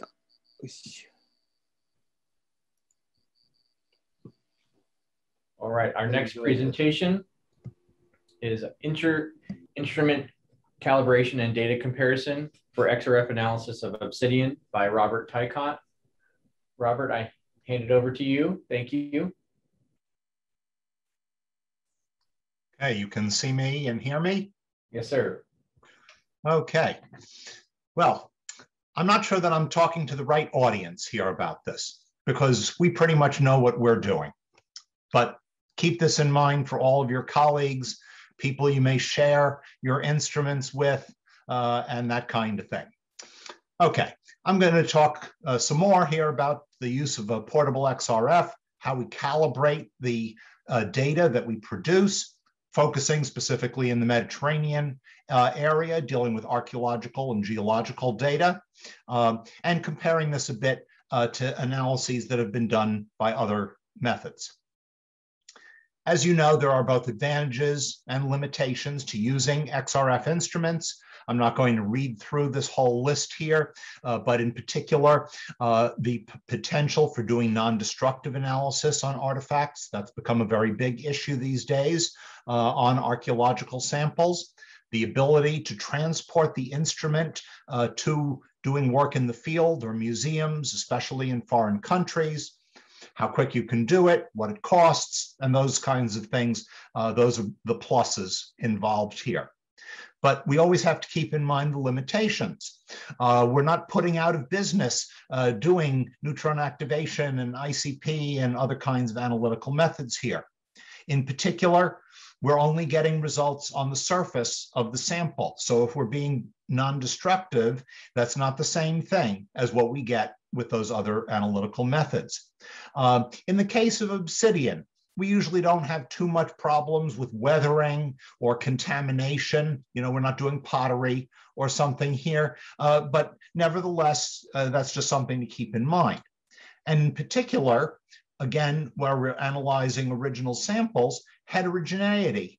While we call obsidian glass, it's not quite the same thing. Uh, there can be in different sources of obsidian, different kinds of crystals and so on uh, accumulated in there. And so where we're going and analyzing what spot uh, we're doing, uh, that can have a bias in there uh, as well. And then we've heard today in some of the recent presentations uh, issues where we're dealing with how thin the sample is, uh, or is it so small it's not even covering the area that the x-rays are coming out of the instrument? We have to deal with that uh, as well. Okay, time to move on from this. We already have seen where the different sources are in Europe, the four islands that belong to Italy, uh, two uh, for Greece, and then uh, parts up uh, in Hungary, Slovenia, uh, and uh, that other country up there, Ukraine, right? Okay. And we know what obsidian looks like, how you have cores producing various kinds of tools. And we have different kinds of research questions depending on our particular projects, uh, where the particular cores are being produced compared with the final products and so on. I'm not getting into that uh, here today. But ultimately, we want to go and match where the artifacts are found compared with their geological source and deal with what kind of distance, trade routes, et cetera, et cetera, how they change over time. In some cases, it's possible simply from visual uh, examination to distinguish some sources but I'll just say right off the bat, in the Mediterranean and in the area in particular that I'm working on today, that's not sufficient by itself. We have to do some kind of chemical analysis. And in particular, when we're dealing with subsources and not just uh, the general difference, for example, between Lipari and Pantelleria. I also don't really need to show you uh, the periodic table here, uh, but again, to emphasize the difference between portable XRF analyses and what is being done by INAA or ICP. For the most part, we're focusing on five trace elements, maybe adding the iron and a couple of other elements in as well. And so we just have to keep that in mind again. Uh, also, for various issues concerning the settings that we have for the PXRFs, in particular, uh, dealing with lower elements where they are getting the X-rays get absorbed in the air. But that's not the situation for these five trace elements. Without even doing any kind of calibration, if you want to just go and compare results that you get from geological samples uh, with your artifact analyses, just looking at the peaks. You can go and see how good uh, an overlap in all that we have here for the iron and those five trace elements over here, clearly coming from the same place, whereas in the case in the lower graph, uh, clearly coming from different uh, sources, with the red uh, having less strontium, but more rubidium and zirconium and other elements here. And so this brings up a, a, little bit ahead here is the whole issue of how do we compare one set of data done uh, with another set of data. And I can just say right off the bat, I've been using a PXRF uh, for 15 years, but not with the same PXRF instrument. I have gone through um, uh, more than a half dozen different ones. Uh, and so I've beaten around the bush, I guess, by reanalyzing the geological samples that I have with each one. So I don't have to worry about the calibration in that sense, but I'll come back to that uh, again a bit more here. Anyway, the, just showing uh, the latest instru in, instrument that I have, um, and I know some others again uh, uh have these too. Okay, I'm specifically focusing uh, here on the research that I'm doing in the central Mediterranean, and particular uh, in the area within the green ellipse here, where there's a whole bunch of potential geological sources uh, being represented, coming all the way from Sardinia and Lipari and Palmarola in the Tyrrhenian, coming all the way uh, from Milos off the map here uh, to the east, and also from the Carpathians up here in the, in the Northeast. Uh, and in addition, and I've shown this in some other work and we'll show once again, how important it is to distinguish the subsources within each of these islands or other source areas. And this I discovered back in the 1990s, looking just at this one site as my first investigation uh, on Sardinia, uh, where looking at the difference between the sources, A, B, and C, how they changed in their usage over time from the early Neolithic uh, to the later Neolithic, uh, with the Sardinian C subsource becoming uh, the dominant rather than a minor por portion. Okay, and so uh, this is why it's really important to assign artifacts to subsources uh, and deal with the modest chemical differences between subsources versus comparing simply Sardinia with Lipari and other central Mediterranean groups. Okay, I forgot what I was going to say about this, but uh, just showing uh, basically um, uh, with the PXRF, and just using a few of those trace elements, rubidium, uh, niobium, and strontium, how we can go and distinguish Palmarola from Lipari, from Sardinia, Pantelleria, Melos, and, and Carpathians. Uh, you'll also notice why, or ask some questions. Why is there such a broad variation for Melos? Well, that's because we're doing a ratio here and the amount of niobium is very low. So simply the numeric uh, statistical part there is why that is so uh, uh widespread. But in any case, fairly straightforward uh, uh, to distinguishing between the different islands. Um, uh, but yes, here in the Carpathian area where there's many source groups and subgroups. And I thank uh, for organizing the team meeting there and the opportunity to collect a bunch of geological samples, uh, showing that again, just using a few of the trace elements, we can go and uh, distinguish things into separate uh, groups, but also notice some things which do not separate as easily, the 1A versus the 1B, uh, and, and so on. Okay. Coming back to my area here on Lipari, uh, we have two major, or not necessarily not all considered major, but uh, two distinguishable subsources, the major one in Gabellotto Gorge and the smaller one in Canneto Dentro here in the southern area. Uh, and uh, you know what artifacts look like and the zillion artifacts to be analyzed. Anyway, we can go and distinguish not only those two groups, Canneto Dentro and Gabellotto Gorge, uh, but also the one other so, uh, ancient source, Monte della Guardia, which did not produce pieces of significant size, and therefore no artifacts have been found yet made of Monte della Guardia. Um, and I'm not showing on the map here the more historic eruptions, uh, but those can also be distinguished as well in case you didn't have good context for your artifacts. Uh, and uh, we can also distinguish the four ancient uh, subgroups using laser, laser ablation, ICP-MS. And yes, we can do it with the portable uh, version of the Bruker uh, as well, using those same few uh, trace elements.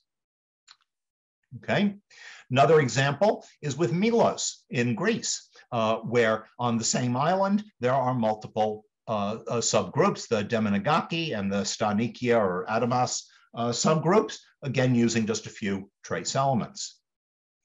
Well, let's look at some numbers uh, now here, or I'll talk about the numbers. You don't have to read them all. Uh, but one of the early studies I did was simply comparing what kind of variation do we get in the numbers, that is the concentrations, when we're calibrating them. Uh, but the analysis was done with different microamps, whether we used the filter or not, uh, and uh, whether we used a vacuum or not. Well, this depends on, uh, just say right again, in the case of the vacuum, that has no effect on the elements that I'm showing you here, but it certainly has big effect on other elements that are used in many cases for determining uh, the composition of obsidian. So just, just keep that in mind. Uh, it really doesn't make any difference what the microamperage uh, uh, is. Um, and uh, we have a couple of differences here in iron and some others that I've bolded, but that in itself is not really an issue. But do keep in mind that even though these were standard pieces of obsidian and it was the same standard run again, obsidian is not totally homogeneous. So putting it back and forth on top uh, of the PXRF, that accounts for some of the variation that we're seeing here as well. Okay. So as I mentioned over time, uh, I've had a number of different uh, versions of the Bruce Bruker Tracer uh, 3 series uh, and two versions of the Tracer 5.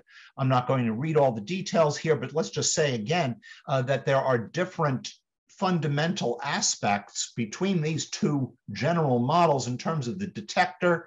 Uh, there's even a difference in the composition of the filter uh, that is used in both of these cases. Um, and uh, um, how, when we're dealing with our ultimate numeric calibrated data, where is that actually coming from?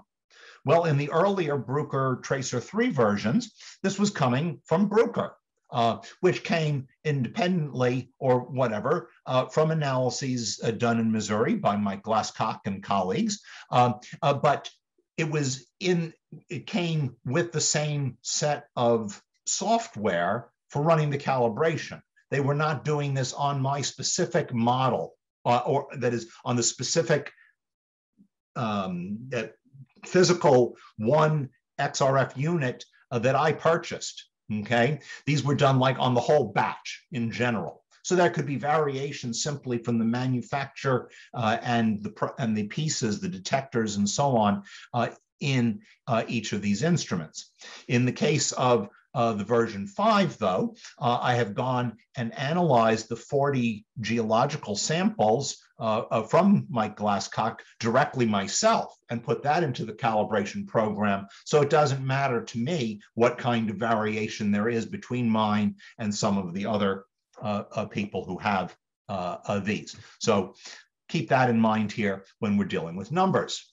Okay, so I'm comparing here specifically uh, for the Gabellotto Gorge subsource on Lipari uh, uh, with the various instrumentation here, the 3-5, 3-SD, the 5i, the 5G, and also laser ablation and INAA uh, data as well. And you can see in the case of the rubidium uh, that we have lower uh, values for the rubidium and the yttrium, uh, higher values for the zirconium with the tracer uh, 3SD. Uh, for some reason, the iron seems to be much higher with the 5G. Uh, anyway, there's a lot of variation here. And so it's really very important to keep this in mind uh, when you want to compare your artifact analyses with your geological uh, samples, or that is, you need to go and keep doing your geological samples for a direct comparison.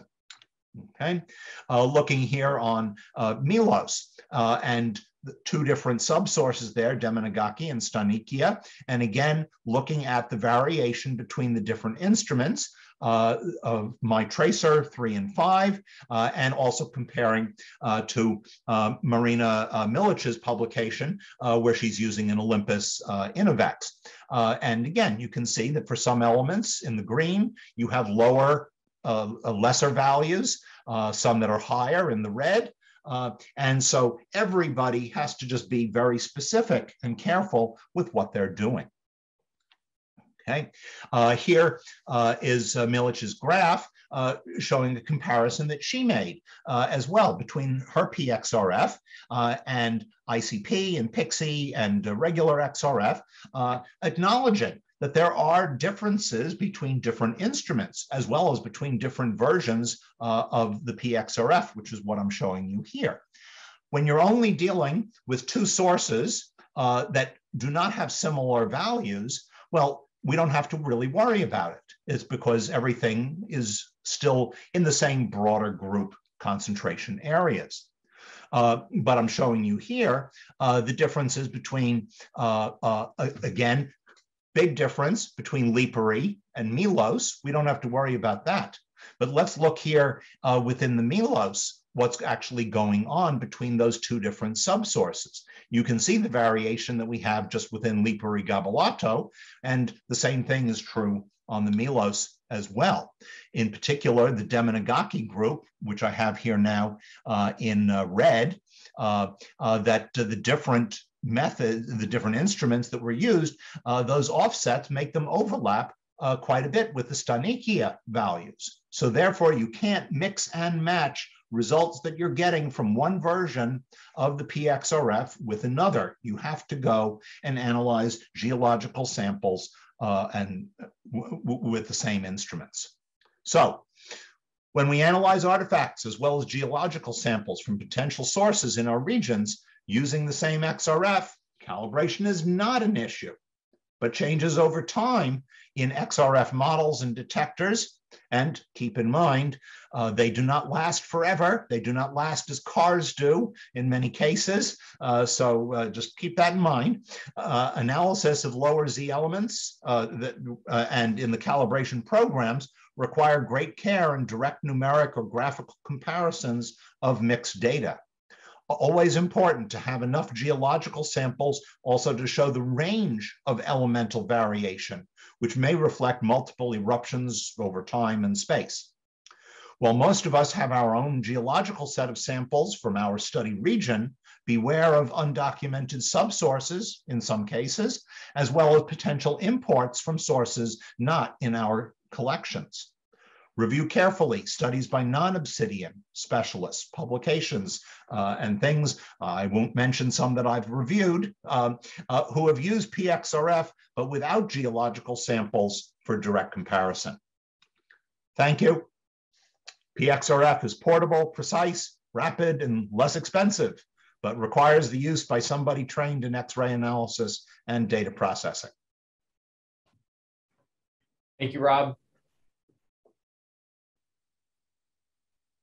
Questions for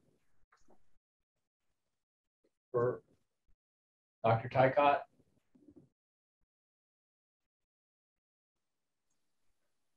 Okay, may I have a question? One question. So I want to know about your opinion that uh, the data obtained from the PXRF analysis is shareable for among the researcher and the laboratory. I cannot, uh, so please, uh, please let, it, let me know your opinion or op opinion based on your data. Is it okay? Sure. Okay. Yeah. So you, you can. Can you understand my question? Okay. I'm sorry. I didn't understand what you just okay. said. I, okay, uh, shortly speaking, so the data obtained from the uh, PXRF instrument is shareable or shareable among researchers or it is difficult to, it, it, it still be difficult to among the researchers to share the data of PXRF analysis. It's really Uh, no different than comparing results that you get on your ICP-MS machine and what Mike Glascock produces uh, from MURR uh, or on your PXRF. There's variation uh, just based on the calibration software that's being used and, and various things like that that you have to be careful of. Okay, so my so basically, so in, in my opinion, the ICP mass data and WDX data is so quantity data is uh, quantity data uh, very pre precise precise uh, precise data. So it's shareable and uh, among researchers, but uh, so PXR is quite. Mm, I think that it's quite too difficult to, it depends on the machine itself, the data. So I, I, I'm so asking about this. Uh, I think that the PXRF is as quantitative as any of the other instruments. The precision uh, that we get on the analyses is just great. It's the same issue with all instruments uh, is simply being able to compare one with the other. Okay, okay, I can understand. Thank you. I have a question, uh, Lucas. Sure. I can. Uh, what about using the microprobe and comparing PX, uh, PXRF data with a microprobe? Has anyone ever tried to do that? Uh, yes, I actually uh, uh, used the microprobe for my dissertation work uh, long, long time ago, uh, and focusing, of course, on the major and minor elements that are detectable there. Uh, but it's the same issue. It, and we can go and analyze many of those same elements with the PXRF using different settings um, uh, and uh, vacuum uh, or helium flow. Um, but uh, you just can't go and make a graph uh, using results from both different methods without being able to analyze some of the same objects and show what kind of offsets there might be. So that that highlights the importance of of standards in some ways. Absolutely. Nice segue into the next talk. Uh, may I ask one more question? Sure. I don't know if there's time. Also, to, to Rob, uh, you know, in our Ethiopian research, uh, you use the same instrument uh, to look at uh, the Gamo obsidian, but you never published the details. And, uh, you know, we've asked you a few times for the details. How can you ever get us the details? Because we can't compare it because it's the same instrument. Uh, we haven't published that yet uh, because we haven't identified the actual source uh, locations, and that is in progress. Uh, and well, it's been delayed being able to go back there uh, again because of the COVID. But Uh-huh. we'll But we do soon. have, we have source information, uh, but you did publish it. You published minor information, not enough really to do any comparative work with. Not yet. I see.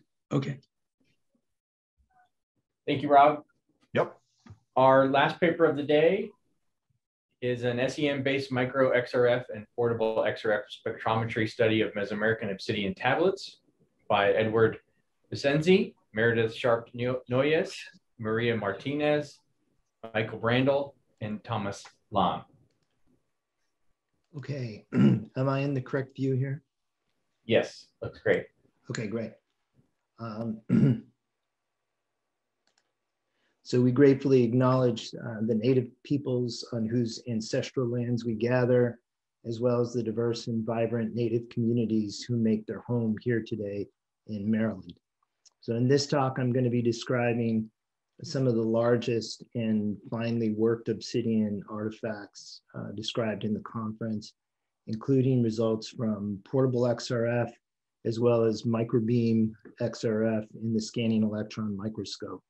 And I want to thank all my co-authors on the study, especially Maria Martinez uh, from the National Museum of the American Indian, who introduced me to these uh, special objects, and Meredith Sharp Noyes, my former postdoc, who took the lead on the measurements and did an excellent job um, during her fellowship at the Smithsonian.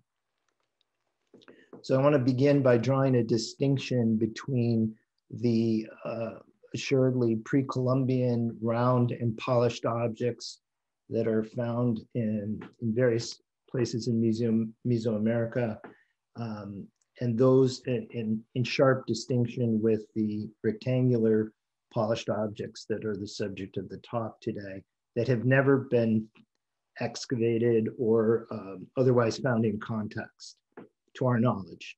Um, and these objects are part of the uh, NMAI collection. Here's the, the building that you may be familiar with on the National Mall in downtown Washington, DC. And they're curated at the, on behalf of um, in, indigenous communities at the Cultural Resources Center in Suitland, Maryland, just outside of DC. So for a variety of reasons that are spelled out in uh, Maria Martinez's uh, chapter in a forthcoming volume that's going to be published by the Smithsonian Scholarly Press. Um, these objects are thought to be produced by indigenous artisans on behalf of European invaders during the 16th century expansion. So there are five black tablets. Uh, the largest one measures 41 centimeters in width, 32 centimeters uh, orthogonally, and about three centimeters thick. That's pretty good thickness for all of them. There's one mahogany tablet, reddish brown breccia, and uh, they're they're very rare artifacts. And there's a small number of museums and collections in the United States, uh, Corning, Dumbarton Oaks, University of Missouri, and in in Paris at uh, Musée de l'Homme and and at the Louvre. And the two specimens at the Louvre um, uh, serve as canvases for paintings by Murillo. And these have been analyzed by PIXE and Calligaro and others uh, reported in 2005 that those both those tablets at the Louvre and the five uh, unpainted tablets at Musée de l'Homme are associated with the Ucareo Zinapécuaro source. So in this segment of our study, our goal is to simply identify the uh, obsidian sources for the six Smithsonian tablets, which is the largest single collection that we're aware of, and it's rivaled only by Musée de. Um, so given the suspicion, uh, suspicion that these objects were related to the Spanish in some way, we focused our attention on the major sources for obsidian production in northern Mesoamerica in the late post-classic. And we've modified a map here by Mike, Gla Mike Glascock's 2005 publication uh, showing the boundary between uh, the Tarascan or Purépecha Empire and that of the Aztec with the high quality sources as we've heard a lot about in the last two days from Ucareo and Pachuca. Um, so many of the results I'll be reporting here today have recently been reported in uh, Journal of Archaeological Science reports. Um, the majority of our reference specimens come from the National Museum of Natural History, specifically from um, the Robert L. Smith um, obsidian collection, which was accessioned not that long ago. Uh, we have a single specimen from uh, collected by Jose Aguilera, who was the found, co-founder and first president of the Geological Society of Mexico. And even though he was a paleontologist, he donated a specimen of Pachuca to the uh, Smithsonian. We also received uh, generous donations of reference specimens from Mike Glascock and Dan Healan. So here are the locations of our reference obsidians uh, from two large volcanic centers in the Trans-Mexican Volcanic Belt. Um, in, the, in the east, we have Los Azufres, and uh, to the west, Sierra de Pachuca. And so we have latitude, longitude information for the majority of our references, and a, a few of them are indicated by locality name. Okay, so I'm uh, going to talk about the instrumentation we used in this study relative to what I'm referring to as a typical portable XRF. And I used the Tracer 3 um, silicon drift version because that's the one we have in our laboratory. It's got about a five millimeter spot size, uh, comes into contact uh, with the specimen and they're all rhodium sources, all of these, but uh, has a has a power of about 1.2 watts and quantification through the calibration curve method that everyone seems to be using. In, in our study, the portable XRF is um, the Elio, made uh, originally designed by XG Labs and is now a Bruker product. It's capable of imaging uh, 10 by 10 centimeters. It has a one millimeter spot. It's a non-contact measurement and it's a four watt source. We don't do quantification uh, at the moment. We, uh, we're not an obsidian shop. We analyze all kinds of materials.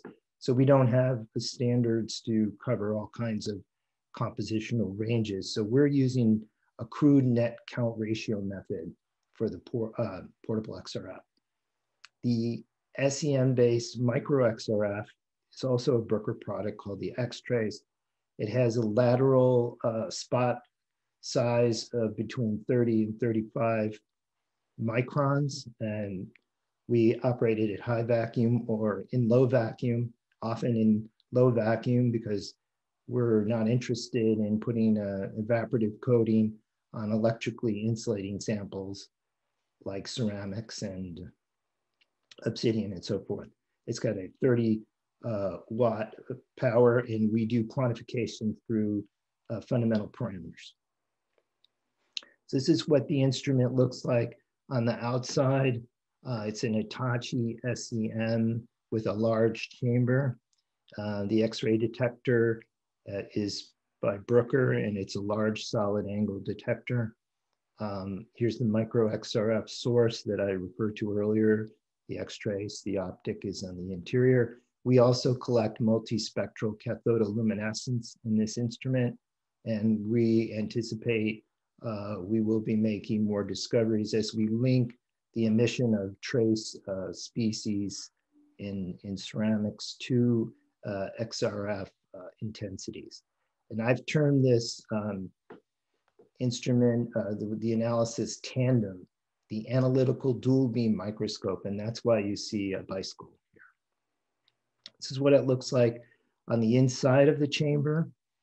And um, here's a schematic that uh, co-location of the electron beam with the photon beam, and then the common X-ray detector for both methods, as well as an electron image showing the polycapillary optic, which is the key to uh,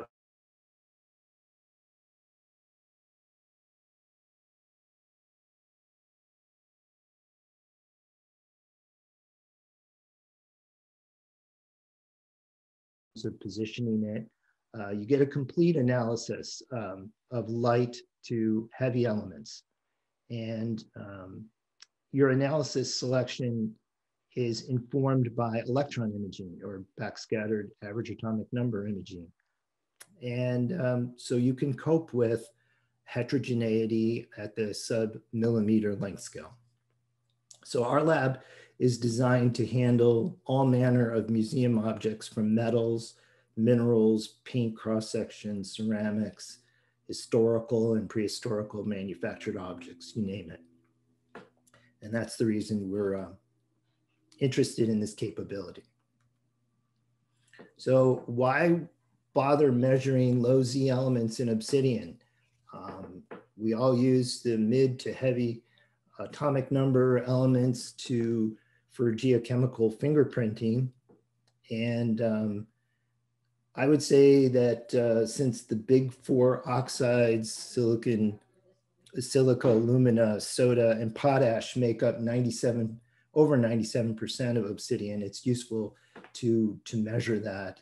Um, but you can also predict uh, whether a magmatic composition is alkaline or subalkaline. This is something geologists have done for over 100 years by computing normative mineralogy, whether a magma will be quartz free or quartz bearing, and that will determine uh, its position on a total alkali silica diagram. Here I'm not showing all the rock names uh, at lower silica contents than in the rhyolite field, but if we project that boundary, uh, you can see that for the specimens we're interested in in central Mexico, just based on the major elements from the electron beam, we can rule out the Pachuca source. The, here, the obsidian tablets are the filled uh, triangles relative to a, to a few other sources here. And we'd like to compare the um, not just the results that we get, but where where is the information coming from by these two methods uh, from the specimen. Uh, we'll start with the electron beam. And so we can perform Monte Carlo simulations under the conditions of our analysis. And we find that to 99.9% of the emitted X-rays, they're all for the, all the elements in uh, the major elements uh, are coming from the top 2% of the specimen. With respect to XRF, we can compute the information depth uh, for a number of elements here. I've done it for all the elements you see here in the periodic table um, and defined as 90% of fluorescence. That's the cutoff I've selected. So for sodium, aluminum, and silicon, well, we're within uh, a factor of three of the electron beam. So those uh, should be almost directly comparable, especially for uh, a pre-homogenized material like obsidian. We get to the potassium, you know, we're up at a factor of seven uh, greater in depth. And then and when we get to iron at about 70 microns, that's when things, uh, you really you get either you can view it as an advantage to the XRF by getting a more representative bulk number or less sensitive to inhomogeneity. So iron manganese around 70 and then as we get to higher energy X-rays, rubidium, strontium, yttrium, zirconium, and niobium, we are at many hundreds of microns um, depth of the information we're getting into the spectrum. And so, especially for something like zirconium, we're at over 750 microns. We're no longer in the realm of classical microanalysis. We're somewhere doing something like uh, sub-milli analysis. So we use um, uh, a Yellowstone Obsidian Cliffs rhyolitic glass for this project. It's an excellent reference. Um, and, and the reason it's an excellent reference is that back in the 1970s, it was analyzed by wet chemistry by uh, one of my predecessors, Eugene Jarosewich. So he published his work in a, a freely available but totally obscure uh, Smithsonian series. And a few years after he published it, he got permission to uh, republish it at, with geostandards and geoanalytical research. It's become a highly cited source for people, especially in the uh, electron probe business who uh, depend on the Smithsonian uh, standards um, for sort of ground truth with the wet chemistry. So we use it as a secondary standard uh, as to check the quantification from uh, both methods, as well as an internal reference. Uh, we, we just heard in the last talk about um, aging factors of instruments over many years. Um, we checked this uh, reference uh, during each analytical session for the project, you know, lasting over about a year or so.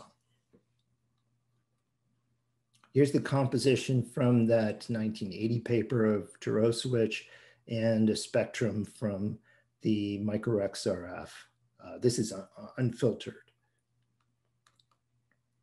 So when we compare the measurements for the electron beam induced um, quantification, which is based upon standards, just as um, the electron microprobe uh, community does. And with the, um, with the XRF measurements uh, quantified by fundamental parameters, uh, here are the results. The results are uh, quite um, comparable for the Yellowstone rhyolitic glass there are only two oxides that exceed three sigma in difference here, and that's iron. Tough to see because the size of the symbols are large, but this is largely due to uh, heterogeneity in uh, obsidian. Um, I'm using an example here from one of our tablets, but you get the idea that there are uh, iron oxides on a, on a fine length scale, and the micro-XRF beam is a factor of 30 times smaller than the PXRF. So we have the ability to um, encounter uh, differing um, iron values by virtue of the, the size of the probe.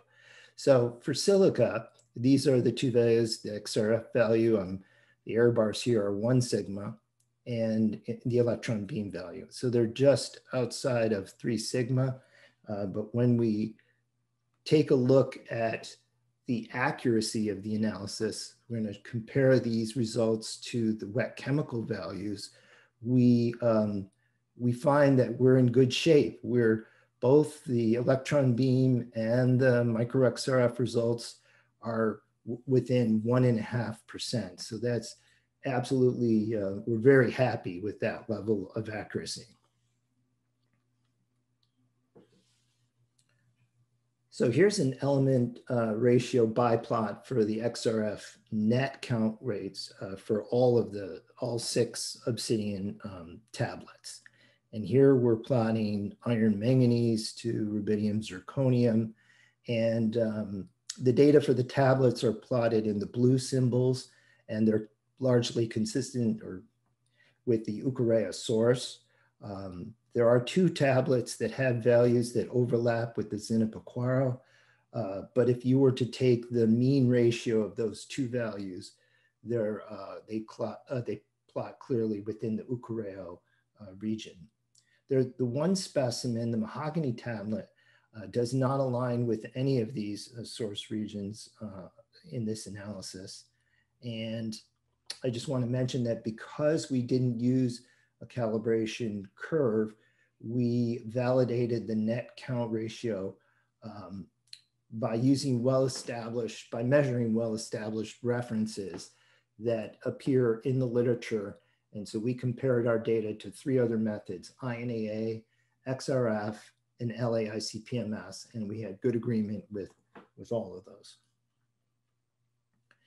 Now, we were unable to assign a source for the Smithsonian's mahogany tablet based on portable XRF, but there's another mahogany um, tablet out there at the University of Missouri uh, Museum of Art and Archaeology. And it's been analyzed by portable XRF, and it's also been linked to the Ucareo source, much like the obsidian canvases at the Louvre and, the, and, the, and also the tablets from Musée de l'Homme.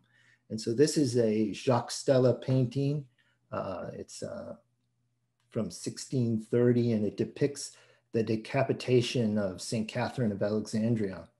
And um, it's pretty uh, vivid. And instead of blood streaming, there's a there's milk coming out of the body and it's a whole thing. Uh, the artist makes really good use of the of the black parts of the obsidian, uh, I notice, and um, and the, the nanoscale uh, reddish brown areas uh, just serve as sort of a, it's part of the gruesome angelic imagery. So for the next phase of our project, we did several things to address the unassigned data. We added two additional uh, Los Azufres reference specimens from the uh, National Rock and Ore Collection. We employed the SEM-based microXRF. And this time around in analyzing, we uh, used all five, we used five elemental ratios, uh, the five that I show you here. And uh, on top of that, uh, used dis canonical discriminant analysis.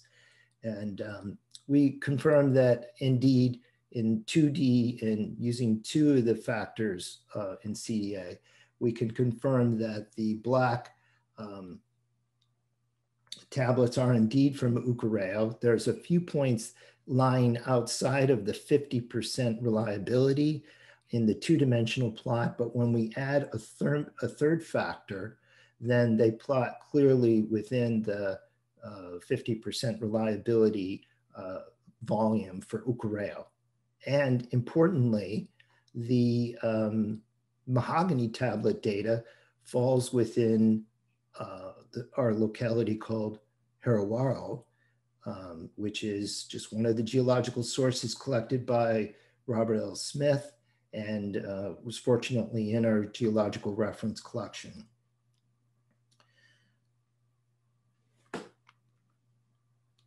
So finally, uh, final note here, I just wanted to compare the elemental ratios that were calculated from fundamental parameters, uh, micro XRF with the portable XRF. And um, so the solid black lines here are the one-to-one -one relationship you'd expect if you had perfect agreement between the two methods. And, you know, for iron, manganese, and rubidium, zirconium, we get that perfect agreement. And it's notable that all those elements are present at greater than 100 parts per million. We don't get that result uh, across the board for yttrium zirconium. We do for when yttrium is present at high concentrations, but when it's present at tens of ppm, um, the trend is, the ideal trend isn't found. And so we uh, sought to, you know, uh, figure out which of the two methods was causing this excursion. Uh, so what we did was we measured um, two NIST reference standard materials, SRM 610 and SRM 612, that had yttrium and zirconium concentrations at roughly 450 and 440 ppm. And what we found is that the micro XRF uh, gave values that from a uh, difference from expected of less than 8%, regardless of that concentration of the reference standard. And we got good values for the portable XRF at the high concentration at hundreds of ppm, but not for the low concentration um, SRM. And so it's clear that the portable uh, XRF net count method breaks down for our system, the way we're using it um, at the tens of ppm level, and it systematically uh, underestimates the concentration. So that's important. for elements, uh, in, at least in the obsidians we're looking at for. Well, then I'll just uh, re-summarize here. The, I, I, wanted to close by saying that um, I think the co-located electron and micro-XRF beam method, it looks good for analyzing museum objects, but it's going to shine for uh, samples that have greater heterogeneity than an obsidian. Um, and we found that the five Smithsonian, uh, the black tablets were linked to Ucareo, and that was true by PXRF, and we confirmed it with the SEM-based micro-XRF. And we discovered a new source for the Smithsonian mahogany tablet um, just 20 kilometers northeast of Ucareo um, and uh, in, within the Los Azufres complex. Thank you very much.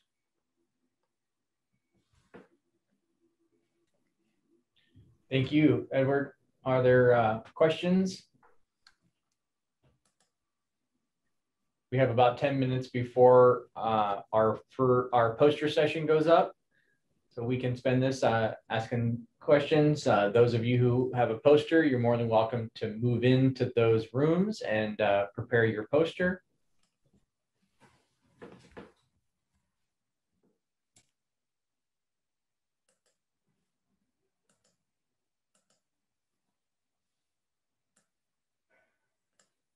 It's awful late in some parts of the world. Yes, yes, it is. And we we uh, we sympathize with that. I confirm. Me too. so uh, Nico just posted uh, the link to the posters in the, the long PDF and a place that you can comment outside of the, the formal conference here. If you want to uh, go ahead and, and make any comments and view any posters uh, using those links. Um, um, otherwise, you can um, move around the rooms and view the posters and, and talk with the authors directly, uh, which we certainly welcome, but we, un we understand some of you, it's very late and you may not have the energy for it. We, we understand that. Um, one of our poster presenters will not uh, be available, but I think we're going to post the, uh, we're going to share the poster, either uh, myself or Kyle might, might post it um, just so people can read it and if there's any questions, we can copy those questions down for the authors and then convey those uh, to them.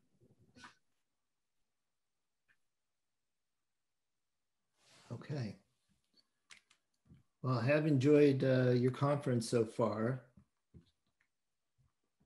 Thank you very much. Yeah. We, we've nice group of talks. We've been very fortunate to have so many um, be, uh, stay on persistently throughout the appreciate that. It's a dedicated community, the high silica community.